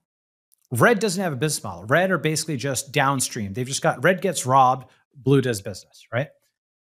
Gray, however, now, blue is taking on something its own size. Now we got a fight. Okay? Blue versus red is a wipeout. Blue versus gray, blue fears gray because gray is actually, I mean, one way of thinking about it is Jon Stewart is blue. And for years and years, all he would do is you, uh, you know Stephen Colbert, you know guys like that. All they would do is just crap on the South, you know, condescend to these Reds. They're so dumb, and uh, you know because they um, they're they're you know they're basically they essentially say the Reds are illiterate. Okay, in in many sense of the term. The thing is, Grays, not that the goal should be to condescend, but Grays can condescend to Blues because they're computer illiterate. So there's like a higher IQ level still, right? The the Blues basically, you know, one way of uh, let me use a sports analogy. So I, uh, Steph Curry, you know, Golden State Warriors, he's like I think about six three. There's a fair number of people who are six three, and they're equal on height. But can they shoot like Steph Curry? They cannot. Right? So lots of blues are like comparable to grays verbally. But can they code like Vitalik? They can't. Can they code like Zuck? They can't. They're not even close. They're orders of magnitude away. And so the thing is, they perceive themselves the physical equality of a six-three guy and Steph Curry. If you just had them standing side by side, motionless, you could convince yourself that we're basically the same. But then Steph is Hall of Fame, you know, three point shooter, and you can't even reach the rim. I mean, have you ever been to the three point line? It's really far, actually. It's really far. Okay. Like feel people airball, you won't even hit the backboard or whatever, fly over the edge, right? Like, and by the way, you know, a jump shot is really hard. You know why? You're shooting it only with your arms. You can't, most people don't actually do a jump shot. They do a set shot where they're like pushing with their legs, you know? So, like, that stuff that Steph makes look so easy and smooth, like dribbling is hard. Okay. People know that they suck at sports because it's cheap to try. You can pick up a basketball and you can quickly see that what looks so easy on TV is really hard in real life. People can pick up a mirror and they can see if they're as good looking as an actor or actress. They can try to sing and they can see if they're the next Taylor Swift. They can hit the piano and they can see if they're, I don't know, the next Trent Reznor. He's not really a, you know, pianist, but you know what I'm saying, right? So when it comes to athletics, when it comes to acting, when it comes to art and music, people are accepting of the fact that they have much less talent than those stars. And more of that talent is inherent to the person, right? When it comes to business, a lot of people will say, "Oh no, you know that business." They think the CEO just puts their feet up on a desk because they're they're giving directions to other people, so it appears the other people are doing the thing, and the CEO is dispensable. To make this more complicated, the very best and the very worst CEOs have something in common. You know what that is? The business can function without them. Uh-huh. The very worst because the very worst CEO is adding no value. The very best because they set up such a machine that they can take some time off and it'll still continue to execute. They built such a machine that it can work on its own, right? Elon Bezos set up such a machine that Elon can tweet and play Elden Ring and it's still going, crushing it, right? That's really hard to do. You have to recruit founder quality people and motivate them to be executives and motivate them to listen. And so that's really, really, really hard, right? Point is, though, that management, because it's intangible, is not considered a skill. This is the core thing that Marxists go after. They're like, the fat cat boss has his feet up on the desk. It requires no skill to manage. Therefore, there should be no premium to management. Therefore, the workers should run the factory and so on and so forth. The moment you actually try to do this, you realize that actually management does have value. The Marxist professor that becomes a manager, that becomes a CEO, realizes that management does have value. The other way, though, that you realize that the CEO is actually adding value is if they're a tech CEO. Why? Because going back again, the blue knows, remembering from school, just like they remember they could they dribbled off their feet, they remember that they weren't that good at math or computer programming. Right? This is the discernible, the legible thing they're worse at than the tech guy, right? Even if most of the tech CEOs are doing management on a daily basis and not coding, they are usually good at coding or math, right? And sometimes it actually is quite direct in the sense of, you know, Vitalik wouldn't have been able to do Ethereum without being the ACM champion coder he is, right? Elon isn't going to be able to put rockets there without being a, you know, Stanford PhD, right? Like, or that's not necessarily without being a Stanford, without having the skills of what a Stanford PhD once had. I think a Stanford PhD has dropped off a lot. I say this as a Stanford PhD. But the thing is that at every point in time, you know, there there was like some elite credential, and it was actually genuinely hard to get that, right? Grays have certain axes on which blues feel inferior to them. Like it's money, certainly in part, though certainly not all grays are wealthy, and uh, but uh, and and blues actually have most of the money if you think about like the control of the state but it is math and, and programming and technology. That you know, it's almost like there's this. Uh, it's apocryphal, but you know the uh, Diderot Euler story. Denis Diderot was a philosopher, and he was like an atheist, and he would go around telling people, you know, God doesn't exist, etc. And this queen was really annoyed with him, so she asked Leonhard Euler to deal with Diderot. So Euler said something like, "A to the x plus b equals one, therefore God exists. What say you, sir?" Right? And Diderot was like, "Oh, you know, he didn't even know what to say because he didn't know any math, right?" Uh, supposedly, it's an apocryphal story; it didn't actually happen, and so on.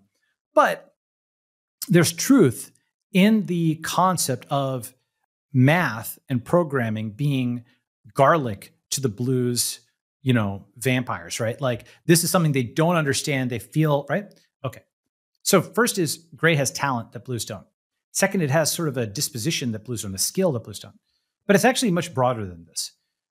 At the very broadest lens god state network right? What's the most powerful force? Almighty god the us government or encryption?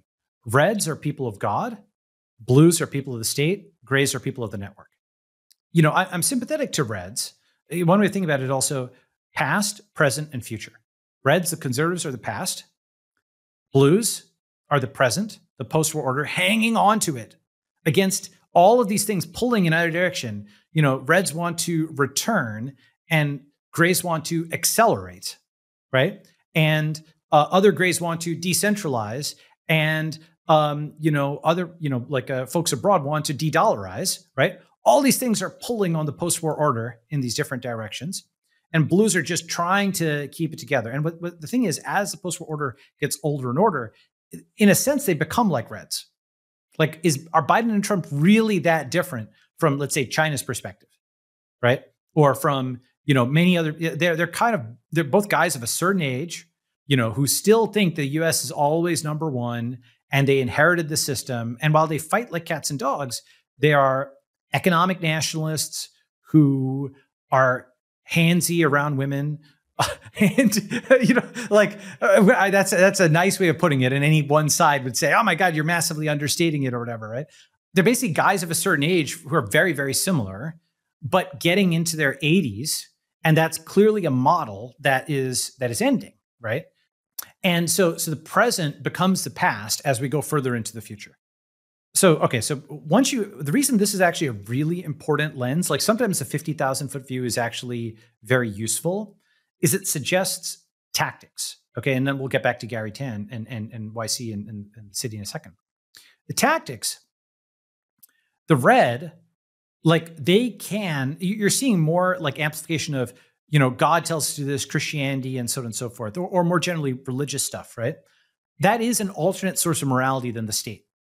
I don't think it can beat the state on its own, but it is an alternate source of morality. And this is actually a really deep point because blues can't tell the difference between something that is popular and something that is true and something that is morally good. Those are actually three different things. But the reason it's actually non trivial to tell the difference is if it's popular enough, it's the law. So isn't the law good by default, right? No, a law can be immoral, but it's hard for them to give a principle because they they just worship the state, right? It's just government that that it is. Uh, even if they say that government is bad, it's by reference to their own government, the democratic blue government, which is good. They don't have like an absolute reckoning outside the system. Reds have the Bible or the Torah, or they have the I mean, there's now Muslim, you know, Republicans and, and Reds and so on. They have some book that is independent of any given government that says this is good and this is bad, and the government is just downstream. You know, Grays have, I would say, independent. It's less articulated, but Satoshi's values are Gray's values, and those are like Grays are actually the true internationalists and the true capitalists, the true globalists grays are much less American than reds uh, than blues or reds, right? Blues are faux internationalists, grays are true internationalists. This is a deep difference. Just to talk about that for a second, then I'll come back up. Blues really do think where they, they don't say America first, but they do think uh, you know, democracy should be number one. We should provide global leadership. We should maintain the post-war order, the rules-based order. When Biden says, "Oh, you know, white supremacy is our biggest issue," I think I mentioned this. Like, He's the supreme white. How could it be against white supremacy? I, am saying that just to invert how they'll normally attack white people. But what, what is he talking about, right? He's supposedly the quote most powerful man in the world. President isn't anymore, but let's just say, how could he be against it? What he really means is he's against red supremacy. He's for blue supremacy. Abroad, he sure isn't checking white privilege. He's trying to check China's rise if you want to check white privilege, why don't you let the non-white people rise, huh? If you, you know, all the stuff that he was saying at home, that, that Blue was saying at home about how the U.S. is institutionally racist, it needs to apologize, and so forth. All that was rhetoric against the Reds, against the Republicans. Abroad, against the Russians and the Chinese, Blue is the bestest, and you know, all African Indian countries need to get behind the champion of democracy to fight the autocracies, and and so on and so forth, right? So the point being that blue is less crudely, less obviously, less obviously even to themselves, but they're also at the end of the day, you know, whether you call them American exceptionalists or others would say American supremacists, right? They want to be number one always, right? And they also will play win lose politics and even get their allies to go and suicide bomb themselves against the the Russians. You know, Ukraine, the you know basically it's gotten crumpled up and used against Russia. And now they're even even in the nation, Jeet Heer is talking about, okay, maybe we do a peace, right? Germany and, and, and Western Europe spent a trillion dollars in energy subsidies and got their economies crushed. And now, okay, we'll do a peace with Russia, right? So basically, blues will use everybody else. Everybody else must sacrifice themselves to remain for blues to remain dominant. Coming back to grays, why why does this framework actually help and why does it explain things? God alone, the Reds' God, is not, I mean, the state beat God. But I mean, that is all the stuff with secularization, taking prayer out of schools, but putting, let's say, the LGBT flag in schools, putting BLM to schools, right, has taken out the red God and replaced it with, you know, the the blue God. Okay, but there is something more powerful potentially than, the, uh, you know, the U.S. government, the U.S. military, and that is encryption. So what Assange says you know, and others have said is, you know, encryption is something that no army, like strong encryption is something that no amount of violence could solve, right? So modulo like quantum decryption, basically, uh, this means that grays implicitly have a theory of what the the prime mover is that blues don't. It's not just encryption though; it's the global internet, right? Grays are cloud people, people of the network, right? Blues are people of the state, Reds are people of God. Grays are people of the network. So, coming back to, let's say, Garry or others, when they are saying something about San Francisco, where are they doing it? On Twitter or on group chat or on yeah on, on X, right, or on Twitter, right? They're saying it on the network. Where are they accumulating the support for what they're saying? Also on the network. Also on the network. Where is the talent for their tech companies coming from? The network. And where is the capital coming from? The network. Exactly. So grays are a global force. They're a cloud power. And you have to think of your, you have to know where you're strong and where you're weak. You know, it's the Sun Tzu thing. Like, uh, if you know yourself and you know your enemy, you shall not lose a thousand battles. If you have illusions, though, right, you you will lose because you think you're strong where you're weak. Reds have arrogance and pride. They think of themselves as being, we're big and strong America. Why? You're saying we can't win? You're saying the country's over? How dare you? But like, and a lot of people are just stuck in there and they'll, you know what they're like is uh, they're like the Soviet conservative, right? Towards the end of the Soviet Union, there were a lot of guys who were natural conservatives, but had grown up with the Soviet state. And they really liked the idea of being an empire and being big and strong. And despite all the things the government did to them, as much as they would complain, they didn't truly think, how do I color outside the lines and how do I beat this state? Some of them did. And those are the ones who allied with the Americans against, uh, you know, the Soviet government. Those are the ones who, you know, reached out to the West. But a lot of others were like, oh, that's being a traitor or whatever, right? And they just couldn't figure out how to work outside the system. And the only solution was outside the system. And everybody at the end agreed that it was an oppressive system, but at the time they couldn't right? And even today, some of those Soviet conservatives regret the passing of the Soviet Union. Stalin, well, at least we were big and strong back then, right? And this is this is actually really the core thing. Some Reds will tolerate an unlimited amount of abuse, so long as they can be second class citizens of a global empire. And there's others who are third class. They they you know this is really the deep core point. Like for example, there's this guy um, who I, uh, you know, he's got some good tweets. Or growing Daniel, here is like a post by him. He was like, I genuinely think you're a weak person if you think we should give up the world to foreign dictatorships. If you think America has lost the libs or something, so might as well give up leadership to Russia and China, then you're a weak and probably stupid person. Okay. So, first is this is very similar to in the early 2000s, unpatriotic conservatives. Okay. You see this like basically, you know, many people are too young to remember this, but at the beginning of the Iraq War, all the conservatives that opposed the Iraq War were called unpatriotic. Now, of course, 20 years later, right? 20 years later, it was a total disaster. The war on terror was a complete and utter disaster, strategically and tactically. Trillions of dollars lost, many Americans died, and yet the entire region is basically being lost to uh, certainly certainly lost to the U.S. and maybe lost to BRICS. And you can argue it's because of fracking the U.S. retreated, but you can definitely not argue it was a win. You definitely can't argue that the people opposing it were quote unpatriotic, right? And so the problem is the, the other part of that phrase. So first is it wasn't unpatriotic to oppose an imperial expansion, and the second is the phrase "give up leadership," right? Focus on that. That's saying that America is an empire that runs the world and you don't want to hand it over to somebody else. By the way, that's not the only alternative. You could have a multipolar world where there's different powers that compete. That's actually what it used to be, right?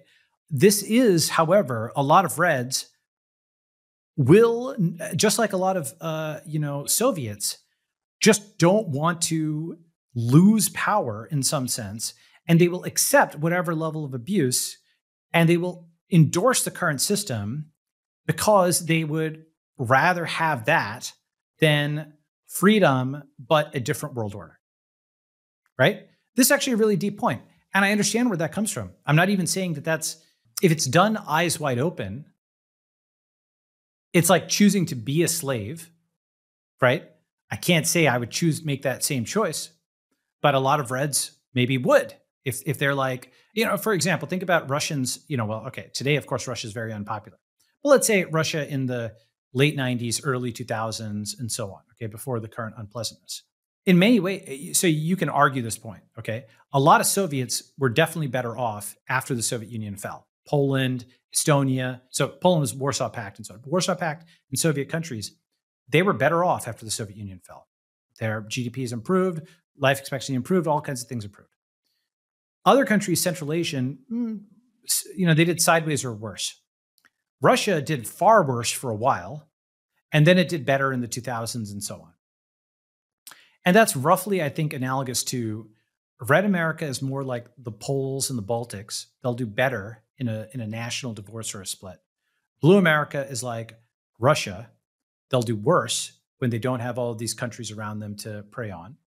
And Gray America are like the Russian mathematicians who left after the fall of the Soviet Union and who emigrated and whatnot, right? Is I want to steel man the blue thing a little bit because what some people will say is blue people also caused a lot of the social progress, whether it was like, you know, gay rights or just any social progress that you think we've made is probably caused by blue people. And then also blue people just care the most, right?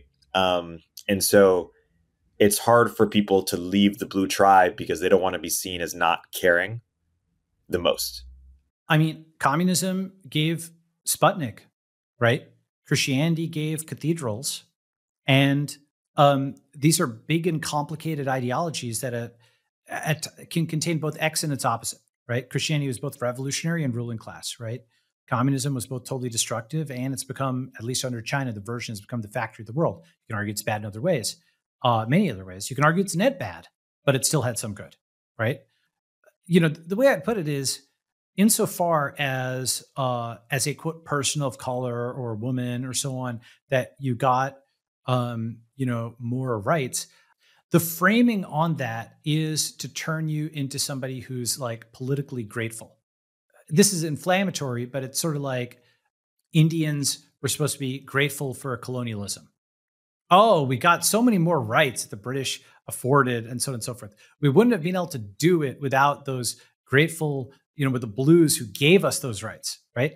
It's kind of like, you know, the blues cast themselves still as the white saviors, you know?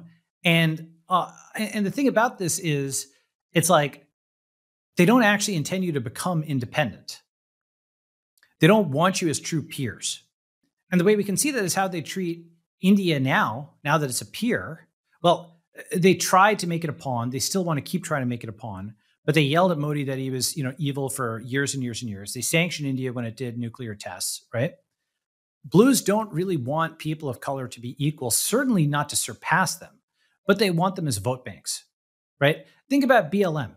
Do they care about black people in 2023? Are you still hearing about it? No. It was useful to cause a giant riot and to pretend that they cared about black people and to burn down a lot of black businesses. But, but I, I think it's a little bit of the boot um, Baptists and bootleggers because like there are true believers and they really care and they, and they tried to do like the people who did really care are, are blue, but it's also that people are taking advantage of it. Yeah. So okay. So all right. Let me be more charitable. Okay. Let me be more human. Like, was there a time generations ago when there was a genuine social risk to say this person should be treated by the content of their character rather than the color of their skin? Absolutely. There was a time when there was a genuine social risk, right? Was there some good that came out of that? Yeah, there was. Is that what is happening today? No, it isn't. And it is using the language of an older revolution to justify really the opposite of it today in many ways you know racialization of society and you know it's kind of like uh, every movement eventually becomes a scam have you heard that uh, point is this is like just like i can give sputnik you know to to the russians like they did actually advance a lot of science and technology still i thought eh, they did do some good things communism was bad is was bad i'm happy to see it go right I am told as a person of color that I'm supposed to be grateful to Democrats because without them, I wouldn't have civil rights. But you know what? India was a proud civilization. I'm not being like a, you know, Indo nationalist or whatever, but India was a proud civilization for centuries, right? And, you know, like even Columbus in like 1492 was, he wanted to sail to India to trade with India, right? And, uh, you know, he went to, to the USA and uh, or not the, uh, the Americas, and he called people there Indians because he thought that he was going to India, right? So, like, the natural order of things is that India is a great power on the world stage. It's not like I should be grateful to American Democrats for giving me civil rights. You know, it's that actually India was doing really well for a long time. And then it lost some wars and uh, you know then it ran terrible socialist software for 70 years, 60 years, whatever. And uh, okay, 40 years until 1981, arguably. And now it's kind of pulled out of that. And, you know, blues fought that the whole way. So am I supposed to be grateful for that? Okay. I mean, and they'll say, well, we did pass the 1965 Immigration Act, and so Indian people could come to the USA. Like, true, that's true. But A, those people who came had skills you did skilled immigration and they definitely worked hard. And B, why did they come in the first place? Why, you know, nobody ever asked this question of why did all these brilliant people come to the to the West? Because their homelands were crushed by socialism or communism, which were basically blue ideologies that were exported there. Right? Fabian socialism came from Britain, wasn't indigenous to India, and communism was certainly not indigenous to China. That that whole you know set of photos of like Marx and Lenin and Mao. Eh, eh you know, eh, eh, it's like Engels, Marx, Lenin, and Mao, and it's called the history of shaving because they get more and more. You know, Mao is clean shaven, or that shows that it was like you know a, a Western import, right?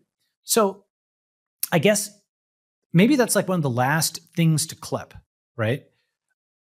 I'll happily sign a contract, do a fair trade and a fair deal with anybody, right? But I'm not grateful to blues I think that arguably they got the better part of the bargain because what they did was exported socialism to India. Had, and when I say blues, I mean the global blues, right? Like Fabian socialism is like the British version of that. It's not as bad as communism, but it's pretty bad. Kept India in a submissive position for a long time. When India tried to get out of it, Clinton sanctioned them, you know, with the after the Pokhran nuclear test.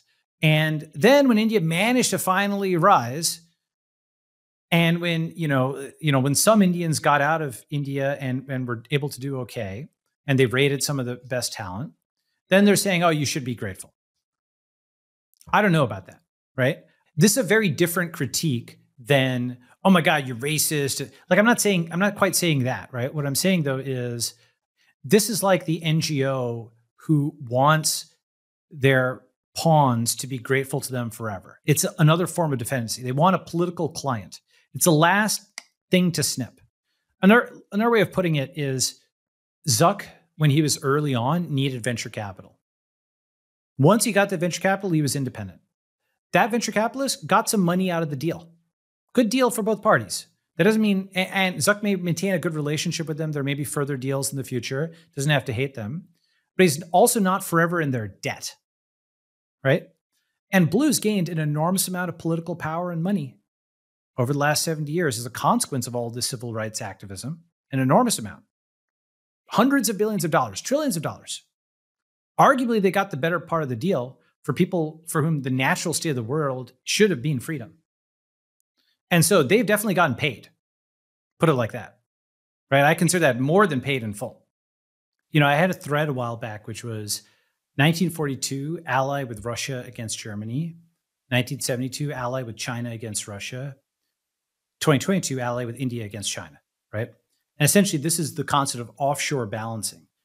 Inherited from the British, it's like the US allies with number 3 against the number 2, right? So the Soviet Union against Nazi Germany, and then China against the Soviet Union, and now India versus China. And this is similar to the domestic version of allying with the working class against, you know, the capitalists, and then allying with women and black people and gays against, you know, the working class, and so on and so forth. Right? There, this is an alliance, and there's political profit that is booked and gained out of it, and then that group is then denounced if they get out of out of place and then a new alliance is formed right? You know so so so like a uh, just like the zuck analogy where the profit was booked profit was paid and now we've got a new deal and let's figure it out going forward. That's kind of how i'm putting it. I mean by the way one version of this and let's talk about san francisco is it's sort of similar to people who say Grays should be grateful to the US government because without the US government, you wouldn't have gotten the internet and you wouldn't have gotten GPS and you wouldn't have gotten all of this stuff. So get on your knees and thank the US government for its munificence. Praise be to, to GOV, aka GOD. Okay. This is like Mariana Mazzucato has this book called The Entrepreneurial State on this. Okay. Now, the reason this is false is first of all, physics and math all existed before the National Science Foundation in mid mid 20th century, right?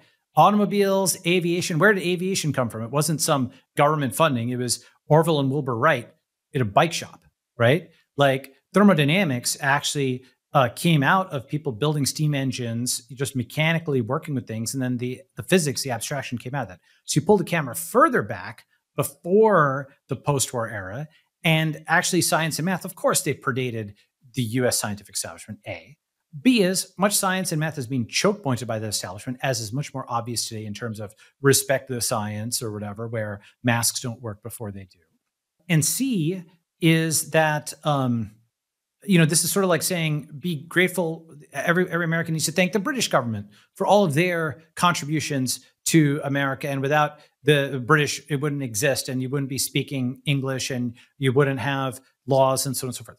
And there's some like truth to it, but it's also something where does that mean I'm supposed to submit to Great Britain? No, I don't think so. Right? That's great. I'm I'm thankful for what for that in a sense, but also we've done we're doing our own thing. Uncoerced gratitude is good. Okay? And the US and Great Britain had a positive relationship once they were at a distance. India and Great Britain have a positive relationship once they're at a distance. Many of Great Britain's former colonial things have a neutral to positive relationship with Great Britain once they're at a distance. But to keep you in a state of dependence and say you've got to be grateful forever, well, I'm not, I'm not grateful for being in a state of dependence, right? Basically, what I want is for blue people to run their own cities into the ground or whatever. Everybody who's there should be there because they're blue. And Everybody who's not is doing something else, right? I don't actually think that their ideology can I think it's like communism. Keynesianism is like soft communism, not that soft anymore. But I don't think their ideology can last without reds and grays and others to prey from. You know, China was grinding in the sweatshops and red was doing fracking and gray was you know, technologically hyper deflating the cost of all the software so that Blue could run the roost. You know, everybody else is grinding for Blue. So I'm not that grateful in that sense. Blue got a lot of okay. Now let's talk about how Gray actually wins. Why is San Francisco important? It is not local politics. Okay. Why is it not local politics? San Francisco is the clash of cloud fronts of the gray tribe and the blue tribe, right? It is like the Korean War or the Spanish Civil. It's like basically a clash of ideologies over this city. Okay. It's not yet conceptualized as that. Gray is just getting its boots on. Gray is just forming now, right? Gray is just uh, d- discovering a sense of itself as actually a self conscious tribe. Just like, you know, for example, Britain was a maritime power, right? It had navies, uh, not navies, it had a navy and ships and so on. And everything was thought of in terms of what they were strong on, okay? Whereas Germany was like a land power. They weren't really that great at the navy, but they were amazing on land, okay? Different countries have different strengths, different tribes have different strengths. They need to know what their strength is and know what their weakness is, okay? Israel, for example, with the Mossad, um, they know that they're they, they just they don't want to get in a straight up physical fight right they're too small they're surrounded by hostile neighbors so they have to do everything stealth with india they try to attack everything nowadays from the perspective of software software software software because indians have a cultural knack for software right so what you're strong on you want to figure out how can i you know it's it's the opposite of the hammer nail kind of thing it's like go to your strengths right okay so what is gray gray is a cloud power what is blue? Blue is a land power, or really, gray is a network power and blue is a state power. So anything that is in the domain of elections, lawyering, rule interpretation, courts, and so on and so forth generally favors blue. Blue has home court advantage. Anything that's in the realm of code, software, um, you know, ag- like online agility, anything online favors gray. So that alone is where you're strong and where you're weak. Like if the election was being, if control of San Francisco was determined by Garry's Twitter feed, it'd be it'd be done, right? By the way, it's it's important though that Twitter. I'm not. I don't want to dismiss that. Blue had made such inroads that they'd actually captured a gray stronghold, namely social media right? That's one way of thinking about it. Think about how, you know, remember when Nazi Germany had expanded to the maximum zenith, it even captured France and like North Africa and big chunks of like Eastern Europe and so on. Imperial Japan had gone as far south as like bombing Darwin, right? So it had gone way outside of its normal zone. And, and right? so that's like blue at its zenith. Blue at its zenith had actually captured social media and all of the gray values of like, you know, the early tech values of the 90s and early 2000s, freedom of speech, you know, screw the RIAA, uh, you know, no copyright, anti-patent, Linux, open source, all of that kind of stuff had been submerged under blue. But now that those gray values are coming back, and Elon's example has given actually energy to YouTube and Facebook and others to do less censorship. Everybody can kind of feel that. So gray has ejected blue from at least some of its strongholds, which is really important. Really, really, really, really important. So then the question is can Gray now use that to go and take back territory? Just like, you know, the Nazis went and they took France and it looked like they were winning. Then they got rolled back in France and then they got rolled back in Germany. Right? So territory switches hands. So how did Grays, first of all, by the way, Grays, like, and this is actually, this is the part where I say, I'm not sure this is going to work most grays don't, you know, David Reaboi, who's a red, has this great saying. He's like, most people, they just don't know what time it is. Remember that, that branch from the beginning? Oh, there's no problem. The problem would solve itself. Pendulum will swing back. All of these, you know, the network effect, I'm not attacking you, but the network effect is so strong, it doesn't matter.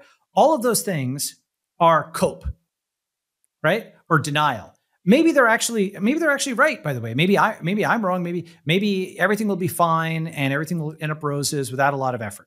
That's not usually how things go, but fine. Maybe that is the case, right? Once you've dispensed with all of that, once the grays, you know, many grays watching this show realize that they are at social war with blue. And what does blue want? Blue wants for gray the same thing they want for red. They want your companies bankrupt. They want your technology regulated into oblivion. Um, and they want you to donate to their nonprofit. Give all your money to their nonprofit, right? They want to tax the billionaires and take away their fortunes. I mean, as I've said before, right? Why do they care about self driving cars but not car break ins? Self driving cars are gray, car break ins are by blue pawns. Why do they care about Elon's sign on a building but not the syringes on the ground? The sign on the building is gray, the syringes are by blue pawns, these people they've gotten addicted.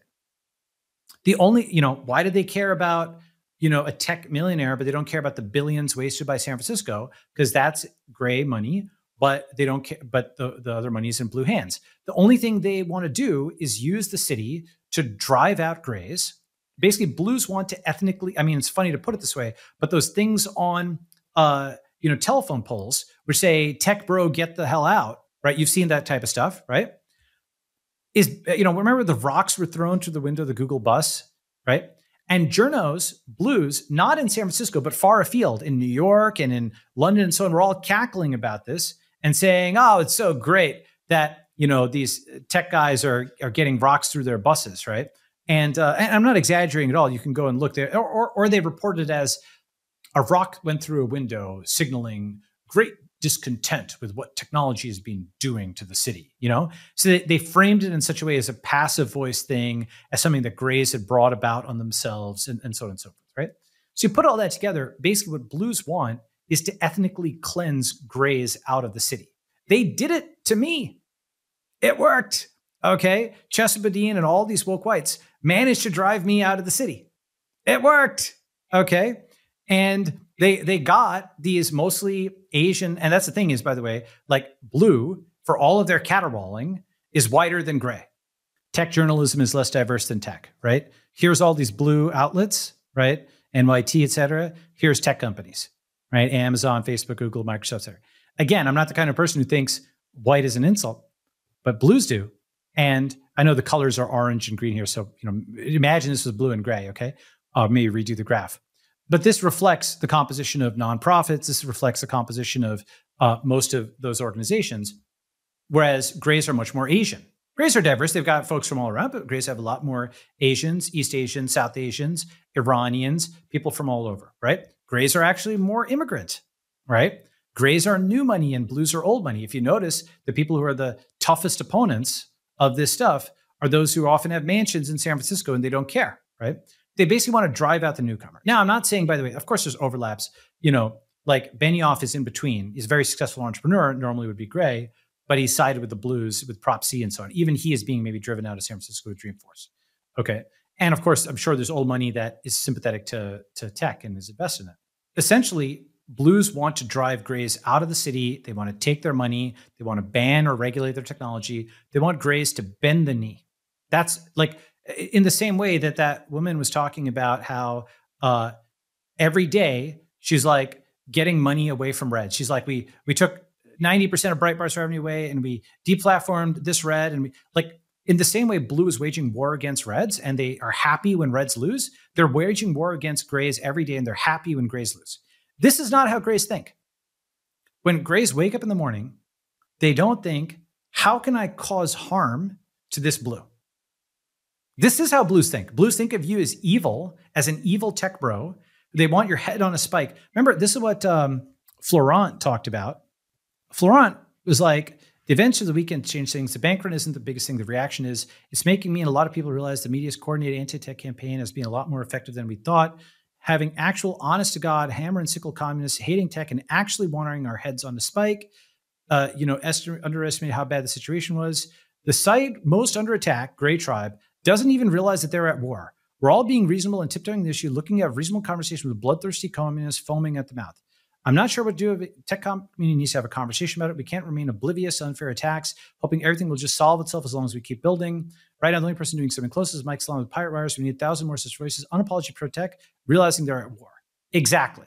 Right? Couldn't have said it better myself. That is why I'm like, I'm not sure if we're going to win this. I think we can. But I think we have to kill the cope. Kill the cope. Not winning. Pendulum is not swinging, turn, turning around. The city is becoming a shithole. Tech is getting regulated. They are attacking with full force. And yeah, you do have this beachhead of tech, but like step one, the greatest strength is know your own weakness. You have to start at zero to get to infinity, right? Eliminate all illusions, Realize what you're up against a hostile tribe that controls $12 billion in the city budget that wants you driven out of the city. That's what it is. Okay. That's actually a pretty big deal. They control the police force. They have federal, uh, state, and federal support because they can whistle for backup from California and the US government. They can order police to not enforce on broken windows and to enforce on uh, putting up a sign. So you're you're almost I mean you're just like yeah you're allowed to live there. Okay, but you're clinging to the edge. You've got the cloud, but you have essentially no power on the land. That's why Collison was driven out of San Francisco. Multi-billionaire who created all this stuff normally would be a celebrated son of the soil was driven out of San Francisco. Blues got what they wanted, which was more control over San Francisco. Maybe a little less money, sure, but more control right? They don't want grays in town. They don't want tech billionaires in town. Billionaires should not exist, right? This is what they say. They would prefer, you know, it's saying like a evil man will destroy society in order to rule over its ashes. Once you realize, okay, you are uh, another way of putting it is an ethnic group. Tech is like an ethnic group. It is one way of thinking about it is um, I think I showed you that graphic. Democrats only marry other Democrats. 96% of Democrats are married to other Democrats. Did I show you that? Only 4% of blues are married to uh, reds. 96% aren't. Okay. So ideology becomes biology in one generation, right? Oh, yeah, you'll marry people from any race, but not from any political party. You'll only, yeah, you might marry black people, white people, whatever, but you won't marry red people. Okay. So blues only at marry other blues. So what that means is ideology becomes biology in one generation. The difference between class and ethnic group and so on, it's like Protestant Catholic, you know, in in Northern Ireland. That's that is a, you know, it's made less serious today, but it was a, a barrier to marriage and and trade, not simply, you know, a difference of ideas. Okay. So tech starting to think of itself as an ethnic group or a class or a tribe is a useful thing uh, because it's got a different root structure, right? You know, if you imagine you see two plants and they're next to each other, but if you take the x ray of the ground, they have a totally different root structure. The root structure of blue is goes to like essentially Washington D.C. You know, goes to California and the Democrat Party of California and Washington D.C. and it's connected to you know Trudeau in Canada and BOJ and uh, in, in Japan and you know the Fed, all these things. Okay, the root structure of gray is the international tech community. It's venture capitalists, it's founders, it's investors, it's programmers, it's GitHub, it's open source, it's social media, it's all this stuff. And I say root structure, but it's like cloud structure. It's kind of in, in the cloud, right? So you have these two very, like your support network, your people are a different kind of people. This is why I say, you know, I'm not sure if, if Gray will win because Gray doesn't realize that it's global. It's not really just American. It has a projection into America, just like there are Catholics who are American, but Catholic is like a global identity. That doesn't mean you can't be both Catholic and American, but it is a global identity. Tech is a global movement and it has an American component to it, right? And unless you call on the strength of that global movement, you're not going to win. It's not local politics because blue for sure is not simply fighting with local budget. If it got seriously defeated locally, it would whistle up for the state and if it defeat, gets look, whistle defeat at the state level, whistle up for the feds. So you're fighting something that doesn't just have $12 billion in budget and control the police force and that hates you, and a good chunk of its people literally want to kill you and take your money and drive you out of the city, but something that has reinforcements. Obviously, this will not be solved with an election. If you have a failing company, right, is is like the climactic board vote how it all turns around? I mean, maybe sometimes. I'm not saying never, ever. Okay. Of course, there's been important elections, important board votes. But really, the company itself isn't executing. You know, the body of the company isn't, the directions given to it are bad, but also often there's fundamental problems with, with the company, right? Another version of this is like if uh, if you took over Facebook tomorrow, you could give an order to Facebook to go and build a data center. You'd have the money, the muscles, the moxie, all that to go and do that. People there would know how to do that. If you just took up over a random startup and told it to go and do that, it wouldn't be able to do that. It wouldn't be able to build a data center. None of the money. In the same way, if you took over a functioning government and you told it clean up the crime, clean up the streets, and so on, it would be able to do that. This, however, this is a government that doesn't know how to do those things. And one way you can see this is it can't even open toilets They, they held a press conference for opening a, a, a, a two stall bathroom. Remember that? Yeah. right? So this is becoming idiocratic, where the only thing they know how to do is win these political games and get budget allocated. but it's not simply a question of win the elections and it's fine. Personnel is policy. You have to essentially replace the tribe that is controlling the city with your own tribe. Gray tribe has to beat blue tribe for control of the city. This is really difficult. The only way it's even possible is to realize your root network is different, your tactics are different, the scale of the problem you're up against, and then have the right strategy given this. And elections are just the cherry on the cake. Elections are the reflection of your total control of the streets. You you win the election after you have total control, not before. Elections don't give you total control. Total control gives you elections. Actually, that's a good way of pointing it out. The causality is reversed, right? Because right now, blues have a lot of their people in the city. They've busted in all of these attics, right? They've busted in lots of NGOs and lots of crazy communists and so on. They actually have a lot of their people there. Your Grays have folks, but where the Grays focus on? They're focused on. I mean, look, I love AI, okay, but AI is totally different. It's it's distant. You know, AI is not local. That's why Collison could build this enormous cloud community and have no power on the land, right? So the fundamental question, which is, has been an unsolved problem as yet in our community, and I've got a proposed solution, is how does cloud power start taking control of territory? Now, you know, a couple of good precedents for this are actually Israel and India. So Israel was a community of people who didn't have a country, as you know, for a long time, right? And they consciously, if you read about early Israel, they turned themselves from just rabbis and merchants into farmers and soldiers, right? They consciously butched up. India is actually kind of similar, where, you know, lots of Indians love disputing religious texts and arguing in English and so on. You're starting to see that in the US, the presidential stage. Indians like arguing, right? Great. But now Indians have sort of butched up and learned to build as well, which is new, right? And how did they come to it? They they came to it in, you know, they used their strength of software and like abstract symbol stuff and they were able to come into the physical world from that plane, okay? Still being strongest in the cloud, okay? Similarly like, you know, the Israeli military is uh, like you know, the Mossad is what it's famous for. That's very high IQ. Signals intelligence in Israel, very high IQ stuff. So they're they're coming in from that perspective of um, you know their strength, and they're they're they're they're butching up in the physical world, but it's still a tendril from what they're already strong on. Does that make sense? It's like it's like when Google went and got into email. They, they had their strength in search and then they went into mail and in Gmail in 2004. The, the distinguishing factor was search. This is a long time ago, 20 years ago. Okay. So, how does how does Gray take territory?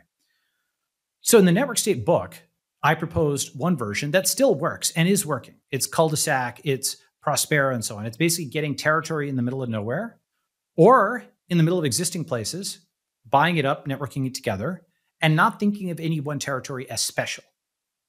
Okay? Because it's all dispensable, because it's like Chinatowns. Remember all the Chinatowns around the world? Imagine if they were networked together. Okay. Did it really matter whether Chinatown was on 7th Street or 10th Street? Didn't really matter. Maybe it mattered at the time, but doesn't really matter from the perspective of the global network of Chinatowns. Okay. What I've talked about in the network state book is where the land is dispensable and the cloud community isn't. Okay. Now let me adapt that for San Francisco, where the San Francisco maximalist really wants to win that territory back from Blue. First is just to start thinking about the daily win. Okay, we're used to daily wins in the cloud. What's a daily win in the cloud? It's another sale on Stripe. It's another user. It's another follower. It's another click, right? All of these things, the incremental thing, that's what we put into our dashboards, into segment and Mixpanel and what have you, right? We we and then you have tons of stuff on that. You have you have entire companies that are just optimizing the conversion, right? So the call to action, we understand what that is digitally. We need a similar set of things that are like that physically, that are the equivalent of the sale, the click, the page view, you know, the the follower, etc. And then once we have those, we're tracking those metrics and we're improving those metrics every single day. Okay. What are those what are those kinds of metrics for the physical world? The meetup. Someone actually coming to a physical meetup in person. the square foot, how much of the the the territory in SF is owned by Gray. Like literally add up and there's leased and owned, right? Some some sort of gathering, like whether you, not a conference exactly. Conferences are like the V1 of that, but uh, you know, there should be a Gray Pride parade. Okay. And you know, Solana should be at the head of the Gray Pride parade where it's got AI floats and and just saying that, of course, it's funny, right? Um, and of course, there'll be gay people at the Gray Pride parade, but it's a Gray Pride parade. Everybody's in gray shirts, and you're celebrating technology. Okay, that's like an example of like a physical coordination event where simply pulling it off will be something that the city probably tries to fight.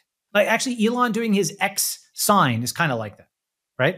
So I'm not sure whether you call them events or protests or stunts or content marketing or or signage. I don't have the right term for them yet, right? But that's also a thing. It's not just a meetup; it's actually doing something. And uh, you can then another one is which is related to this is members. Okay, so Red Tribe, okay, doesn't ask anything from people. It doesn't. It asks so little. It's like show up to vote every two to four years. But people spend so much freaking time on this online. They identify as Republican, but nothing is asked of them. There's no direction given to them beyond just vote for somebody and they'll take care of it.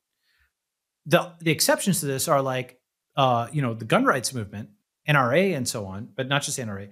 Those guys actually go and meet up and shoot at gun ranges. There's much, there's like a financial and also social commitment where they all go and shoot together, whatever. That gives them a degree of cohesion on the right that can match the uh, anti-gun organizations on the left. So that's the exception that proves the rule. Another exception that proves the rule: the Federalist Society, right? Which had lots of in-person meetups and actually demanded something of its members, and that's why it has some judges and, and so on and so forth. But for the most part, the right isn't composed of gun rights and Federalists. It's just like guys who want to drive back and forth to work. You know, cool. You know, watch. Oh, that's crazy, man. Catch the game. Grays do have communities. We have communities in the cloud, but we uh, what we need to do is in-person membership, right? So the meetups and the square feet are all a function of party membership. Whether you call it party, whether you call it tribe, Gray Tribe membership should cost money. It should be SaaS. Again, we're doing it cloud first, right? In our right, it's a SaaS thing. Whether you, you might even buy an NFT, okay, and do it like with token gated, right? But you have uh, a monthly cost to be a Gray Tribe member. You have to be an active user. We have a bunch of digital metrics on whether you show up for the meetups and whether you complete the tasks that are assigned to you and you're actually doing things, right? And what are those tasks? Now, this is where the creativity comes in. You could read Beautiful Trouble and other kinds of things. But the macro task is to take back the city.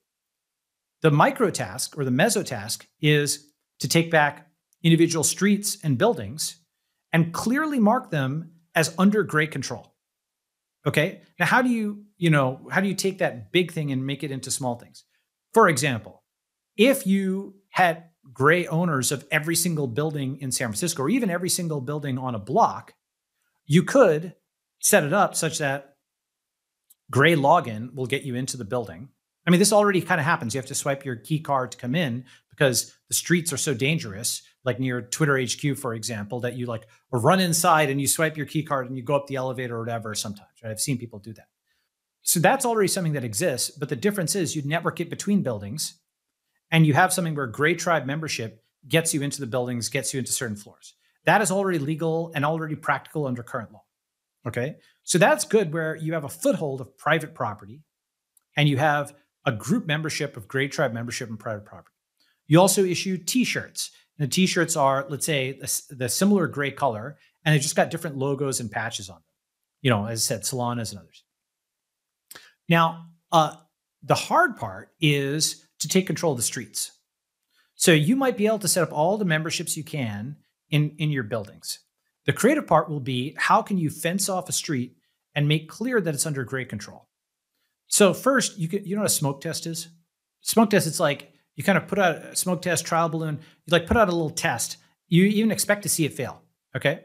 So like elon's sign is useful. It's almost you know people talked about bait cars.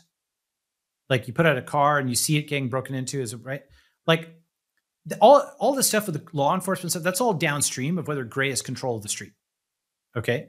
So you put up some kind of i don't know like a sign which says y combinator on it or a bitcoin sign or something like that it's meant it should look cool but it's also meant to lose because someone's going to come some crazy guy addict will come and smash it or a blue will come and spray paint it or they'll try and t- the city official will come and tell you to take it down because it's unlicensed or something like that. Okay. Blue, almost like a, will try to organ reject gray symbols and put blue symbols in their place. The syringes on the street, Greta Thunberg on the wall, those are blue symbols that blue signals control a territory. So it's like a dog pissing and marking its territory. After you've got a building, you need to start figuring out how to control the streets. You can do these smoke tests where you put gray symbols, and when you see them getting beaten back, that signals you do not have control of the street. And on your map, you need to mark it blue. Do you see what I'm saying? Right? Like you have to admit defeat when you're defeated. And when you don't control a street, Elon doesn't even control his roof. Okay? Like his roof should be marked blue because blues can make him take stuff off his roof. The richest man in the world doesn't control the roof of his own building. So again, admitting defeat is how you get strength because now you know you've, you, right? So now the key bit here is there is division within the city because the police and the small businesses are generally red, not always, but generally. And grays can appeal to, to reds. And as a, I think I mentioned this before earlier in the pod, but basically, everything that is legal that grays can do to not F the police, but to fund the police, the different F, they should do.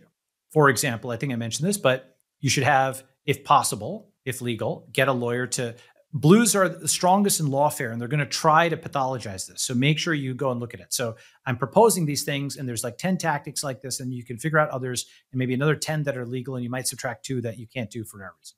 Every uh, every week or every month, ideally every week, have a policeman's banquet. Okay, all gray sympathetic policemen are are allowed to come to this banquet those that are not gray sympathetic and you do need to filter you don't just because uh, there's some there's some policemen who are full Soviets, right? They actually believe in the system and, you know, whatever, especially now, right? So you have to figure out whatever that filtering criteria is. Okay. There's different versions of it, but um, it might be like, would you have taken the sign off of Elon's bill? Did you want to take the sign off Elon's bill? You can talk to them one on one. That's probably a good thing. Um, you can look at what their actions or their posts are online.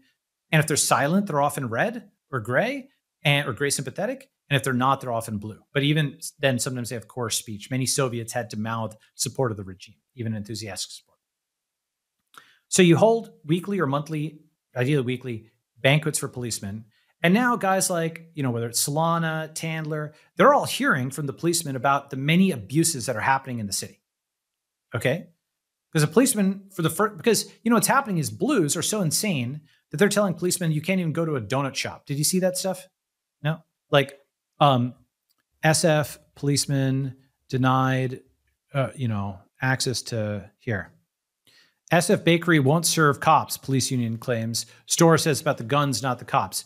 Of course, this is like completely different than after, you know, 9 11 when, um, you know, the NYPD was given not just free donuts, but people, you know, donated and all this stuff. So SF Bakery won't serve cops, right? that that's not surprising to you. Many blues truly, truly hate cops, right? That's an opportunity. Blues hate cops.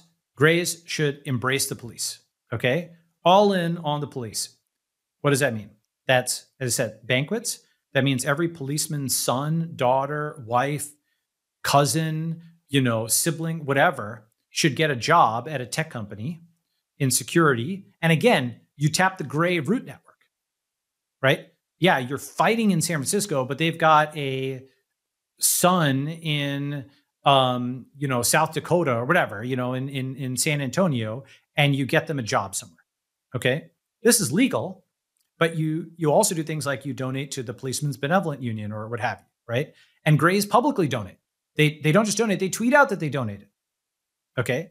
They get PBU patches and they put them on gray shirts with the same policemen on their who are responsible for patrolling their block they know their names they bring them to their houses this alone does a lot of the work okay you start to actually merge the gray and police social networks which have been totally disjointed Because essentially, and I understand this, many people, their encounter with the policeman is usually negative. Sometimes the policeman gets a cat out of a tree, but it's like usually it's negative, right? However, I've actually seen precedent for positive interactions with at least the local police. You know, at crypto exchanges, um, there are actually, you know, reasonable and smart policemen who just want to do their job and uh, you know actually enforce crime and not you know go after innocent people and uh, and you can work with them. And since you're talking to them and helping them solve crimes uh, you can have like a personal relationship with them. This wasn't something i did but there are other people who i know at crypto exchanges that work in security that do this kind of stuff right? Then what you also do is all of the kind of military stuff that tech is funding you know the um, the american dynamism the you know stuff palantir anduril you bring those folks in as speakers and the policemen can look at this stuff and they love that right? Policemen think of military sort of like uh i don't know a startup thinks of google or whatever like oh that's like the leveled up version of what we're doing. You're also beating up the bad guys. And many police are ex-military and there's there's like a relationship between them right? They think of themselves as domestic and foreign protectors of order. There's some truth to that. So the point is, these are just some of the tactics, but you start to build social, financial, um, physical uh, meetups and, in, and relationships with the police. And you know you should know all the policemen on your block. And this scales and paralyzes. You can do it centrally and do it at YCHQ. But any gray who takes initiative can start actually reaching out to their local police, donating to, and the police will be very suspicious at first. Like, what the heck is this about? Right. But donate to the PBU, reach out, have a group, adopt a policeman or something like that. Every tech company adopts a policeman along those lines. Okay. So, and by the way, SFPD has a huge staffing crisis and, and whatnot. So you could help recruit. There's about uh, 1,856 police officers in the city. And if Gray starts recruiting SF police officers from around the country who are gray sympathetic, your hiring policy is your immigration policy. So that's the other thing you can do. I mean, how is gray even in the city? Because Asians came to the city, because immigrants from the rest of the country came from Texas or Florida or whatever to the city. You can also, once you've gotten enough energy with the police department, they've got a huge staffing crisis. So you start recruiting ex military and other guys from around the country who are gray loyalists to come in. This is what is called building a serious political machine. It's completely legal, but you're consciously starting to do to Blue what Blue did to you, which is every single day, Blue got up and strategized for how to abolish billionaires, regulate technology. Uh, as Altimor said, one side doesn't even realize it's at war. You know, Blue has this thing called the emerging Democrat majority. Do you know what this is? Right. So this is this book, really important book, worth reading. And it's like one man's emerging Democrat majority is another's great replacement theory, right? So basically, this book in 2004 essentially said uh, by John Judis and, and Ruy Teixeira, Teixeira has repudiated some of this recently. He thinks it's actually been a mistake in some ways. But essentially, the point was it was a response to Kevin Phillips's book, The Emerging Republican Majority. So they thought of themselves as fighting back. But they basically said immigrants are going to turn America non white, therefore, they're going to turn it blue. And so, therefore, blue will win forever and ever. And so, therefore, it's in the political interests of blues to bring in more immigrants and so on and so forth. Again, this is why I don't feel grateful to blues. Blues were getting political advantage out of what they were saying, and therefore they were aligned with you. And when they're not aligned with you and they're not getting political advantage, they'll oppose you. And now you're seeing, you know, remember under Trump, it was called like babies in cages. Remember, like like the immigration policy? Yeah. So do you know what they uh, they call it under Biden? Border shelters for teens. uh, and, and, so yeah, so so Trump it's babies in cages, but under Biden it's border shelters for teens. So blues are because they're seeing Latinos maybe turning to red, uh, because they're seeing Muslims protesting the trans stuff in Michigan. Uh, blues are thinking that um, actually maybe this immigration thing may not be to their advantage as much anymore. So they're starting to pull back on it. Blues are starting to flip. You know, when, when you're seeing Indian immigrants like Vivek on the right, when you're seeing Muslims in Michigan who are you know, a, you know protesting trans, when you're seeing Latinos going to the cultural right, maybe the immigration of all these people isn't so good for blues anymore, so they may cut it off. And then that also cuts off some of the red energy against them. This hasn't fully materialized yet, but I uh, call it something that I I think could happen. Right? I give I give some probability of it happening. It's no longer to their political advantage. Point is, so just to recap, Gray has private built. First, Gray thinks of itself as a tribe. Second, Gray gets real and it realizes it's fight. It's basically facing a government, uh, a tribe that controls twelve billion dollars, and the police force hates them, wants to drive them out of the city, take their money, and destroy them globally. Okay. Third, once Gray realizes this, it's buying buildings near each other or renting them or leasing them and starting to concentrate Gray tribe members near each other. So, by the way, that itself is a useful thing. Do a Gray census. Garry has the power to do this, but actually, so does Solana. You know, you don't have to wait for one leader to do this, right? You can do this. If you live in San Francisco, you've got a following in San Francisco, hold a meetup of your followers, get some subset of them to sign up for Gray Tribe meetups, and just start doing that. You need to make it a serious part of your identity to be a Gray Tribe and to take the city back, right? Okay. Then you start actually crowdfunding things together. And the crucial thing about this is those daily wins, those weekly wins, monthly wins, yearly wins, getting an apartment building together in SF is actually useful anyway. It's not just something you do for the sake of controlling territory. It's like, oh, you know, I could hang out with my friends there. Actually, you know, a lot of people already do the group housing, co-housing type stuff. Apartment costs are so high, you might do that anyway. Okay. But the new thing is you start thinking of yourself not just as a group of friends, but a group of grays. You have a identity across the city. And how do you do that? You do it decentralized where there's no central organization of grays, but anybody can buy a gray t-shirt. Anybody can issue a gray t-shirt. Maybe there's a few colors. And you see another gray on the street and you know that, you know, you do the nod, you, right? They're a fellow gray. Okay. This is like, remember the thing about the Google flags going up in Windows? You could maybe, I mean, like a huge win would be a gray pride parade with 50,000 grays. That would be massive. That would start to say, whose streets? Our streets.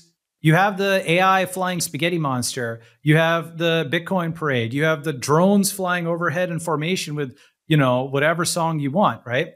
You have bubbling genetic experiments on beakers. You have the laser eyes, you know, Bitcoin maximalists. I mean, you could do this whole thing. That that itself would be an awesome goal, right? The Gray Pride Parade, planning and executing it, right? You have the police at the Gray Pride Parade. They're flying the Anduril drones. They are there, and ideally, you even you know design the police uniforms. Essentially, Gray is the reason Gray has not had any power on the land is for a lot of good reason. We've been focused on our businesses, which are in the cloud, and you think about every single item of that. But and, and it was totally reasonable to imagine. Look, we're working on these businesses. We're paying our taxes. Can I just walk down the street? I mean, that's a reasonable, it was a reasonable thing to ask, right? Can I walk down the street and get some coffee at Starbucks and come back and go to work? Because I'm working 24 hours a day, right? You know, I'm an immigrant. I can't vote. So can, can I do that? It actually turned out that something that looks easy is actually really hard. So to keep a city from descending into anarchy and chaos and so on is actually a whole balancing act. And unfortunately, by neglecting that, the elite of the city were all focused on the cloud and not the land. So now we're focused on the land. We've got the buildings. We've got the the mobile social network. And also, by the way, different gray subtribes will have their own diplomatic relations. Ideally, every gray knows every other gray. But you'll also have like sort of sub logins. For example, at Google, there'll be teams, and one team can get into the data centers and most other teams can't. In the same way, you've got lots of sub tribes within Gray, and one group, for example, can get into their own building, but they can't get into other people's buildings, but they can get into a Gray community center that three Gray tribes have co crowdfunded with each other. The Solana tribe and the Tandler tribe and the Tornberg tribe all teamed up and they got something together with 300 people that they couldn't get with 100. Now, small businesses. Basically, uh, not all small businesses, small businesses in San Francisco are gray. Some of them are blue, like this shop that's saying, you know, screw the police. So, what you want to do is all those guys who want to open ice cream shops. I mean, here is the key step right? Remember the thing with the smoke test where you keep putting things on the street and seeing if once you have enough police support, you get non-enforcement in the reverse direction. You know how amazing and insane it is when tourists come to San Francisco and their windows are broken and there's no enforcement of the law and they can literally see people breaking the windows and the cops do nothing, right? Guys firing bottle rockets, right? That's because the cops have been given a stand down order by the blues to allow the anarchy to proceed, but they're told to go and jump on a sign, okay? This is because it's it's illogical if you think of it as a city where everybody's looking out for each other. When you think of it as like the occupation, you know, like the, the blue occupation of the city, that's that's like a different thing, right? And so the the cops don't necessarily want to not enforce the law, but they're forced to. And some of them, unfortunately, are Soviet enough that they um, that they are uh, that they're doing it um, in a in a in a in an enthusiastic way. Thing is, reverse non enforcement is how you start to know you start to control a street. Reverse non enforcement is you can festoon the whole street with gray symbols. You could build something. You could you could go and do renovations on your apartment there, and the city wouldn't come. As small and as big a thing as that is, it's reverse broken windows, right? Right now, any blue pawn can smash a window and the police don't come. What if you could build something and the police don't come? It's it's it's taking that joke. You know, there's a joke a while back which is uh, the purge happens in real life. All crime is legal for 24 hours. I immediately legalize a three person duplex in Berkeley. It's taking that joke literally, where you say, if enough police are sympathetic to gray, law enforcement is what you say it is. Because that's what blue has done. Law enforcement is what they say it is. They don't enforce the law on drug dealers or broken windows, thefts, murders, rapes, robberies. Hanako Abe is literally murdered, right? Unfortunately, you know, this guy, the shopkeeper, is literally murdered. They do enforce a law on self on anything gray. Gray inverts that, and that's that's a signal of significant power. The moment you can go and put up a sign on the top of the Twitter building and it's not taken down, I mean, that's a point of putting down a flag, right? Like, what is the flag of Iwo Jima? What did that mean? It's not like the flag itself is a defensive fortification. A flag signifies control of territory. If it's not taken down, it indicates you control that territory, especially the longer it, st- stays up, right?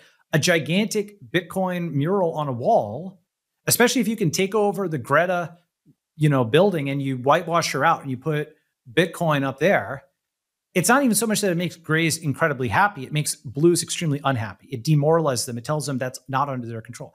Elon, whether consciously or not, gets this. That's why he stripped the blues of blue checks. That's why he renamed Twitter to X, right? It's the same as what they were trying to do and did do in 2020, where all these schools were renamed because all they had slave owners. Why isn't the United States of America renamed because it has slave owners? Because that's blue controlled, right? Why isn't Yale renamed? He's a slave owner also blue controlled, right? Maybe eventually they'll have enough crazy blues that they start eating themselves, right? But the point of doing those renamings was to show that they had power, right? It's like a small fight, but if you can get the other guy to concede, they have they have social power. So all these blues rename all these buildings, rename all these schools, uh, deplatform people, cancel them, strip them of status. And Elon, in sort of classic gray fashion, does the scalable version, where he captures Twitter and then at one stroke wipes out millions of blue status by wiping out the blue checks.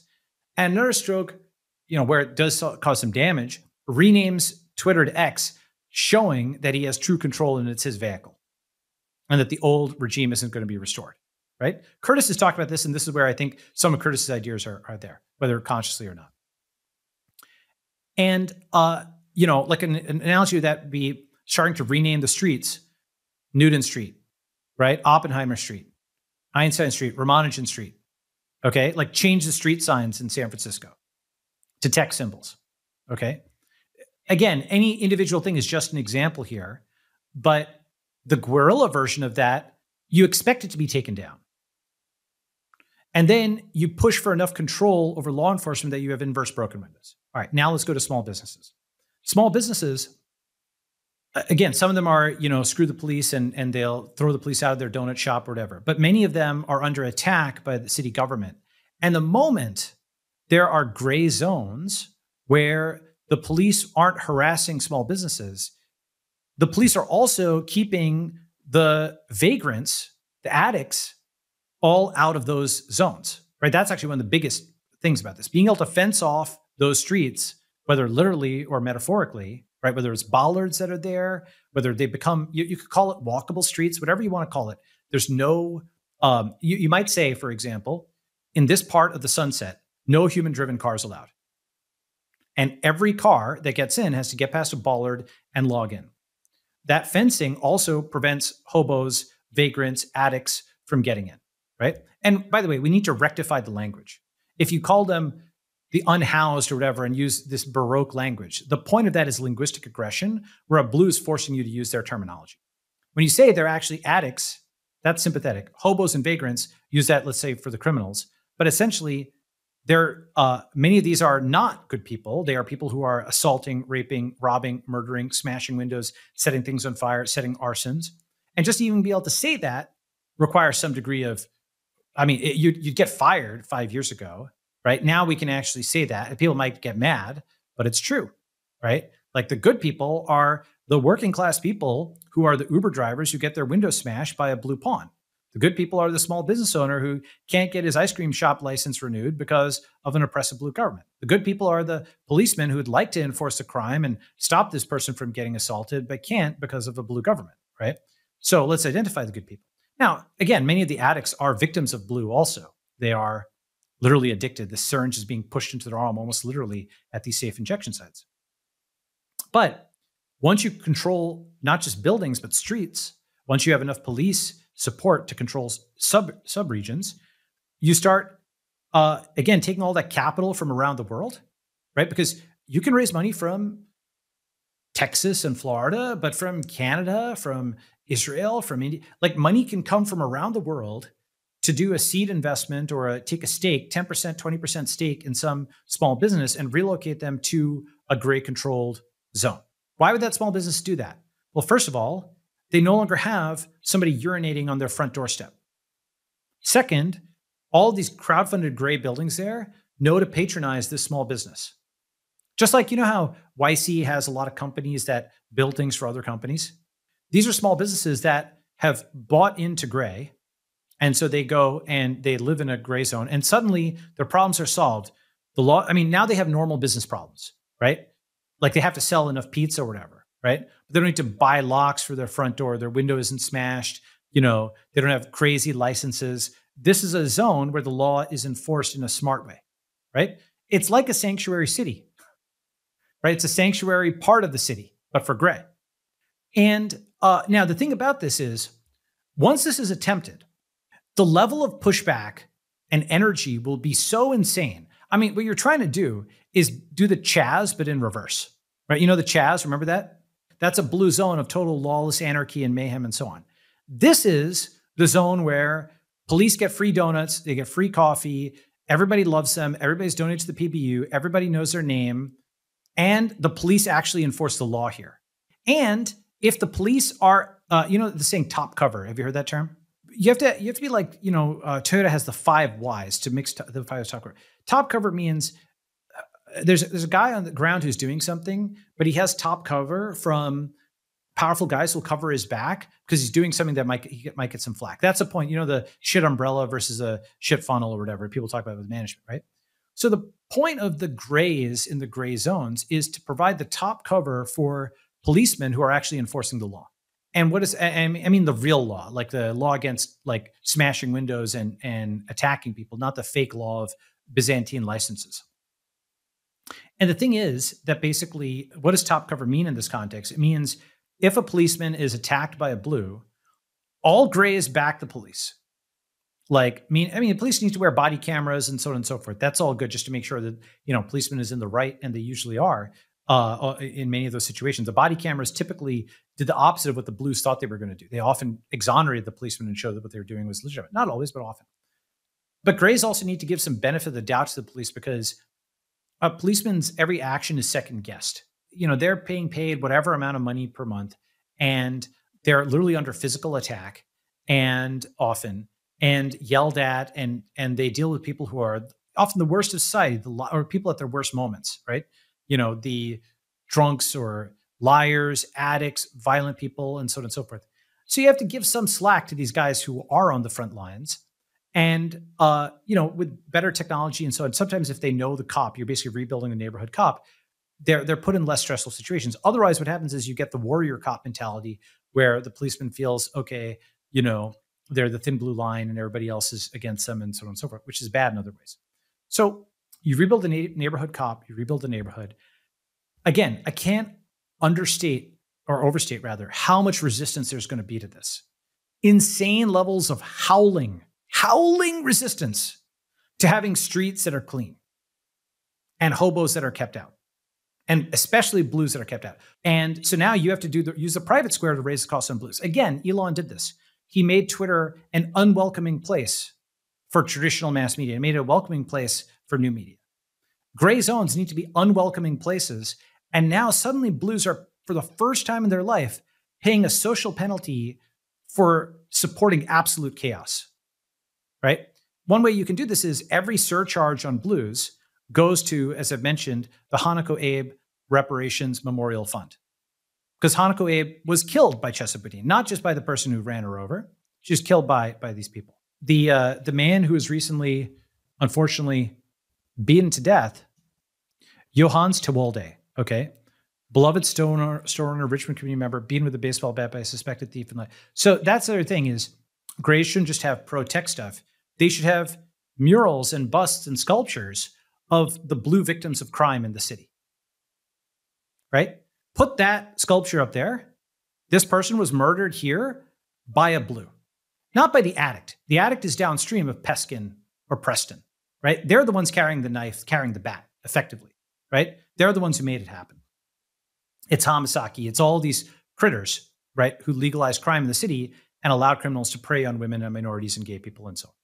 So you put all that together, and you have a uh, a movement supported by a global network to take back territory in the city, floor by floor, street by street, block by block, policeman by policeman, person by person, tribe by tribe, small business by small business. What have I not mentioned basically once in all of this so far? Elections.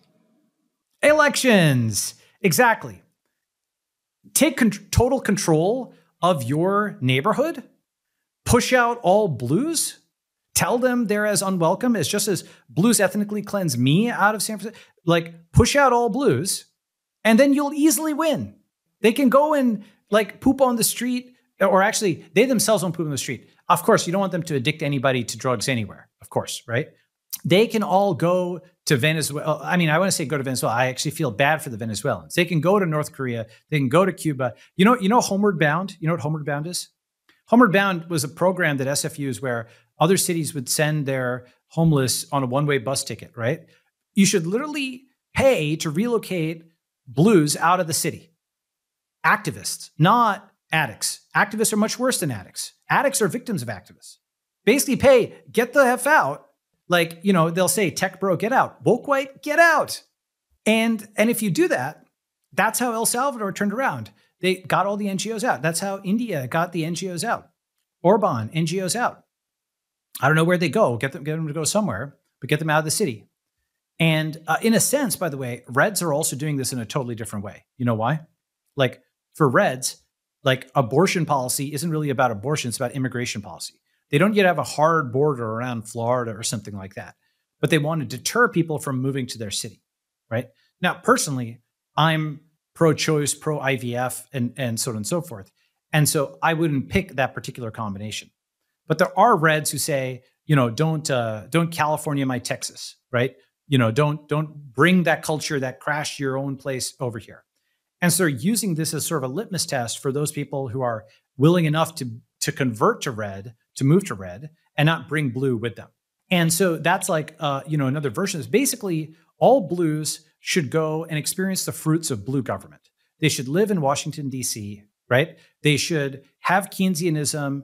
Like if everybody was outside the dollar and only those people who believed in the dollar were in the dollar, if only the, if, if the blue part of San Francisco and the gray part of San Francisco were near each other, it'd be like North Korea and South Korea. The moment you can control even one street or one block for gray, and you can actually have like those are the pristine areas, right? And by the way, you could say this is implicitly the case right now because you do have portions of San Francisco, like like the Presidio is under federal land. Like that is cleaner because there's different law enforcement there. You can't have, you know, someone should videotape it, and probably you're seeing federal cops take people off the Presidio if they try to set up camps or something there, right? I haven't videotaped it, but I wouldn't be surprised. There's some process that is keeping the rest of the city's filth from from getting there, right? So there's de facto gray zones already, and you'd start from there. But if you don't do this, you know, like I heard another bit of cope earlier in the pod from, I'm not sure, again, obviously you guys are my friends, so don't take this in the wrong way, right? But I'm not sure if it was you or or Dan, and he was saying like, "Oh, the peninsula is still okay. It's okay for now because here's, for example, council meeting in affluent Bay Area town descends into chaos as residents protest, turning hotel into homes for 100 homeless people." So, in other words, once blue wins in San Francisco and Seattle and LA, it's only a matter of time before they come to the suburbs. There's a gigantic commercial real estate crash coming, arguably already here. All the interest rate hikes and so on, lots of stuff was bought at low rates in 2021.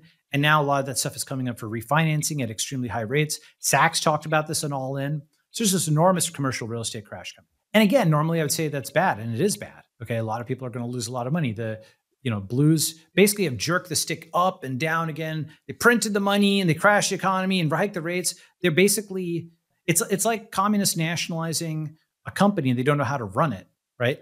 The the blues have taken control of a system that they just don't know how to run. All right. That's why you get the trillion dollar misses or whatever. Issue is though that the commercial real estate crash is actually a tradable event, just like the big short. And how would you trade it? Well, most people would not be buyers of San Francisco real estate. But if Gray can actually get control of enough of the 1856 police in San Francisco and or recruit people from around the country. I mean, that's, you know, Gray is great at recruiting, right? You could get Gray loyalist policemen to come in, hundreds of them. You could, uh, there's, there's 15 different tactics. You bring in new ones. You, uh, by the way, any blue sympathetic policeman, if you want to, you could pay them to retire. Blue sympathetic people, the true key nodes, pay them to go and sit on a beach somewhere, right? You can use whatever tactic you want. Just get blue leadership out of the city. Okay. Total smash mouth. The moment that you can recapture, you have a tactic to recapture a street such that gray can do whatever it wants there. Well, by the way, this is amazing because you've just massively increased the property values there. Any commercial, any failed kind of business that had to leave the city, you could, if you can restore law and order, you can rebuild it. It's kind of like, you know, the turnaround of New York, right? You know, there's something called debaathification. It didn't, uh, or uh, denazification after World War II, right? Lustration was the equivalent in um, communist countries where former communists were drummed out.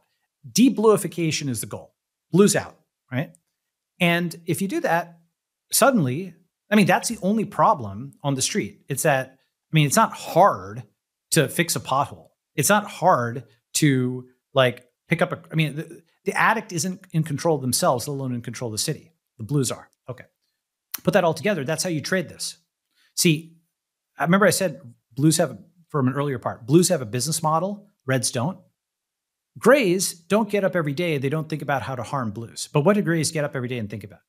How, how to grow their business. How to grow their business. So the moment you have 50 or 100 or 200 Gray Tribe members that pick a spot in the city, coordinate with other Gray Tribe members, buy up that block or that business, Gray now has a serious incentive. That tribe is protecting that block, right? I mean, in a sense, it's like Crips versus Bloods for control of the city, you know, except it's, you know, blue versus gray, not blue versus red. And it's not with shootings, it's just all nonviolent political machine warfare. But the moment that gray has a financial interest in it, suddenly all the customer acquisition stuff kicks in. All of those grays are taking a financial risk personally in the land. And traditionally, by the way, landowners have had a lot of clout in local politics, right? Gray has not been a landowner, it's been a cloud owner. Okay. Gray going from the cloud and buying land means they have to get good at local politics. And it also means, by the way, the cope goes away. You know why? Those Gray tribe members who are actually committing to the city and buying a block and having significant personal financial risk, even with the financial downturn, by the way, it's still a lot of money for five years or 10 years, they need to be absolutely real about whether there's a chance to turn the city around. They can't lie to themselves. They also now have a playbook that's not waiting for elections. Whose streets? Our streets. By the way, the moment you control one of those streets, you start holding those gray pride parades, as I mentioned there, right? And that's like a good place. That's like a victory kind of thing, right? And you should also, by the way, have of course, reds should be welcome there, and people should wear their tribal colors. No blue should be welcome there. And you should also, in addition to celebrating celebrating gray and celebrating red, you should have movies shown about blue abuses. For example, there's this guy who's addicted to drugs, who uh, who was addicted to drugs, who posts on Twitter about how the blue government helped him get addicted to drugs. You should have an interview with him. There should be lots of stories about what blues are doing that is bad. Like that's one of the great things. I mean, Pirate Wires. You know, you saw Sanjana Friedman's article. So Sanjana Friedman, I may be mispronouncing their name, but uh, I think that's right. Um, wrote an article at Pirate Wires uh, where essentially, where he said the, system is basically working as intended. See, the thing is that, um, uh, gosh, what was it? It's like uh, I was trying to find. It's like a recent article, but essentially, he points out that this is not like oh the unintended consequence. It's like what the Blues think they want is for every drug addicted person to get a free city funded apartment for life, which is actually like an exit, by the way. You know, it's like to have just an apartment for life is like financially winning. You know, you don't have to do anything else and everybody else pays for it. That's great, right? That is their ideology where they've mixed together two totally separate things, which are A, the housing crisis, which they also caused with regulations, and B, the addiction crisis, which they caused. These two separate things they've mixed the the coverage in Pirate Wires and All In on Twitter, on Garry's tweets, Elon's tweets, and so on is important, but it's only a victory in the cloud. Blue has lost some territory in the cloud. That that is something that is tangible and that you can see it, but you have to see it the right way. They still control the land. It is once Gray starts taking back control of the land that they're really going to howl. Now, last thing I'll just say is how do they howl? As they start losing, they're going to whistle for backup from California and eventually DC. Okay. They're going to try to get executive orders or things like that, which means you're going to need to have sympathizers at the level of California and DC who will side with you enough to block those actions, number one. And or number two, you actually get to the level of a sanctuary city and you say, I dare you. We've got police force here locally. You know, the what is the Andrew Jackson thing? Um, uh, the court has made its decision, now let it enforce it. Now, you need a lot of tribal alignment for that, right? Because blue at the level, for example, let's say you control many blocks of streets, okay? And by the way, this could happen very fast. You know why? Because when Gray gets something to work, it scales the, the fuck out of it, right? When Gray gets something to work, you can scale it. And what I've described is a totally parallelizable business model. Groups of Grays can acquire territory, network with each other, and start flipping streets and buildings. And if that works, and if grays can parallel spread out, and you get, I mean, even 500 police on your side out of 2,000 is a lot. Okay, and you probably get more than that.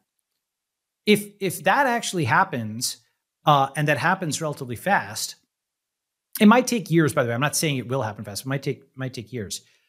It's sort of like the sanctuary city concept from the state California will, I mean, because here's the thing this is why, like, would I pick this battle? I wouldn't pick this battle.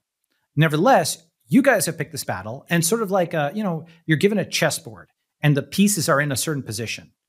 And you're like, you know what? I wouldn't have wanted to put the pieces in that position. You're asking me to play how to win. Here's how I play to win, given the pieces in that position, right? Things have gone far enough that you can't win in other ways. You have to be very aggressive in certain respects. Just, just beating San Francisco is a major boss of itself but here's the problem the problem is you have a lot of money and a lot of very visible non blue people in San Francisco that are doing things, especially AI, that put a lot of blues out of work. Because what is AI? It's automating lawyers, it's automating doctors, it's automating screenwriters, it's automating all of these verbal and or state oriented professions which Blues have, have done very well on, and they have make money on it.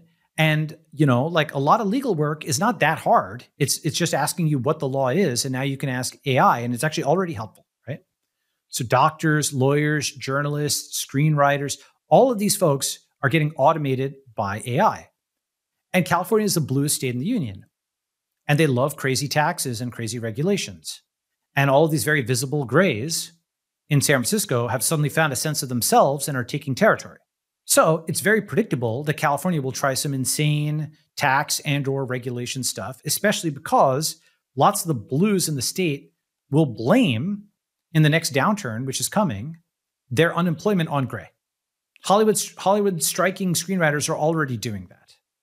And that's because that's one of the less regulated professions. So doctors and lawyers at least have MDs and JDs to hide behind, but screenwriting isn't. Journalism isn't. Okay. And all this stuff about you need to pay for quality journalism, blah, all this stuff. And of course, you know, quality journalism is arguably the stuff you, you know, if I'm paying for it, it's on Substack and it's otherwise it's free on social media. And the corporate journalists aren't actually journalists, they're agents of Sulzberger's family office. You know they're like they're not actually independent right? You're independent then show me that you can say sulzberger's a nepotist if you can't say sulzberger's a nepotist by the way these are certain good shibboleths right? Sulzberg just just to click on it sulzberger is a nepotist should be shouted from the rooftops. It should be a slogan that everybody chants during the great pride parade okay? Why? Because it encodes so much.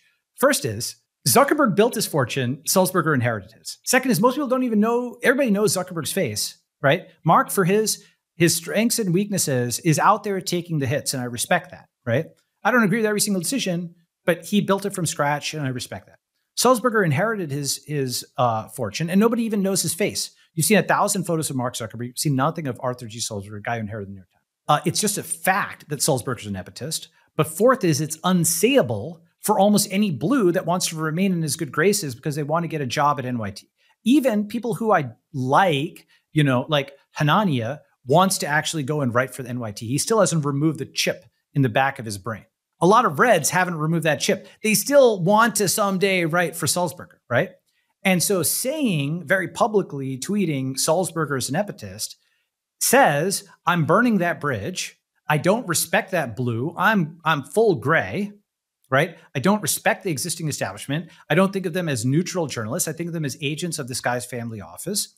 Uh, I think that he's now making money off of saying that he's for the Ukrainians when, you know, 80 years ago, like uh, Sulzberger family made money from choking out Ukraine by publishing Duranty and on and on and on, right? And, and Ashley Rindsberg is very good on this with The Gray Lady Winked. Um, get that book. And so the thing is that basically uh, these are really good shibboleths or slogans that cut in a certain way. No blue can say them, but they're obviously true, right? XX does not equal XY. That's another good one if you can get people to do that. After you beat the city, you have to fight the state. And after you fight the state, you have to fight the feds. The more successful you are, the angrier they're going to be. In honestly, the same way they're mad at China and India and BRICS and so on, not because, like, people are more angry foreign countries. Like, they're more mad at Saudi today than they were 20 years ago when they were much worse, right? So the you know they're more mad at like China today than they were when they were doing the Cultural Revolution or the Great Leap Forward, right? Not to say that China today is good. China today actually does a lot of bad stuff, but people are more angry at them because they've gotten stronger, and not so much. It's not the substance of what they're doing. That's just a proxy, you know, for for the actual you know tribal animus. So people are going to be really mad at Gray if it's successful doing this. So Gray will need allies. And Gray needs allies in all the other tech capitals of the world. And Gray needs allies at the state level and at the federal level. And the reason that I said I'm not sure I would pick this battle is because the level of anger that Florent saw for he saw a lightning flash, right? And he saw line up the landscape and he saw a bunch of blues holding knives, grinning and saying that they're coming for him, right? And they want to actually kill him and take, and not no joking, literally wants to kill him and take his money and doesn't, right? it's not where I would choose to fight because I do think you're going to have two more bosses and it's not obvious how to beat the state and the feds. Maybe they just won't be, maybe you could literally have like the sovereign city of San Francisco and secede effectively or or something like that. If you have true total gray control of the city, maybe, right? It's possible. Stranger things have happened. You know, the Kaliningrad region, you know, of Russia, uh, or, or, like Estonia broke away and so on many crazy things may happen over the next weeks and not weeks, but let's say months and years, and certainly decades. As you know, when you miss a trillion dollars in a few few weeks, when their projection in May was trillion dollars off from their projection in September, that adds up very quickly, right? They're vectored way off where they think they are economically. Things should be very different in a year or two. With that said, though, if Gray can win in San Francisco, it can win anywhere. It's the opposite of the New York saying. You know the saying, like New York, you can make it here, you can make it anywhere. right? Yeah, it's a good You impression. know, I used to say that when we were growing up. It's good, right? You know, when I go back back to New York, I talk like this. How you guys doing? Get over here, right? So, if the gray model works in SF, as I mentioned, and you can, the thing is, you're not just winning; you're winning at a profit. All of the gray tribe members who took financial risk on buying those buildings also enjoy the reward if San Francisco comes back. And all these people around the world who support this can contribute to the crowdfunding of that real estate. So you have a sympathizer because Elon has whatever 100 million followers, and many of them are reading about how screwed up San Francisco is and they want to fight it. And grays and reds do boycotts while blues do boycotts. Blues deny resources, but reds and grays contribute them. Grays want to do so at a profit. Okay. I mean, reds also. So you can get people from around the world funding this. And now you actually have a real fight. And if grays can flip blues in San Francisco, which is the stronghold of where this ideology was, they can flip them in Seattle. They can flip them in Los Angeles. They can flip them in New York. They can flip them in Austin. They just run the same playbook because it's sort of like if you can beat them in their strongest stronghold, it's incredibly demoralizing for the Blues that they lost control here. And not just lost control, by the way, because for Grays to win, you have to tell the story of why Blues were bad. And you have to tell it over and over again. And, you know, like all of these people, you, you know, you need to know the names of all these people who were uh, victimized by Blues. And uh, you need to know um, the homeless industrial complex. And you need to know Hanako Abe. And you need to know this, this entire story. And uh, so what that does is it's actually it's like a network effect of its own because you win in San Francisco and you have the territory of San Francisco, but you also have the ideology and the machine that you built to take over San Francisco. And now you start rolling up the map. That worked there and then it works elsewhere. Okay. I would invest in this simply to back a good cause. The main issue is how, how likely do I think this is that's going to work? It's not 0%. But the main issue is I kind of think grays and reds are probably too wimpy to do it. But we'll see. I was going to say, I think that's an inspiring note to to wrap on, kind of a call, a, a challenge, friendly challenge. Well, what this is is it's actually being real about the scale of the problem, the level of energy, commitment, risk, drive that's required to do it. It is not going to be showing up in two years or four years in a ballot because elections didn't get you. Nobody voted for this really. They didn't really vote for the state of the city, and it is not. Um, it's not something that's going to be solved by just by just a vote. It's going to be solved by control of the streets leads to a result in the election, not vice versa. Balaji, thanks for uh, thanks for sharing the the roadmap with us, and uh, to be continued. To be continued. Turpentine is a network of podcasts, newsletters, and more covering tech, business, and culture, all from the perspective of industry insiders and experts. We're the network behind the show you're listening to right now. At Turpentine, we're building the first media outlet for tech people by tech people. We have a slate of hit shows across a range of topics and industries, from AI with Cognitive Revolution to Econ 102 with Noah Smith. Our other shows drive the conversation in tech with the most interesting thinkers, founders, and investors, like Moment of Zen and my show Upstream. We're looking for industry leading hosts and shows along with sponsors. If you think that might be you or your company, email me at erik at turpentine.co. That's E R I K at turpentine.co.